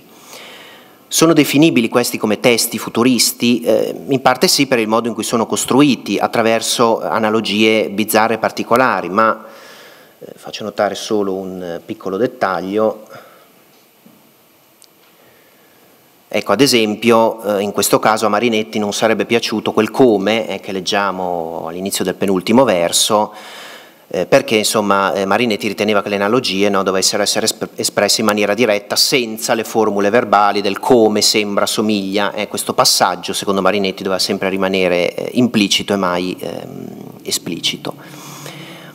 E a ben guardare però le singole immagini hanno anche, ehm, insomma, hanno ben poco di futurista, eh, mi riferisco appunto alle immagini utilizzate nelle poesie, e appaiono semmai non solo familiari al repertorio govoniano, frequente anche nell'inaugurazione della primavera il motivo del mendicante che eh, eleva la sua supplica sotto una finestra, e poi il tema del fanale che ricorre in govoni con una frequenza quasi ossessiva, sempre in immagini eh, di intonazione eh, malinconica ed è un tema, diciamo, ehm, un motivo che Govoni riprende da Rodenbach, quindi un poeta belga, simbolista di fine Ottocento, che è uno dei suoi modelli principali, almeno nella fase iniziale della sua attività poetica. E soprattutto nel fanale L'Organetto prevale poi un'intonazione malinconica che ricorda semmai le atmosfere crepuscolari, e i crepuscolari, non mi soffermo qui su ogni su tutte le osservazioni si potrebbero fare, ma sono probabilmente qui citati, quel macroglossa, no? macroglossa inteso come farfalla, come specie di farfalla, è probabilmente un rimando alle epistole entomologiche di, di Gozzano, comunque una citazione, un prelievo da, da quel testo. Siamo quindi in quel difficile equilibrio tra crepuscolarismo e futurismo, o comunque quel futurismo molto sui generis, eterodosso, che come dicevo prima caratterizza la poesia di Govoni in questa fase. E questa idea della clexografia poetica come disegno bizzarro in versi e come deformazione del reale eh, ricompare, mi sembra, però ancora più estremizzata e enfatizzata nei testi pubblicati non su Riviera Ligure ma su eh, La Cerba.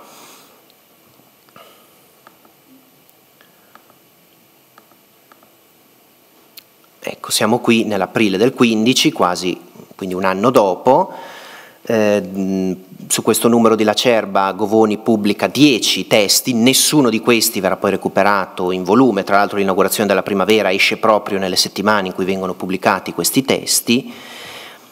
E qui eh, troviamo appunto delle analogie ancora più ehm, estreme e anche mi sembra decisamente più giocose, meno segnate da corde melanconiche. Ad esempio leggiamo questo Milano nella pioggia.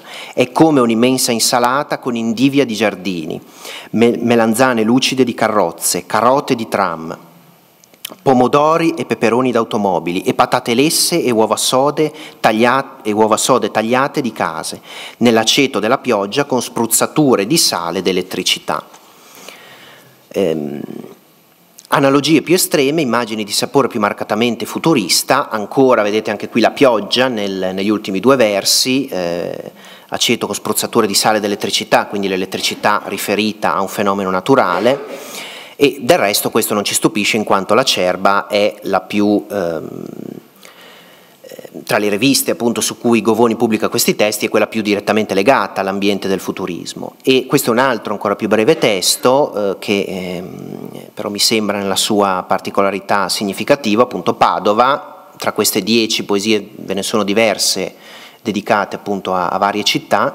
Un curioso parco aerostatico in mezzo a una città con quattro o cinque palloni di talco che stanno per lanciarsi in cielo Qui, come anche nell'esempio precedente, l'esito di clexografia verbale mi pare ancora più evidente. Viene taciuto l'elemento di realtà di partenza o comunque viene evocato nel titolo, come nel caso precedente, e si propongono immagini e forme che il lettore deve ricomporre per individuare il soggetto rappresentato, in questo secondo caso eh, la basilica del, del, del, Santo a Padova dove le, i palloni di talco sono probabilmente in riferimento alle, alle cupole. Siamo quasi eh, ad esiti, ehm, se non surrealisti, prossimi al surrealismo. Quella di surrealismo è un'etichetta che è stata proposta per Govoni, ad esempio da uno studioso come Edoardo Sanguinetti, anche se mh, è stata ed è anche oggetto di, eh, di discussione. E vorrei fare dalla Cerba un solo altro esempio. Ehm, altra poesia molto breve, Alba, suonano le campane elastiche, cantano i galli rossi. Sembra che i campanari suonino i galli e che le campane cantino a distesa dai pollai dove di nuovo nel distico finale vediamo quel meccanismo no, di intreccio, ma eh, quasi proprio di, di, di gemellaggio, di fusione tra due realtà diverse, in questo caso due suoni, che, ehm, che appunto si mescolano e si confondono come era già avvenuto nel distico eh, finale del fanale l'organetto. Ora resterebbe da eh, vedere il secondo gruppo di testi che vengono pubblicati eh, su Riviera nel febbraio del 15, sono tra l'altro testi anche un pochettino eh, diversi da questi, dove forse è anche un pochettino più difficile ricostruire la, eh, il perché della scelta di questa definizione di clexografia, eh, ovviamente anche qui, eh, siccome ho già ehm, insomma l'ora è tarda, non voglio abusare troppo del vostro tempo, però per darvi semplicemente una rapida idea eh, di questi testi mi sembrano ehm, poesie che abbastanza compattamente eh, sono accomunate da temi poetici ehm, e metaletterari. Qui ad esempio in questo testo, anche senza leggerlo, è evidente no? già da questa anafora insistita del verbo piove una evidente allusione al, alla pioggia nel pineto di D'Annunzio, direi non eh, critico-parodica, al più ironica e che indica soprattutto la volontà di attuare una sorta di riscrittura eh, crepuscolare eh, dell'originale di D'Annunzio. Stavolta infatti la pioggia cade su uno scenario affollato di oggetti poetici presi di peso dal repertorio di Gozzano Corazzini, ma anche e soprattutto dello stesso Govoni. C'è il suono dell'Ave Maria, quindi le campane che a sera richiamano i fedeli eh, alla preghiera per, per, la Vergine, che giunge da montagne lontane, immagine frequentissima nei crepuscolari e molto cara a Govoni. Il suono stesso delle campane, le, le ghirlande del cimitero, il mendicante coperto da un ombrello, il vagabondo che suona l'organetto, tutti elementi per cui anche limitandoci alla stessa inaugurazione della primavera potremo trovare molti riscontri. Ed è facile scorgere sia nello scenario più dolce dei primi versi sia in quello più eh, melanconico degli ultimi una netta distanza dal vitalistico e panico pineto d'Annunziano. Grazie.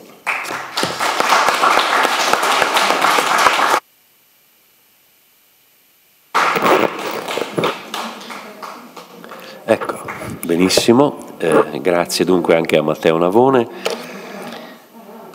e credo che eh, nostro compito sia quello di fare una breve interruzione, un breve intervallo, riservando poi uno spazio per la discussione a chiusura di tutte le relazioni eh, di questo pomeriggio. Eh, riprendiamo allora i lavori con la eh, relazione di eh, Leo Lecci, anche lui dell'Università di Genova, anche se sanremese naturalmente. Sì. Il titolo della sua relazione è Modelli di grafica modernista nella Riviera Ligure e nella comunicazione pubblicitaria dell'olio sasso. Prego. Grazie. Eh, grazie a tutti. Gli ultimi hanno sempre anche il compito di non gravare troppo sulla giornata intensa di studi, quindi cercherò di stare nei tempi anche per eh, poi lasciare lo spazio all'ultimo relatore. E, um, comincerei subito a dirvi che il mio uh, intervento deve molto al libro di Rossana Bossaglia, perlomeno nel titolo. Una una delle più qualificate storiche dell'arte che abbia insegnato nel nostro eh, Ateneo a Genova. E proprio quando ha insegnato a Genova si era occupata di Riviera Ligure, quindi il suo studio è proprio pionieristico parlando di un modello di grafica Liberty. E così come pionieristici erano stati i suoi studi su Liberty che conosciamo tutti bene. Il libro esce nell'85, quindi a 100 anni dalla nascita di Riviera.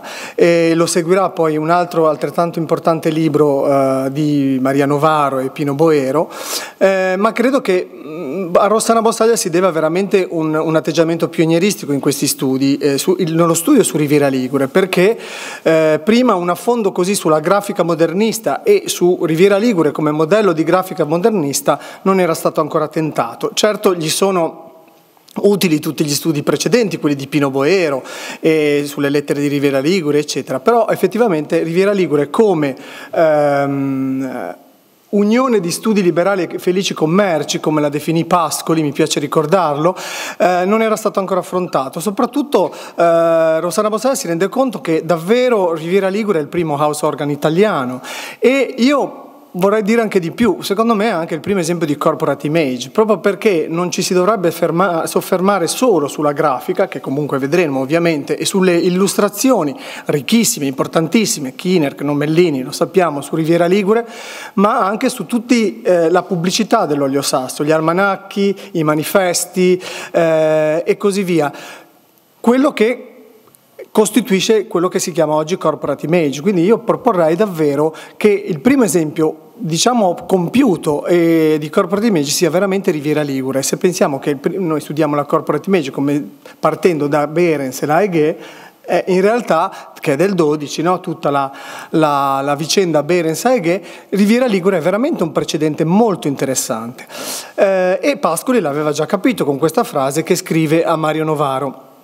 E eh, una frase appunto che ci dà l'idea di questo foglio commerciale che Rossana Bossale giustamente chiama una rivistina dal piglio grafico modernissimo e atta ad ospitare interventi letterari inediti, che diventa veramente un foglio importante a livello letterario ma davvero anche grafico. Ecco Mario Novaro, ma vado un po' più veloce per evitare appunto di portare via troppo tempo e in pochi anni diventa questa rivistina dal piglio grafico così moderno. Queste sono prime, eh, delle, alcune delle prime testate e eh, sono testate del 1896, eh, non, ne, non, ne, conosciamo l'autore, è, è, chiaro che sono cose ancora molto eh, tradizionali, di un verismo tradizionale, Oneglia, la città dove Riviera Ligure nasce, e eh, e, e, come sappiamo è ancora un foglio, solo un foglio pubblicitario per l'olio sasso, ma già eh, successivamente eh, con la terza testata, eh, che è quella alla vostra destra, ehm, scusate io ho sempre dei problemi tra destra e sinistra, difficilissimi, ehm, già eh, Riccardo Galli ci eh, annuncia una eh, inversione di rotta, come dire, anzi una, una, direzione verso una,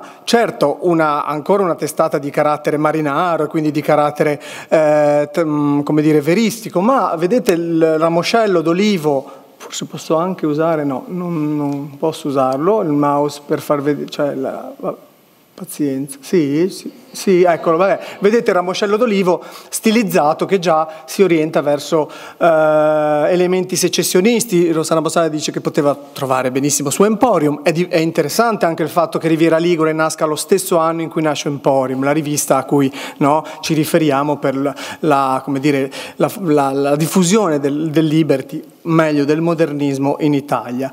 Ehm, Sempre Gall, a Galli, a Riccardo Galli si devono quest'ulteriore testata, eh, direi la quarta e la quinta, eh, e mi piace eh, ricordare questo, questa partizione geometrica molto interessante perché ricorda un po' ambienti secessionisti, comunque ambienti di pulizia formale e di rigore formale che ci rimandano un po' al nord eh, Europa o al centro Europa meglio. Ovviamente la testata successiva è quella che tutti conosciamo, quella di Kiner, che è quella così importante e così eh, colpo di frusta, no? come la definisce eh, Bossaglia, e, è eh, tra l'altro mi piace anche ricordare che è stata ri ri- recuperata dopo che Riviera Ligure perde tutto il suo carattere grafico illustrativo dalla Fondazione Novaro per la rivista quadrimestrale che caratterizza le attività della Fondazione.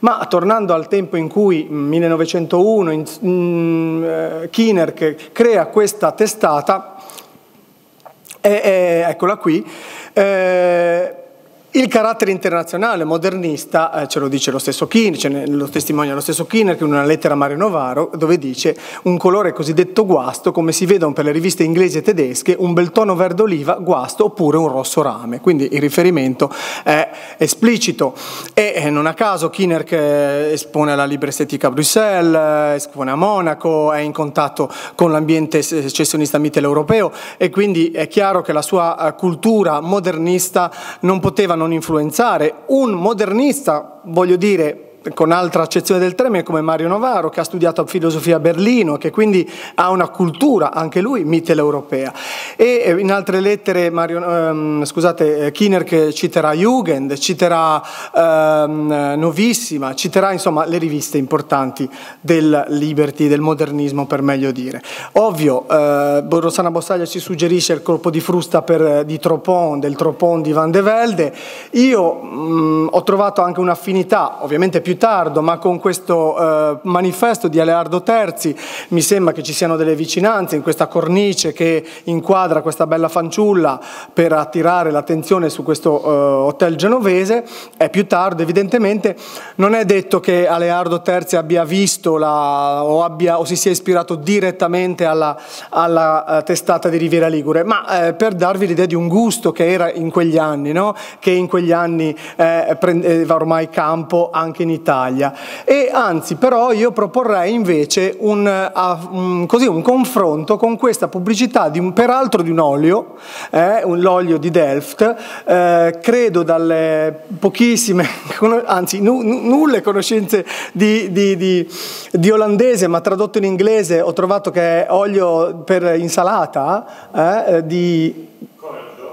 Vero? E eh, mi piace un po' metterle a confronto, tra l'altro è del 94, un anno prima che, esca, che nasca Riviera Ligure, quindi ci sono, possono esserci stati dei contatti tra Kinerk ovviamente, questo ambiente mitteleuropeo eh, che è molto importante e molto interessante. Ovviamente avete il manifesto Locandina eh, alla vostra ehm, destra e poi il disegno preparatorio.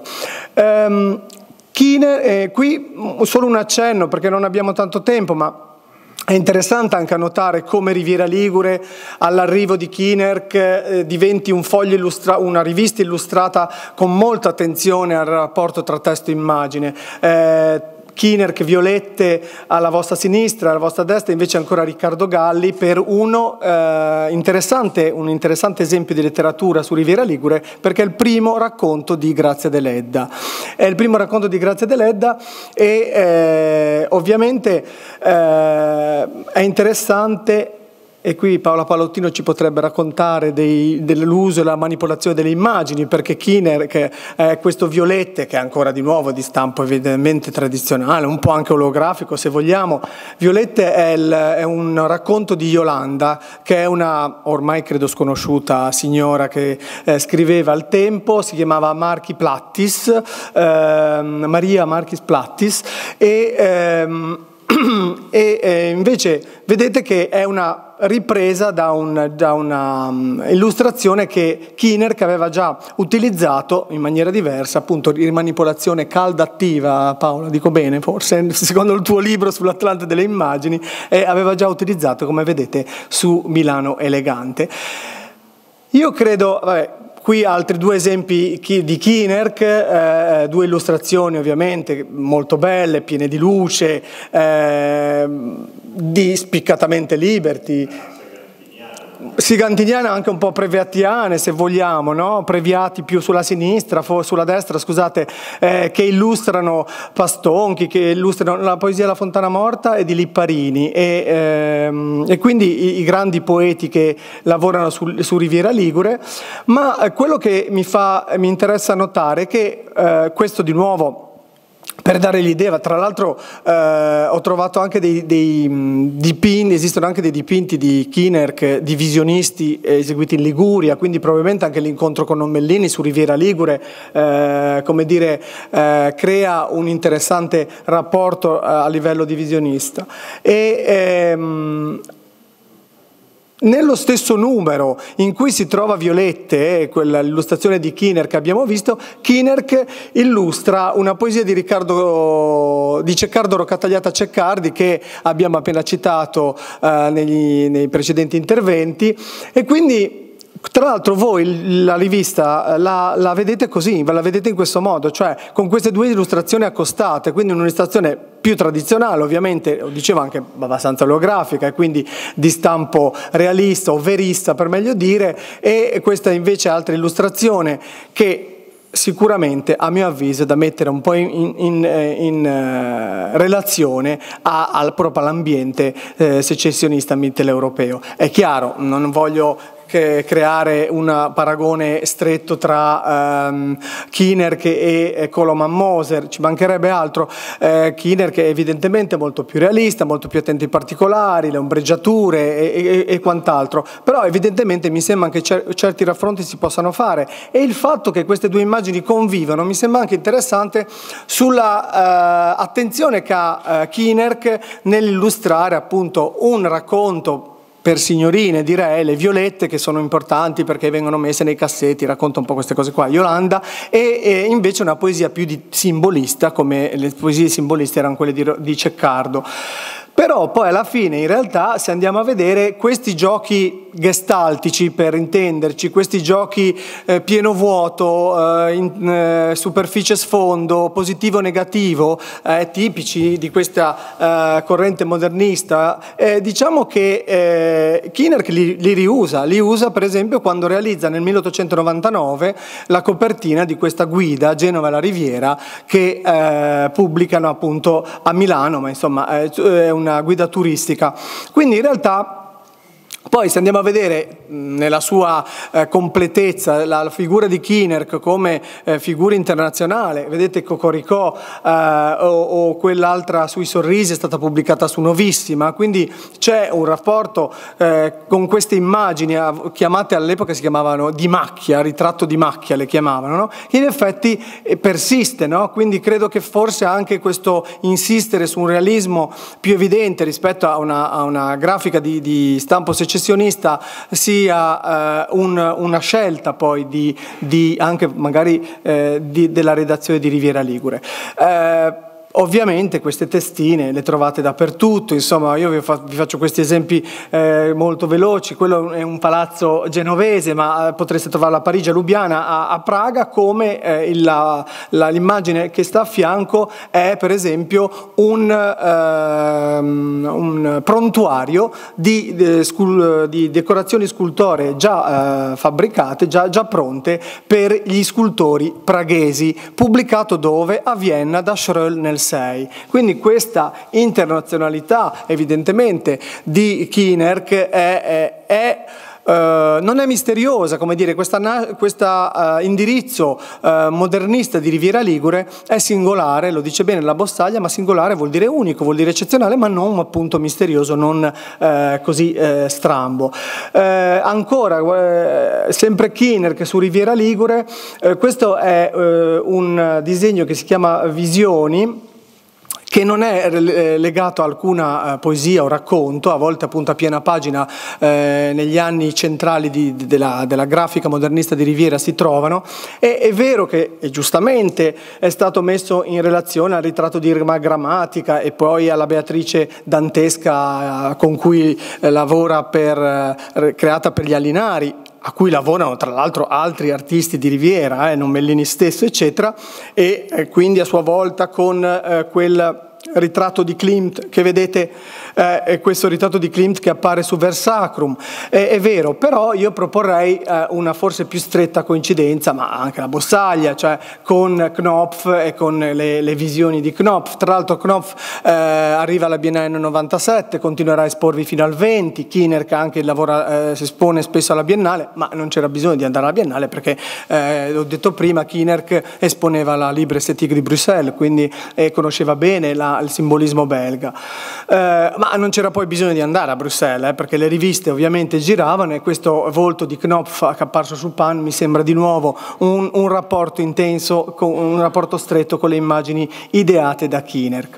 E, e, poi se vogliamo vedere il ritratto della sorella che vedete al centro del 96, guarda caso è proprio del 96 come il ritratto di Marguerite eh, Landuit e così come ricorda il ritratto della sorella di Knopf che eh, ormai abbiamo visto fino alla nausea in tutte le copertine dei libri di Emily Dickinson, no? ogni volta che appunto si pubblica un libro di Emily Dickinson arriva il ritratto della sorella di Knopf in bianco. Mi sembra che ci siano, certo poi lo, eh, eh, Kiner che è più post macchiaiolo, già verso un certo divisionismo, certo che, le atmosfere di Knopf sono ben altro, ma il confronto mi sembra abbastanza calzante, così ancora di più mi sembra calzante il confronto con questa illustrazione eh, realizzata nel 2, guarda proprio gli anni in cui lavora per Riviera Ligure, eh, per eh, un eh, romanzo di cui veramente non conosco nulla, che è una nidiata di, di Sofia Rosa Albini, e forse i miei colleghi letterati mi diranno di più.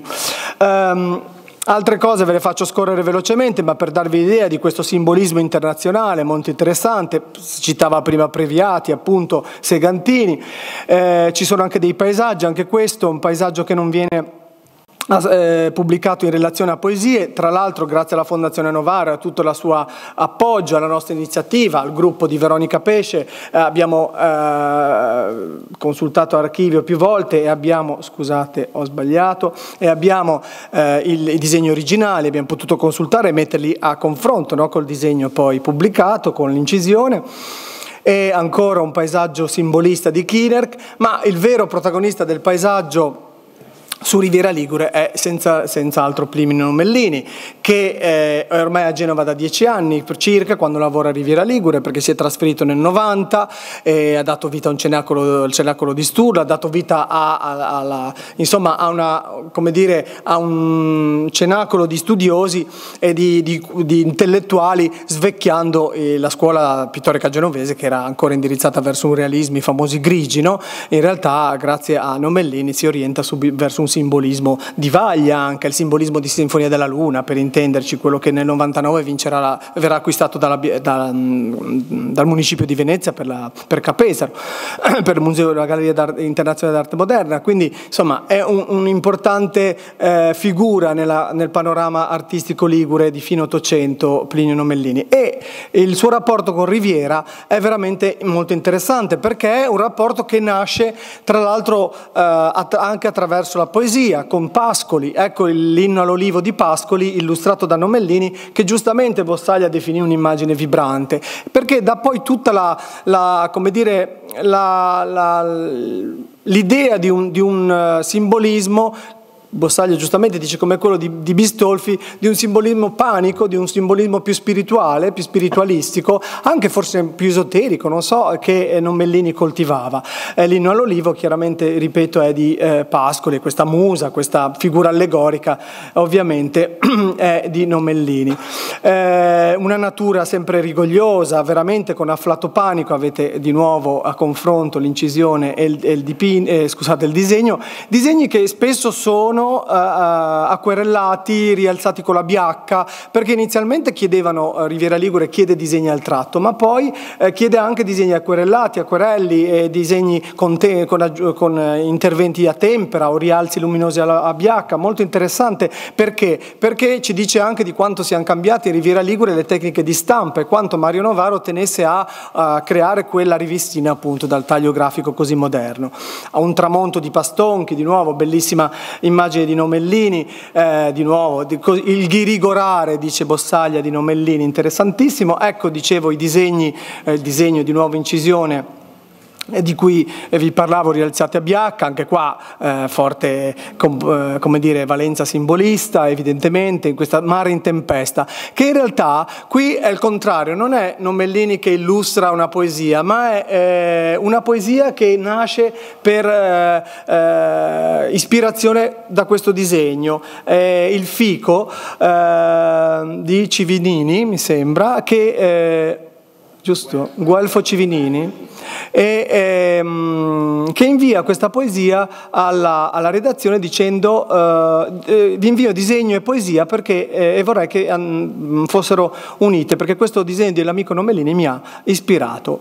Eh, così altre, questa è chiaramente ispirata a Dante, sempre nel lavoro a Linari. Passo velocemente sugli altri importanti illustratori, in questo caso genovese il De Albertis, con cui c'è una relazione molto interessante eh, tra, eh, eh, con Mario Novaro, eh, però passo veloce perché poi rubo troppo tempo, eh, lasciamo agli atti, giusto mi faceva piacere vede, farvi notare questa svolta espressionistica. Facci vedere, eh ma Paola cara, non voglio rubarvi troppo tempo. Eh, eh, altri elementi, disegno e incisione di De Albertis, in questo caso di nuovo molto plastiche, evidentemente Alberti Alberti è uno scultore, no, io sono contento che vi interessi, ci mancherebbe. Eh, ancora il frutto è ispirata eh, una poesia sulla morte di un bambino eh, e poi il riposo è ispirata a Saffo, eh, di nuovo, vabbè, chiaramente questo plasticismo eh, tipico degli scultori, no? però è interessante anche la, la, la, svolta un po' espressionista con De, con de Albertis, no? queste ascendenze che io trovo, correggetemi se sbaglio, un po' von Stucchiane, quindi c'è una, eh, eh, evidentemente, no? Eh, e, e però in realtà parlano di svolta espressionista, ma in realtà a mio avviso c'è ancora von Stuck, piuttosto la svolta espressionista, guarda che veramente mm, si trova così e io trovo che sia più von Stuck che espressionismo, mentre più espressionista ovviamente Carena, eh, che è un altro eh, che lavora, illustratore interessantissimo, questa è La guerra, su, eh, che illustra, ri, lavora su Riviera Ligure. Ma eh, ovviamente eh, c'è anche tutto il discorso delle spiccatissime, molto liberty, spiccatamente liberty, testatine, eh, capilettera, qui vedete gli originali e eh, grazie alla Fondazione Novaro che li ha messi a disposizione e le, le, le loro utilizzazioni nella rivista, eh, li, li, scorriamo un po' velocemente eh, per farvi vedere di nuovo originali eccetera, la, la linea nastro di, di Kinerk, no? queste sono tutte di Kinerk, capilettere risolti, illustrati, decorativi. Eh, questi sono tra l'altro gli originali e fine. Fine l'ho messa apposta perché ovviamente poi eh, eh, verso il 5 eh, problemi economici, io non ci credo tanto, secondo me non sono tanto problemi economici, perché? È vero, potrebbero essere problemi economici, ma in realtà il lavoro di Riviera Ligure continua, o la, la, l'attività dei grafici Riviera Ligure continua sul piano più pubblicitario, con i calendarietti, con le etichette, con le bolle d'accompagnamento, insomma con un sacco di materiale pubblicitario che, ripeto, a mio mio avviso ne fanno il primo eh, esempio di corporate image in, in, in, Italia e direi in Europa. E mi piace però anche dire che quando l'ultima testata, questa, viene pubblicata, e eh, la Riviera Ligure perde tutto il suo aspetto illustrativo, comunque ci sia una reminiscenza secessionista. Guardate il rame, eh, il rosso rame e il verde oliva delle riviste eh, moderne, moderniste. Comunque rimane, così come rimane quel quadrato, no? quella, quella, pulizia formale. Ehm, non credo appunto che sia solo un problema economico, ci sarà stato evidentemente, ma eh, dopo, su, spe, eh, su, questa testata appare poi la, il sottotitolo Rivista mensile di poesia pura. Io credo che poi Mario Novaro, con i suoi interessi filosofico-letterari, abbia voluto invece non distrarre più il lettore con, tra virgolette, distrarre, con immagini e lasciare la, la, la, il corpus immagini alla pubblicità e qui veramente fare una rivista essenzialmente eh, letteraria, essenzialmente anche filosofica, perché poi anche, eh, trova anche modo di pubblicare ehm, qualche testo di questo genere. Però questo verde e questo rosso mi dicono che mi, mi, mi, suggeriscono ancora di pensare a quella lettera di Kinerk. E è qui che eh, entra invece il gioco la pubblicità e come di nuovo sia molto interessante non, non dimenticare questa for forte componente dell'esperienza Riviera Ligure e eh, ogni volta che vedo questo manifesto di Pino Mellini che guida tutta l'immagine iconografica della, della, Riviera, della pubblicità per Riviera Ligure mi viene in mente su Versacrum questa, eh, il manifesto può essere ora quella che le statue hanno rappresentato in Grecia, no non è una bestemmia, non è più tempo di eroi ma, ma di bisogni, quindi il socialismo della bellezza morrissiano, insomma tutte le componenti del, del modernismo europeo. E, e, credo che appunto questa frase su Versacrum sia anche la, la chiave per spiegare un po' questa eh, attenzione che Mario Novaro ha per la pubblicità e per la, eh, la, sì, la, grafica pubblicitaria della sua ditta, ovviamente ispirata a quel, a quel eh, disegno che ehm, illustrava l'inno all'olivo di Pascoli. Eh, ovviamente questi sono altri esempi, questo è invece di Kiner che è la bolla d'accompagnamento e i calendarietti di Nomellini. Sono i, quei calendarietti appunto che vedete ancora nel 3 ma poi fino all'11 ci saranno, saranno eh, pubblicati e, e, dati in omaggio, credo, no Maria? Erano dati in omaggio ai, ai clienti eh, dell'olio sasso. E queste immagini di Nomellini sono molto interessanti, intanto perché ci ricordano questo, questo simbolismo naturalistico nomelliniano, questo afflato panico di cui parla giustamente Bossaglia rispetto a, per esempio a Kinerk, ma eh, ci sono anche dei confronti interessanti che, che si possono fare. Guardate per esempio questo, che non è stato mai proposto, piccola cosa, ovviamente, ma è interessante perché eh, spesso questo manifesto di Cappiello viene, viene riprodotto, ma mai me, è, messo per esempio in relazione a, questo, eh, a questa immagine non melliniana. E ovviamente, come dire, ehm, c'è ehm, un rapporto eh, te, ovvio perché tutte e due tra l'altro sono di Livorno, no? quindi c'è, c'è, tu, c'è, un rapporto anche, voglio dire, di conoscenza toscani della stessa città. Ovvio che eh, il Cappiello l'aveva, aveva già eh, eh, usato queste immagini per le sue eh, copertine per Frufru, per esempio, come vedete, e dietro ci sta Toulouse-Lautrec ovviamente, però questi confronti mi sembrano interessanti. Ancora, eh, sempre questo simbolismo panico nomelliniano per Riviera Ligure, mi viene in mente per esempio, tanto per farvi degli esempi così eh, legati alla pittura di Nomellini e la Bossaio dice attenzione Nomellini è un pittore eh, è un, rispetto a Kiner che, che, è più grafico che è più illustratore no? mi viene in mente appunto questo bel dipinto la colonna di fumo o anche il fuoco eh, che è proprio degli anni in cui lavora per Riviera Ligure e eh, ancora queste due immagini del calendarietto del 3 perché mi eh, premeva farvi vedere anche questo mi sembra il rapporto molto diretto no? di nuovo per capire di nuovo come questa modelli se mh, Bossaglia parla di eh, Riviera Ligure come modello di grafica modernista, noi possiamo parlare di modelli di grafica eh, modernista in Riviera Ligure e nella pubblicità appunto dell'olio sasso. Vabbè. Guardate ancora nell'11 Kiner che sta ancora lavorando appunto per Riviera Ligure, quindi questa perdita dell'illustrazione viene un po' a, a bloccare, cioè, come dire, a, a, rendere un po' monco il discorso eh, se non si prende in, in, in considerazione tutta la parte pubblicitaria, perché sembra che sia finito lì rapporto con l'arte e con la, con la, cultura visiva, in realtà no, e qui dietro c'è ancora Knopf evidentemente, tardo ormai eh, questo rapporto, eh, anche il, l'auro che vedete utilizzato come pianta mi sembra abbastanza evidente.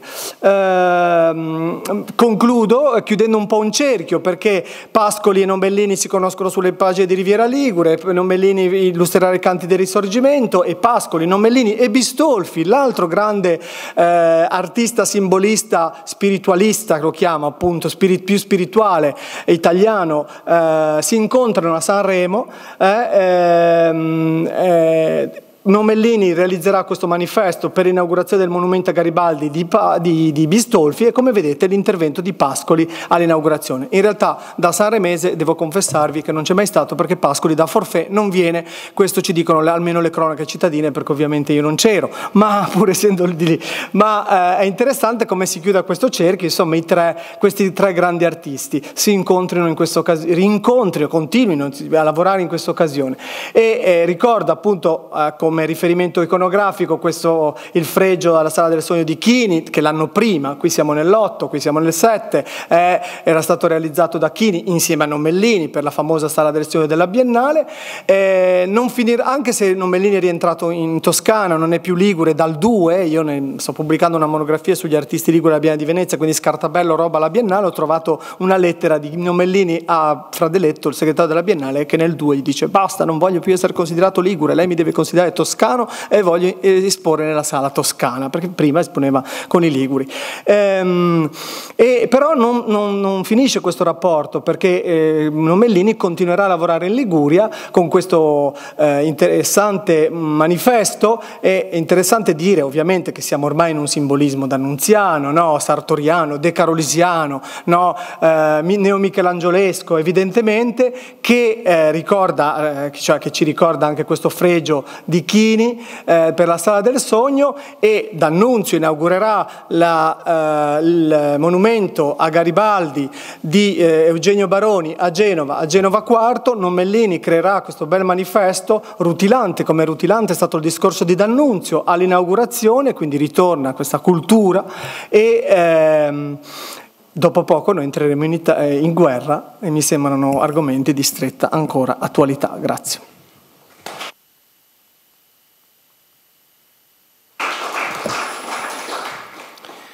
Bene, molto vivace anche questa relazione e adesso eh, passiamo ad Andrea Lanzola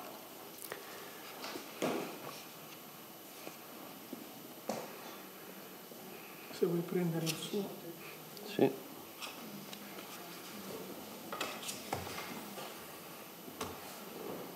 Fai funzionare quello? No, no, lo tengo. Perfetto. Andrea Lanzola dell'Università di Genova su eh, Mario Novaro e la corrispondenza con gli illustratori della Riviera Ligure per un possibile dialogo fra testi e immagini. Grazie molte, io mm, chiedo soltanto una, un aiuto per ritornare sulla mia cartella perché non so esattamente dove andare, preferisco non creare problematiche, intanto faccio una piccola...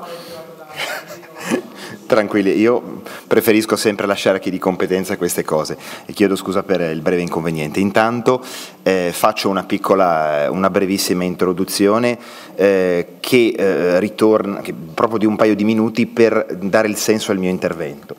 Abbiamo visto fino eh, a questo momento, sia per quanto riguarda le testate di cui si è discusso stamattina, che in particolare per la Riviera Ligure, di una eh, manifestazione che coinvolge artisticamente riviste eh, e quindi abbiamo visto autori, abbiamo visto opere, abbiamo visto stili grafici. Perfetto, grazie molte. E eh, il mio intervento è un po' quello di cercare, a, di, di, tentare forse di scavare nelle pieghe di quello che potrebbe essere, eh, diciamo così, eh, un, eh, un, altro intendimento, ossia quanto a livello della Riviera Ligure fa capo realmente a colui che fu l'artefice della Riviera Ligure, così come lo conosciamo, ossia Mario Novaro. Mario Novaro non è un eh, uomo che si occupa inizialmente di marketing, non è un uomo che si occupa di denaro, di spedizioni, è un filosofo ed è un filosofo che resta filosofo. E la sua rivista, la Riviera Ligure, perché è la sua rivista in qualche modo, resta e resterà sempre con un occhio puntato, con uno zoom puntato su quello che è il contenuto letterario, noi sappiamo che Novaro si laurea in filosofia a Berlino, che passa molti anni a Berlino e che è costretto a ritornare appunto a casa perché il padre Agostino lo, chi, lo, lo chiama, gli chiede aiuto per la ditta. E quindi eh, il suo ritorno eh, in qualche modo sigla, potremmo dire, eh, una, un nuovo sodalizio e anche una nuova idea di lavoro, quello di occuparsi non più soltanto di poesia e di filosofia, ma soprattutto di occuparsi di eh, marketing e quindi di organizzazione di una spedizione sempre crescente, quindi il problema economico è comunque ingente, eh, però che cosa succede? Succede che la passione della filosofia e della letteratura per Mario non è mai distinta da quella che è l'attività della rivista. Quindi fondamentalmente lui cerca nell'ambito dell'evoluzione della testata di, con, di far collimare gli ambiti del proprio desiderio personale, che non può spegnere, e quello un, delle esigenze sempre crescenti di una rivista che si deve rinnovare e che si rinnova proprio in quelli che la Vossaglia definì come anni d'oro, quindi tra il 1900 e il 1904 particolarmente, anno in cui Mario Novaro assume direttamente la, la direzione appunto della, di, delle, dell'intera, dell'intera, struttura della, della Riviera Ligure e della, e della, ditta Sasso. Prima la, la, corrispondenza ce lo prova, però è già in azione, quindi è già lui che tiene le fila con eh, autori, con poeti, con eh, illustratori. Eh. Angelo Silvio gli dà una mano, ma Angelo Silvio scrivendo Abissolati dice Mario è molto geloso del suo lavoro, quindi io non posso fare granché.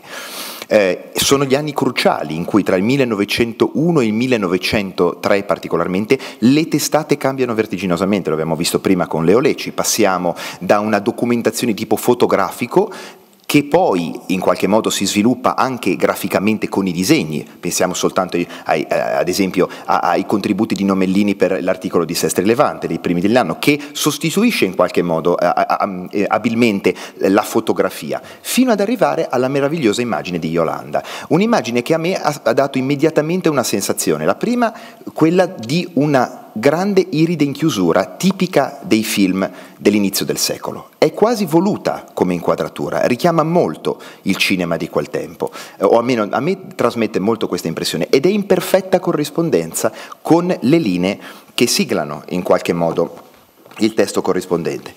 Una mano femminile nell'accludere delle violette in una lettera all'amato scriveva malinconica e amorosa Ti mando delle violette, ma non sarò la prima. Chissà quante donne te ne hanno donate prima di me. Ed era vero. Ebbene, che importa? Le parole che esprimono i più dolci sentimenti, i sentimenti più sinceri, non sono forse state dette e ridette? Non sono forse sempre quelle? Eppure non sembrano meno paradisiache a chi le ascolta.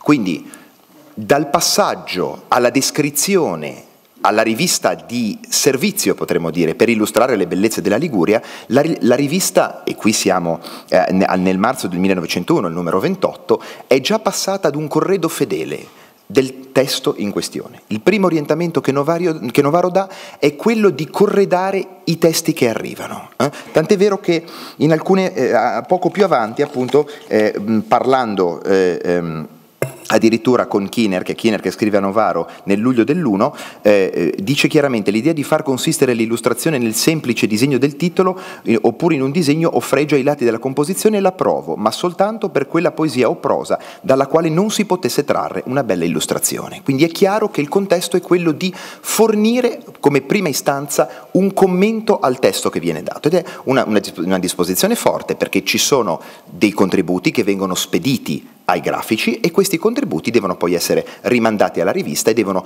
contemperare le esigenze appunto di quella che è una rivista anche definibile per famiglie in qualche modo, quindi che rimane nell'immaginario sia dei più grandi che anche dei più piccini.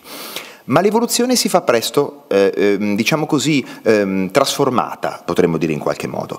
Eh, in pochissimo tempo, e su questo la documentazione epistolare è molto chiara, no? si passa dalle grandi collaborazioni, abbiamo detto prima, no? l'inno all'olivo, eh, il grande Pascoli, no? Numellini, Kinner, che sono già le glorie della testata e che restano fino alla fine tra i maggiori collaboratori, eh, stimolano tuttavia eh, ehm, diciamo così, l'animo di Novaro in un'altra direzione. A un certo punto Novaro, verso la metà dell'uno, in una lettera molto particolare, dice eh, una cosa significativa, eh, dice praticamente basta con quello che deve essere eh, il netto eh, la netta relazione tra immagine e testo. È come se lui percepisse in qualche modo un'esigenza ad un certo tipo, quella di non dare più solo immagini per quelli che sono i testi, ma di dare immagini a sé stanti quasi come se lui volesse in qualche modo codificare l'arte per l'arte e non più l'arte soltanto concepita come legata ai testi. Mm? Lascio agli atti e lascio anche a quanto ha già detto Leo Lecci prima di me le, le bellissime immagini che abbiamo già potuto vedere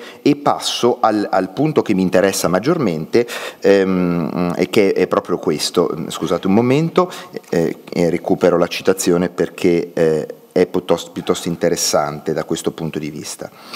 Eh, innanzitutto nel 1901, alla fine del 1901, c'è anche la codificazione, questo lo dico perché, soltanto come informazione aggiuntiva, della testata, della copertina diciamo, della Riviera Ligure con il fregio di Kinner che resterà poi fino alla grande trasformazione degli ultimissimi anni, quando poi la rivista si avvia a conclusione. Ma questa decisione eh, di cambiare l'esigenza dal rapporto testo-immagine è immediatamente seguita e motivata anche da un altro eh, incontro importante. Questo incontro è quello con un altro collaboratore su cui finora si, si, ci si è sempre forse soffermati di meno, ma la cui corrispondenza è molto importante, cioè quello con Edoardo De Albertis. Edoardo De Albertis non rappresenta eh, diciamo, un timore per quelli che sono Kinerk e eh, Nomellini, rappresenta casomai un'alternativa, ma un'alternativa molto forte che colpisce particolarmente Novaro. E questo colpo si definisce appunto in maniera estremamente interessante e, e, e tra l'altro appunto eh, l'incontro tra De Albertis e Novaro è ehm, risalente appunto a quello che è settembre-ottobre del 1901 e, ehm, e, Novaro resta immediatamente appunto colpito dalla prima immagine molto forte e qui faccio scorrere velocemente alcune immagini che abbiamo già visto, ecco, l'immagine corredata ancora è legata al testo, appunto, quindi eh, abbiamo di nuovo la favola, la fantasia del cuore di Ceccardo e poi adesso non mi fa più scorrere avanti le immagini, non so per quale motivo, forse basta il testo, basta il tasto qui, no. Sì, non, non, ma non, si, non risponde scusate. Ah, ecco, adesso è ricomparsa. Ecco, benissimo. Le illustrazioni a corredo della rivista di stile, perfetto, grazie, fotografico, di Nomellini, come vedevamo prima, e l'evoluzione poi, man mano, abbiamo ancora appunto qui eh, Kinerk, che vedevamo prima, il cambio, il primo cambio di testata con Riccardo Galli, e poi abbiamo immediatamente la dimensione più classicheggiante, quella che come discutevamo con Leo Lecci qualche giorno fa, richiamerà poi forse anche l'impostazione degli ultimissimi anni, no? mm, mm anche questa di, in qualche modo di germanica memoria, fino ad arrivare appunto al famoso in all'olivo e poi a passare ecco, verso quella che eh, tra i caratteri oleografici ancora di, di Correda alla rivista ritorna ad essere la testata principale che durerà per moltissimi anni. Eh, queste sono immagini che abbiamo già visto e questo è l'esordio di Edoaldo de Albertis sulla Riviera Ligure. È il, la, la, l'immagine appunto del contadino che torna a casa appunto per la canzone d'autunno di Ceccardo Roccatagliata Ceccardi. Eh, una canzone molto significativa perché richiama tra l'altro quelle che sono le tematiche più care a Mario Novaro, ossia mh, quelle che sono anche testualmente i recuperi di ambito filosofico e letterario che Novaro appoggia particolarmente. Eh, per quanto riguarda appunto la, eh, la, scelta di queste immagini, non è da, eh, da, trascurare il fatto che la ricerca interiore di Novaro, poetica di, all'altezza di questi mesi, è quella che poi si concreterà in quella che diventerà riposo e poi notte in Murmuri ed Echi. Quindi la prima grande prosa filosofica che ricalca moltissimo anche eh, l'ambiente leopardiano, dove la ricerca ricerca dell'esistenza, la ricerca la distinzione tra finito e non finito, eh, gli interrogativi che Malbranche e Nietzsche gli hanno po- già posto negli anni dello studio, si concretizzano e si stendono per la prima volta in quello che è il primo vero testo ed è l'unico vero testo che si completa tra il 1900 e il 1905, quindi negli anni d'oro della rivista. Eh, Ceccardo Roccatagliata Ceccardi affascina particolarmente Mario Novaro, lo sappiamo perché Ceccardo è l'autore di quelle piccole poesie che alla fine dell'Ottocento vengono nominate Murmuri ed Echi ed è chiaro che Novaro omaggia Ceccardo e riconosce Ceccardo come una delle sue fonti di ispirazione, ma Novaro è già avanti per quella che è la ricerca lessicale eh, e abbandona in qualche modo la classicità, anche lo stile di Ceccardo, in direzione di quella che è una prosa poetica volta alla filosofia. Un unico libro, lo sappiamo, Murmuri ed Echi, che viene lavorato no, fino alla fine, fino agli ultimissimi giorni, un canzoniere filosofico dell'io, potremmo dire. E nel commento a questa immagine, che sconvolge in maniera fortissima eh, Novaro, eh, eh, e addirittura ecco, di, definisce eh, Novaro eh, la, la, la, dolcezza eh, e, e, e, lo stile di D'Albertis tra dolcissimo e rude. E qui cito diciamo anche una, una lettera molto interessante che eh, è della fine del febbraio diciamo, del 1902, quindi di mm, tempo, poco tempo dopo, eh, ma dove dà una definizione interessante su quello che è lo stile di De Albertis. No? Ricevetti il frutto che come tutti i suoi disegni mi piace tanto, lo vedremo tra poco, vi trovo una robustezza che è insieme così rude e così fine. Mm? Questo essere rude ed essere fine è forse la chiave che Novaro scopre eh, nel lavoro di De Albertis e che in qualche modo eh, potremmo dire così la classicità, lo stile eh, Art Nouveau, eh, Jugendstil eh, dei, dei, grandi eh, Nomellini e Kinner non riesce ad aprire fino in fondo, ma perché questo non è una mancanza di rispetto alla grande bravura di questi illustratori che fanno la gloria della rivista, è ciò che scava nell'animo di Novaro. E lo scavo dell'animo di Novaro è la ricerca filosofica, che è rude quanto dolce. Quindi il suo interesse nel pubblicare del Bertis, con cui ha una corrispondenza privilegiatissima perché si scrivono a, a giro strettissimo, ne parlavamo ancora appunto con, con Lecci qualche giorno fa, eh, c'è quasi una sorta di interruzione dei rapporti epistolari nei pochi mesi tra il 1901 e il 1902 per eh, diciamo, interruzione di rapporti con gli altri illustratori per concentrarsi proprio su De Albertis. E questa concentrazione a livello di immagine diventerà molto presto anche una sorta di comunione di amorosi di amorose passioni filosofiche che li porterà a scriversi, a definirsi quasi, eh, eh, De Alberti se lo dirà nel 1902, eh, come due anime che si amano, no? come due anime che si cercano perché vanno alla ricerca della stessa finalità. Eh, tanto è vero che De Albertis è l'illustratore a cui, chiede, eh, a cui scusate, Novaro chiederà per primo di fornire disegni di qualunque tipo e su qualsiasi materiale senza badare a spese, quindi eh, anche con una sorta di eh, onerosa forza, potremmo dire, eh, da questo punto di vista.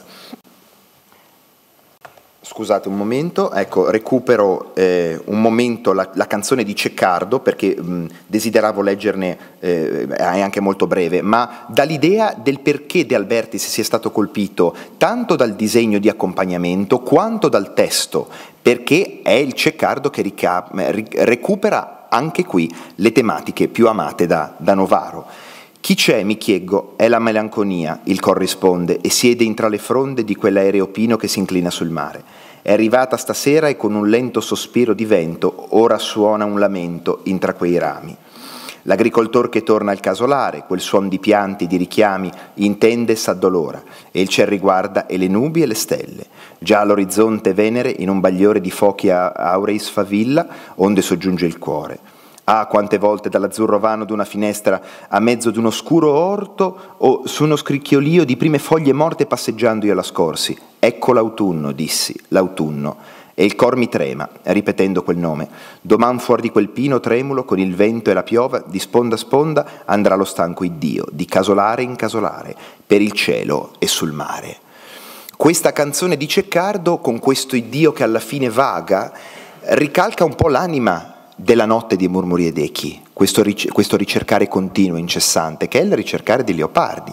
Quanti scenari anche nei testi di Novaro ritroviamo sotto la luna? No? I paesaggi tanto amati, Viozene, Upega, la domanda, la vicinanza ad una ricerca personale che è poi quella di eh, una sorta di risposta dalla natura, non certo di una visione divina codificata, questo lo ricordava benissimo anche Fausto Montanari nel primissimo convegno dedicato a Mario Novaro, no? una ricerca che è forse più simile per qualche aspetto a Jaspers, nella, nella, nell'intendimento filosofico, no? ma dove la natura è una grande risposta. Pensiamo soltanto a Sui monti con Cellino, quando lui domanda a Cellino che cosa ti immagini di essere dopo la morte, lui dice nulla. No? E Cellino è l'ultimo che ritorna ancora una volta nel 1944 quando Mario pubblica l'ultima volta il suo libro, no? il ricordo è per il figlio. Quando il figlio muore la ricerca filosofica della vita si fa ancora più grande, no? diventa l'unico senso. Tant'è vero che poi sostanzialmente forte, questo forte connubio con D'Albertis che continua, ecco qui potete vedere ad esempio la prima tavola eh, in senso assoluto, cioè quella che lui concepisce tra le prime come testo a sé stante, no? inquietudine, fortissimo il segnale di nuovo espressionista, potremmo dire, come diceva anche eh, eh Lecci prima, e in qualche modo che richiama però nella, nella, pastosità del tratto qualcosa di precedente, qualcosa che ha un non so che di romantico, no? ma l'inquietudine è proprio quello che caratterizza Novaro. No? La corrispondenza qui è molto forte, ad esempio inquietudine eh, il frutto, no? irrompono quasi a ornare la rivista novariana con un tratto forte, sanguigno e passionale. Eh, mh, mm, e la passione è certamente quella che deve avere colpito particolarmente Novaro. Ecco, e a fianco a queste tavole convivono invece eh, Nomellini e Kinner, no? che in qualche modo percepiscono, eh, e qui lo dico come ambasciatore che non porta pena, il privilegio che in quei mesi Novaro accorda ad Albertis nella, nella frequenza della corrispondenza, e sono gli stessi mesi in cui si codifica poi la struttura della riviera vera e propria, cioè quella con i capilettera, con i principali segnali che rimarranno fino alla fine, quindi la, la, quella che è la, la costante eh, conclusiva. Ecco appunto il frutto, come vi facevo vedere, mh, mm, di cui vi parlavo prima, no? ecco che Mario Novaro dice ricevetti il frutto che come tutti i suoi disegni mi piace tanto e lo rileggo no? mentre lo vediamo, vi trovo una robustezza che è insieme così rude e così fine e una pienezza e intensità di sentimento e un sentimento così pieno di idea o dirò meglio, di ideale. No? E la ricerca, appunto, no? quando si parla di idealismo non è certo l'idealismo hegeliano, no? ma è un idealismo che sfocia nella ricerca filosofica più vicino anche alla natura e anche all'Oriente. Ricordiamoci le traduzioni di Chuanzé che Novaro amò eh, in maniera eh, veramente grande. E, la, e, la, ecco, e, questo invece poi è il segnale, è la tavola che orna un frammento eh, di una sera di Adelchi Baratono, eh, eh, che è tra l'altro eh, un momento interessante perché ci testimonia come la creazione di tavole non abbia eh, implicato l'interruzione eh, di quello che era una di tavola a sé stante, non abbia implicato l'interruzione di un corredo di immagini per determinati testi, ma è importante come lo in, lo, viene inquadrato mh, mm, qui il problema perché eh, tra l'altro, appunto, quando eh, De Albertis e Novaro discutono su questa immagine, eh, De Albertis scrive a Novaro, e qui siamo al 5 febbraio del 2,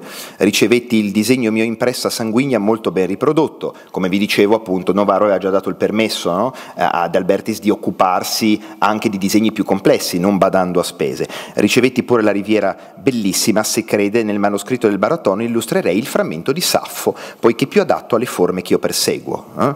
E tant'è vero che c'è un personaggio che cita questo frammento di Saffo e questo frammento di Saffo è appunto mm, toglie la madre alla fanciulla no? ed è eh, appunto un momento interessante perché c'è di nuovo il collegamento al classico. Saffo è la prima figura che compare in notte, in riposo, che viene pubblicata sul numero 40, proprio all'altezza di questi mesi. E Novaro lo segnala ad Albertis perché ha capito che con Delbertis c'è questa corrispondenza filosofica. E quindi gli dice stai attento perché io ho pubblicato Riposo su Riviera, vallo a leggere, lì troverai le risposte no? e compare Leopardi e compare Saffo, quindi c'è proprio un contatto per cui in questo preciso momento Novaro riesce a dare all'interno di una rivista che ha delle esigenze pratiche, lui non dimentica mai, una risposta a quelle che è la sua necessità interiore ed è questo l'interesse più letterariamente spiccato e il rapporto che io a mio avviso colgo tra la corrispondenza e tra i testi di Riviera. Ovviamente un rapporto privilegiato che solo Mario Novaro sa che gli altri corrispondenti difficilmente avrebbero percepito.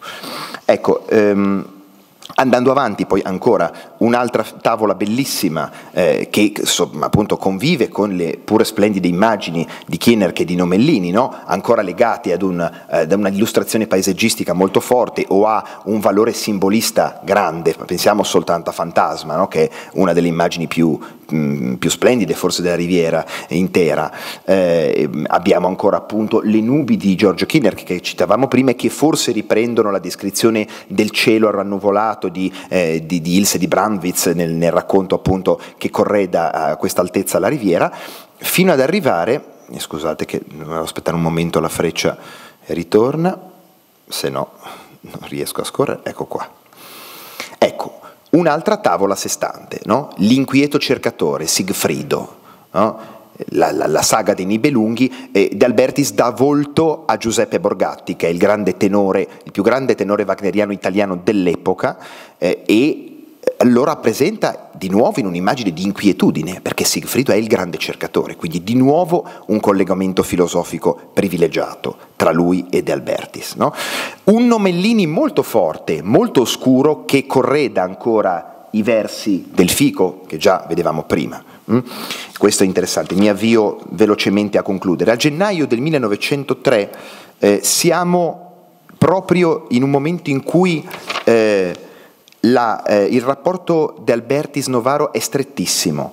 Eh, abbiamo già la presenza di Adolfo Magrini, di, di, di, altri nomi che sono ritornati insieme a Kiener e a Nomellini che continuano ad illustrare, eh, come, possiamo, come, abbiamo visto, ehm, ma eh, il, la relazione interpersonale è molto forte. Ecco, De Albertis scrive a Novaro, manderò un disegno probabilmente ispirato dalla sesia sonnolenta che io amo in questi giorni, abbandonandomi ad iconografie fluviali. Perché ella non è qui? Io sento ancora in me, con inestinto desiderio, l'armonia grande di quella sua prosa. E questa è perché è la lettura che De Albertis ha fatto della, del riposo che è comparso su Riviera Ligure, appunto. E, e questo è, il, è, un momento appunto fondamentale, il numero 40. No? Mario Novaro gli aveva appunto scritto eh, anche la presenza di una piccola prosa mia e, eh, tra l'altro appunto eh, no, allo stesso tempo nel, discutendo sulle immagini di questi momenti De Albertis aveva ancora scritto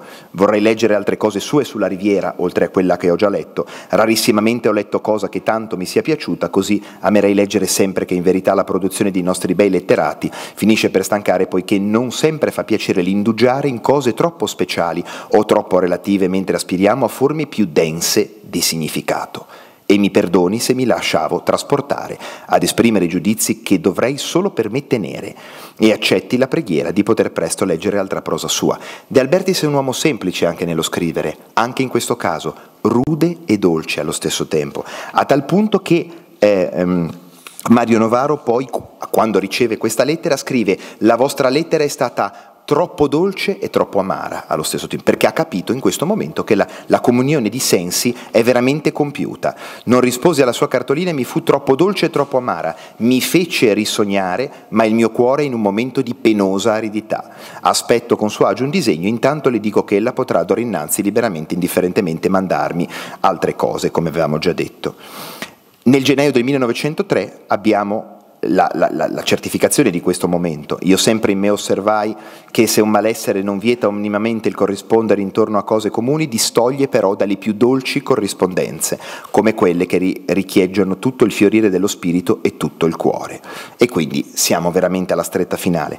Eh, a una stretta finale a tal punto che verso il febbraio-marzo dello stesso anno i due propongono di incontrarsi e misteriosamente, e questo è un problema che resta ancora oggi abbastanza insoluto, la corrispondenza finisce e finisce anche la presenza di De Albertis sulla riviera.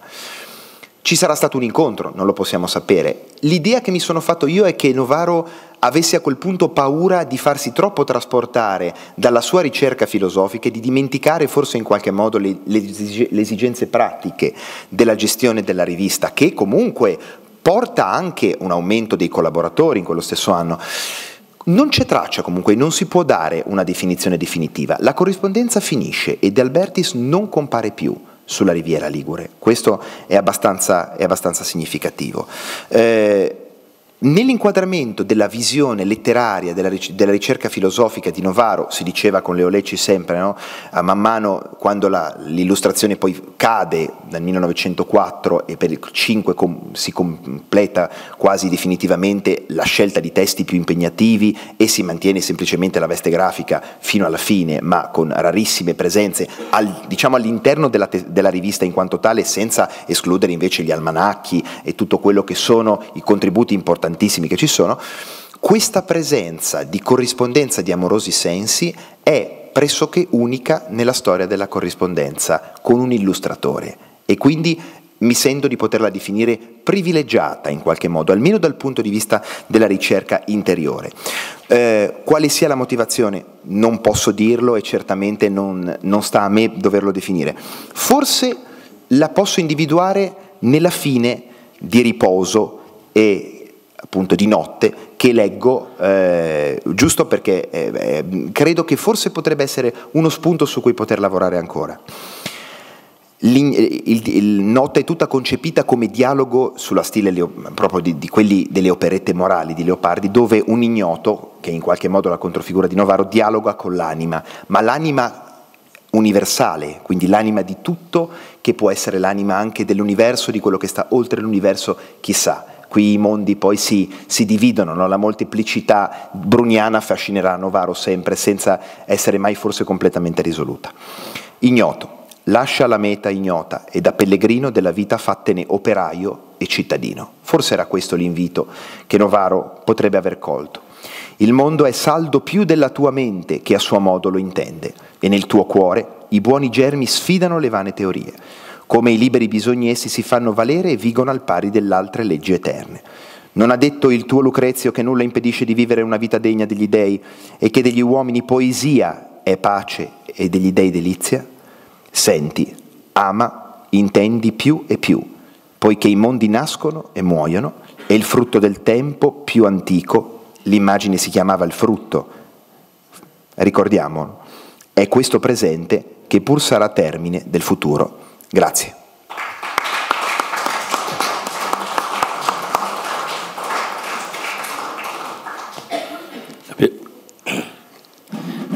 Abbiamo chiuso in bellezza come prevedibile.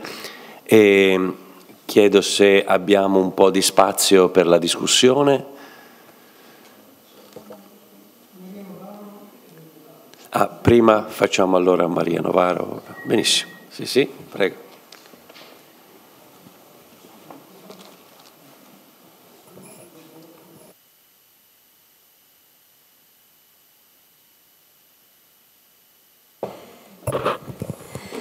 Ma io cercherò di essere velocissima, data anche l'ora. Eh, vi volevo dire una cosa che trovate anche, leggere alcune parole che si trovano anche nella introduzione al quarto volume delle lettere a Riviera Ligure, appena uscito, appena presentato. E sono le parole di Mario Novaro che dice Ciò per spiegarle come io dicendo che il silenzio non nuocerà al mio libro, intendevo dire che esso vivrà anche malgrado il silenzio. E questo lui lo scriveva nel 1912. Eh, estendendo questo suo discorso che vuole essere, lui dice io sono anche così molto presuntuoso, fra virgolette, anche se sembra una persona timidissima, così, eccetera. Eh, io lo estenderei, ecco, questo suo discorso come premonizione a tutta la sua opera, non solo ai suoi versi, eh, perché così per una serie di casualità eh, oggi siamo qui a parlare di tutta la sua opera che eh, da, dai discorsi che sono stati fatti e dei, per i quali ringrazio i vari oratori e eh, ricercatori che hanno approfondito sotto vari aspetti la sua opera, ecco, dico, eh, noi siamo qui oggi a parlarne eh, e, e, a parlarne in maniera molto estesa.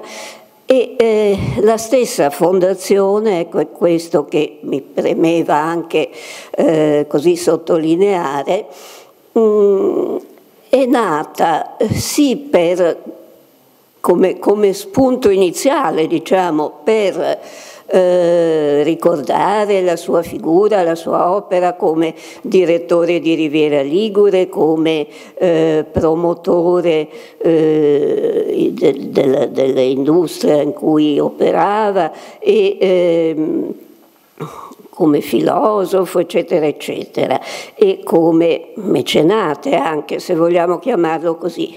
Eh, però eh, la fondazione che porta il suo nome, ecco, eh, cercando forse di eh, imitare il suo esempio, eh, ha esteso eh, la, il proprio interesse, i propri interessi alla conservazione e alla valorizzazione di quella che eh, è stata la cultura ligure del Novecento estesa a tutti i suoi aspetti, quindi non solo letterari, ma eh, di, di, promozione d'azienda, di eh, immagine, di arte, di, mu, di arte eh, musica e, e, arte visiva, eccetera, eccetera.